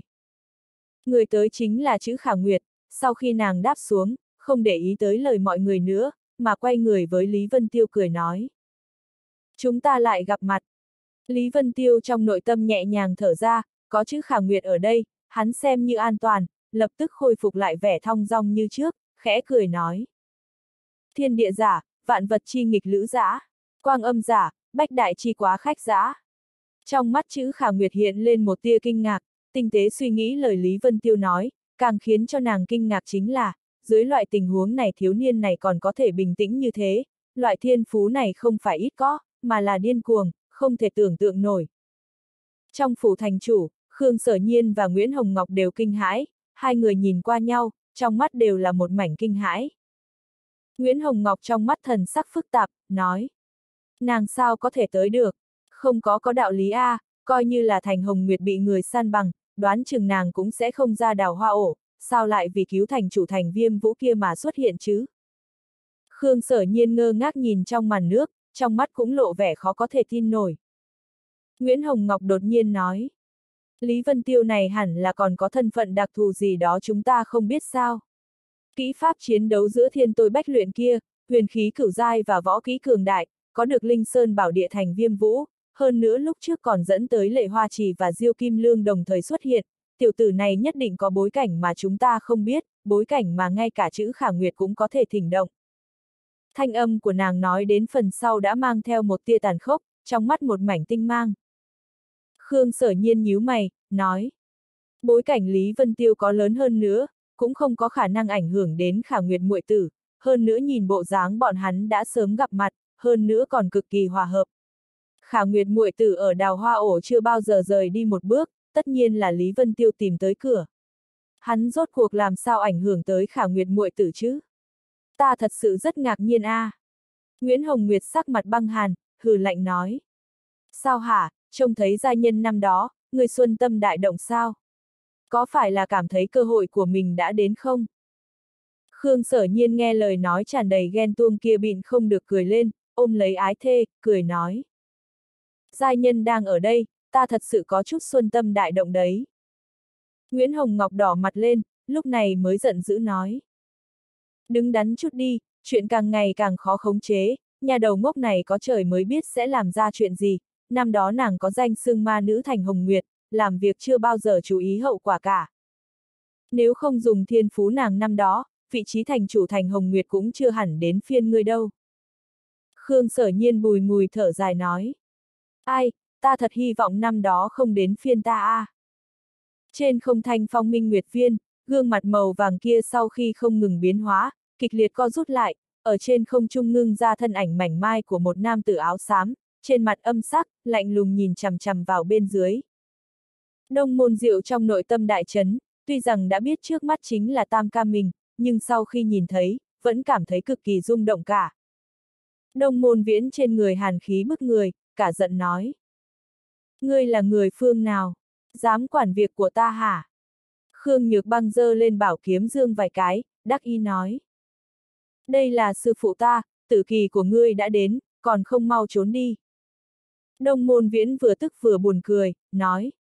Ha ha, trốn, trong thiên hạ có thể khiến ta làm chữ này, thật sự không nhiều lắm, các ngươi nếu thức thời thì mau giao người này ra đây, như vậy hôm nay coi như không xảy ra chuyện gì. Không xảy ra chuyện gì sao? Chữ khả nguyệt kinh ngạc nói. Người tới thành hồng nguyệt dương oai kêu gào, phá hư quy củ, còn muốn coi như chuyện gì cũng chưa xảy ra sao. Thiên hạ nào có chuyện dễ dàng như vậy chứ? Đông môn viễn ngây ngốc một chút, không thể tưởng được đối phương dĩ nhiên lại trả lời như vậy, hắn kinh ngạc nói. Ách, vậy ngươi muốn như thế nào? Phải nhốt các ngươi vào đại lao. Trong mắt chữ khả nguyệt lóe lên hàn quang, khí thế trên người đột nhiên trở nên lăng lệ ác liệt, bọn người Khương Nhược băng Lý Vân Tiêu ở bên người cũng bị khí thế kia chấn nhiếp, có chút đứng không vững. Nguyễn Nguyên Tư sợ hãi nói. Khả Nguyệt muội tử, cái này. Chữ Khả Nguyệt chưa từng liếc hắn một cái, chỉ lạnh lùng nói. Ngươi lùi qua một bên đi. Nguyễn Nguyên Tư. Ha, ha ha, có ý tứ, thật là lý thú. Đông môn viễn nhịn không được cười như điên, nói. Đã lâu chưa từng gặp chuyện lý thú như vậy rồi, qua nhiều năm qua người dám động thủ với ta chỉ đếm được trên đầu ngón tay, đàn bà dám động thủ với ta càng không có người nào, hôm nay hãy để ta chơi đùa thỏa thích đi, cũng để cho đám tiểu sinh hậu bối này thấy được phong phạm của tiền bối võ đạo. Trong tay hắn lóe lên hào quang, phệ hồn phiên hiển hiện trong tay, hắn vung lên, hồn nô kim sắc lúc trước dần dần hiển hóa ra, kim quang sán lạn giống như thực chế, hóa thành một lực sĩ, từ trên trời giáng xuống, trong miệng liên tục hô vang. Địa hồn, đúng là hồn nô địa cấp đỉnh phong. Đông môn diệu hoảng sợ kinh hô lên, trong mắt sợ hãi tràn đầy vẻ sợ hãi, vậy mà sợ hãi lập tức lui về sau. Thừa hạo miểu cũng chấn động, lực sĩ kim sắc từ trên trời đáp xuống kia, mang đến cho người phệ hồn tộc bọn hắn áp lực hơn xa những người khác. Tất cả cao thủ ẩn nấp trên bầu trời tâm thần đều đại chấn, phệ hồn tộc vốn là tồn tại cực kỳ khiến người kiêng kỵ, hồn nô kim sắc càng khiến cho người vừa nghe đã sợ mất mật, không rét mà run. Trong tứ đại đẳng cấp thiên, địa, huyền, hoàng, không ít môn phái cũng đã có suy đoán, hồn nô thiên cấp có thật sự tồn tại hay không, tranh luận này vẫn thật sự chưa có kết luận, bởi vì chưa từng có ai thấy hoàng phủ bật ra tay cả. Nhưng giờ phút này, hồn nô địa cấp đỉnh phong liền xuất hiện trước mắt mọi người. Thần sắc chữ khả nguyệt thần không đổi, lạnh nhạt cười khẩy nói. Thú vị, vậy ta sẽ khiến nó thú vị hơn một chút. Nàng giơ tay phải lên cao cao, năm ngón tay mở ra, tay trái bấm niệm pháp quyết trước người, trong miệng nhớ kỹ chú văn, đột nhiên trên bầu trời rung động lắc lư thoáng một phát, lực sĩ kim sắc kia đang hạ xuống bỗng ngừng lại, hai mắt đông môn viễn ngưng tụ lại. Nguyễn Nguyên Tư trong lòng hoảng hốt, ánh mắt lộ ra vẻ khiếp sợ, hắn tựa hồ đoán được chữ khả nguyệt muốn làm gì, hai hàng mồ hôi lạnh chảy xuống. Trong phủ thành chủ ở xa xa, đột nhiên một mảnh dạng mây đỏ bay lên, dưới vạn chúng chú mục, nó tản ra trên bầu trời, dáng ngũ sắc đầy trời, cực kỳ xinh đẹp. Dĩ nhiên là vật kia. Khương sở nhiên hoảng sợ, thân ảnh lóe lên, lập tức xuất hiện chỗ một chỗ tế tự trong phủ thành chủ, ở tế đàn trung ương bốn phía trang nghiêm nghiêm nghị cắm một cây đồng côn bình thường, mấy chục năm qua nó vẫn một mực cắm ở chỗ kia, bình thường không có gì lạ, chưa bao giờ có biến hóa. Nhưng giờ phút này trên cây gậy kia lại tản ra một mảnh kim quang, trên đó vốn bình thường không có gì lạ lại bắt đầu hiện ra đóa đóa hoa văn, trong hào quang phát ra một mảnh tường vân phổ chiếu, chiếu rọi hô ứng với cảnh xinh đẹp trên bầu trời. Nguyễn Hồng Ngọc cũng lập tức đến chỗ này, sắc mặt một mảnh xám trắng, tâm tình khó có thể bình tĩnh cắn răng nói. Đã nhiều năm như vậy, người một mực thử câu thông với nó vẫn không thể được, nhà đầu ngốc này nhiều năm như vậy cũng chưa từng sờ vào nó, lại vẫn có thể khu động, có phải là trong đó đã bị nàng động tay chân gì đó không? Khương sở nhiên lắc đầu, cười khổ nói. Bảo vật đều có linh tính, mọi người bất đồng cơ duyên, không cưỡng cầu được. Thoại âm rơi xuống, cây gậy màu vàng kia đột nhiên từ trên tế đàn bay ra, hóa thành một đạo lưu quang mà đi, toàn bộ bầu trời ánh một mảnh dạng mây đỏ, như bị bốc cháy lên. Đông môn viễn sắc mặt lập tức đại biến, hắn đột nhiên cảm thụ một cổ lực lượng vô cùng vô tận đang đè xuống mình, rất nhanh liền thấy được cây gậy màu vàng kia phá hông lao tới, tựa hồ muốn đập nát tất cả. Hắn đột nhiên hít một hơi lạnh, từ khi bị hoàng phủ tật tổn thương, qua nhiều năm như vậy đây là lần đầu hắn cảm nhận được nguy hiểm cực lớn, hắn vội vàng hai tay bấm niệm pháp quyết, lực sĩ kim sắc kia bỗng nhiên hét lớn một tiếng, trở nên cực lớn, đánh một trưởng tới cây gậy kia. Dưới một chiêu, uy áp như thiên lôi cuồn cuộn, toàn bộ bầu trời hoa viên đều run rẩy kịch liệt, tùy thời đều muốn sụp đổ xuống. Nguyễn Nguyên Tư thở hắt ra, sợ hãi nói. Quả nhiên là quyền trưởng. Ánh mắt hắn lộ vẻ phức tạp, cũng một tay bấm niệm pháp quyết, lập tức một cổ lực lượng hiển hiện trên người, hình thành một cổ kết giới chi lực, bao phủ trọn không trung hoa viên vào trong, lúc này mới khiến run rẩy kia ổn định lại. Hừ, chẳng lẽ biến lớn thì sẽ lợi hại hơn sao? Chữ khả nguyệt cười lạnh một tiếng, hai tay làm ra tư thế cổ quái, xinh đẹp như khiêu vũ, khiến người say mê, chỉ tiếc không có ai quan sát cả, mọi ánh mắt đều hoảng sợ cứng lại trên bầu trời rồi.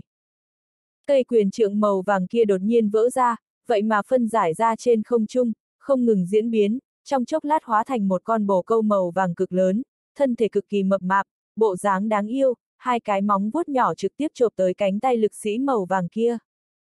Đông môn viễn sắc mặt đột biến, hồn nô kia câu thông liền với hồn phách của hắn, bồ câu màu vàng chộp tới một chảo liền khiến hắn cảm thấy một cổ khí uẩn cường đại chấn nhập vào hồn phách, lại muốn xé rách cả hồn nô hội tụ vạn hồn nơi một thân. Loại tình huống này khiến đông môn viễn sợ tới mức hồn phi phách tán, có loại cảm giác không chân thực hiển hiện trong đầu hắn, của mình chính là hòn nô địa cấp đỉnh phong A, uy lực còn hơn xa huyền khí cửu giai bình thường, há có thể tùy tiện xé rách chứ. Hắn nhanh chóng một tay bấm niệm pháp quyết, phệ hồn phiên trên tay vội vàng triển khai, đón gió tung bay trên không trung, một bộ tràng cảnh địa ngục khủng bố hiển hiện trên bầu trời, tất cả mọi người nhìn qua đều cảm thấy toàn thân phát run. Chữ khả nguyệt vũ động dáng người, nói khẽ. Ký ức là một quyển liêm treo đầy phong linh, mà người khi còn sống phần lớn đều lấy khuyết điểm làm chủ trục, kéo dài trong dòng sông thời gian. Theo tiếng thơ của nàng vang lên, bồ câu màu vàng kia bắt lấy hồn nô lực sĩ không buông, tùy ý hoàn cảnh chung quanh biến hóa, vô số oan hồn ác quỷ lao ra cũng không hề có chút biến đổi nào cả. Những thời gian đã trôi qua, không người nào có thể giữ lại, tất cả, đều chẳng qua chỉ là nhất chỉ lưu xa. Trong mắt chữ khả nguyệt đột nhiên xẹt qua một vòng hàn quang, đan môi thở khẽ, nói.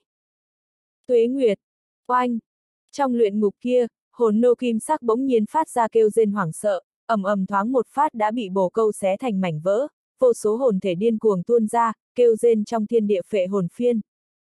Phốc, đông môn viễn phun ra một ngụm máu tươi, địa hồn ngưng hình vừa vỡ, mang đến cho hắn cắn trả cực lớn, chân khí trong cơ thể quay cuồng, thân thể thống khổ như muốn vỡ ra. Hai người đông môn diệu và thừa hạo miểu cũng triệt để choáng váng, bọn hắn cực kỳ rõ ràng sự lợi hại của hồn nô địa cấp, sao lại dễ dàng tiêu đời như thế chứ? Tuy nói chỉ cần hồn phách bất diệt, nhất định có thể dần ngưng tụ ra lại trong vệ hồn phiên, nhưng tồn tại trí cao trong tông bọn hắn cư nhiên lại không chịu nổi một kích như thế sao? Lòng tự tin của hai người đều bị đả kích cực lớn, bắt đầu sinh ra hoài nghi thật lớn đối với tương lai của hồn nô. Lý Vân Tiêu trong mắt mỉm cười, khẽ gật đầu tán thưởng. Chữ khả nguyệt chán trường nhiều năm như vậy, võ đạo không lùi mà tiến tới, xem ra những năm này nàng vô tình vô dục, tính tâm tu võ, ngược lại nhân họa đắc phúc. Vậy mà xé rách địa hồn của ta, ta liều mạng với ngươi. Đông môn viễn triệt để nổi giận, sau khi phun ra một búng máu, phệ hồn phiên trong tay dương lên, thế giới ác quỷ luyện ngục kia bỗng nhiên ập xuống, muốn thôn phệ toàn bộ thanh phong minh nguyệt viên vào trong. Chữ khả nguyệt nói với Nguyễn Nguyên Tư. Hộ viên. Sau khi nói hai chữ, nàng phi thân lao lên không trung, dẫn dắt những ác quỷ oán linh kia rời đi.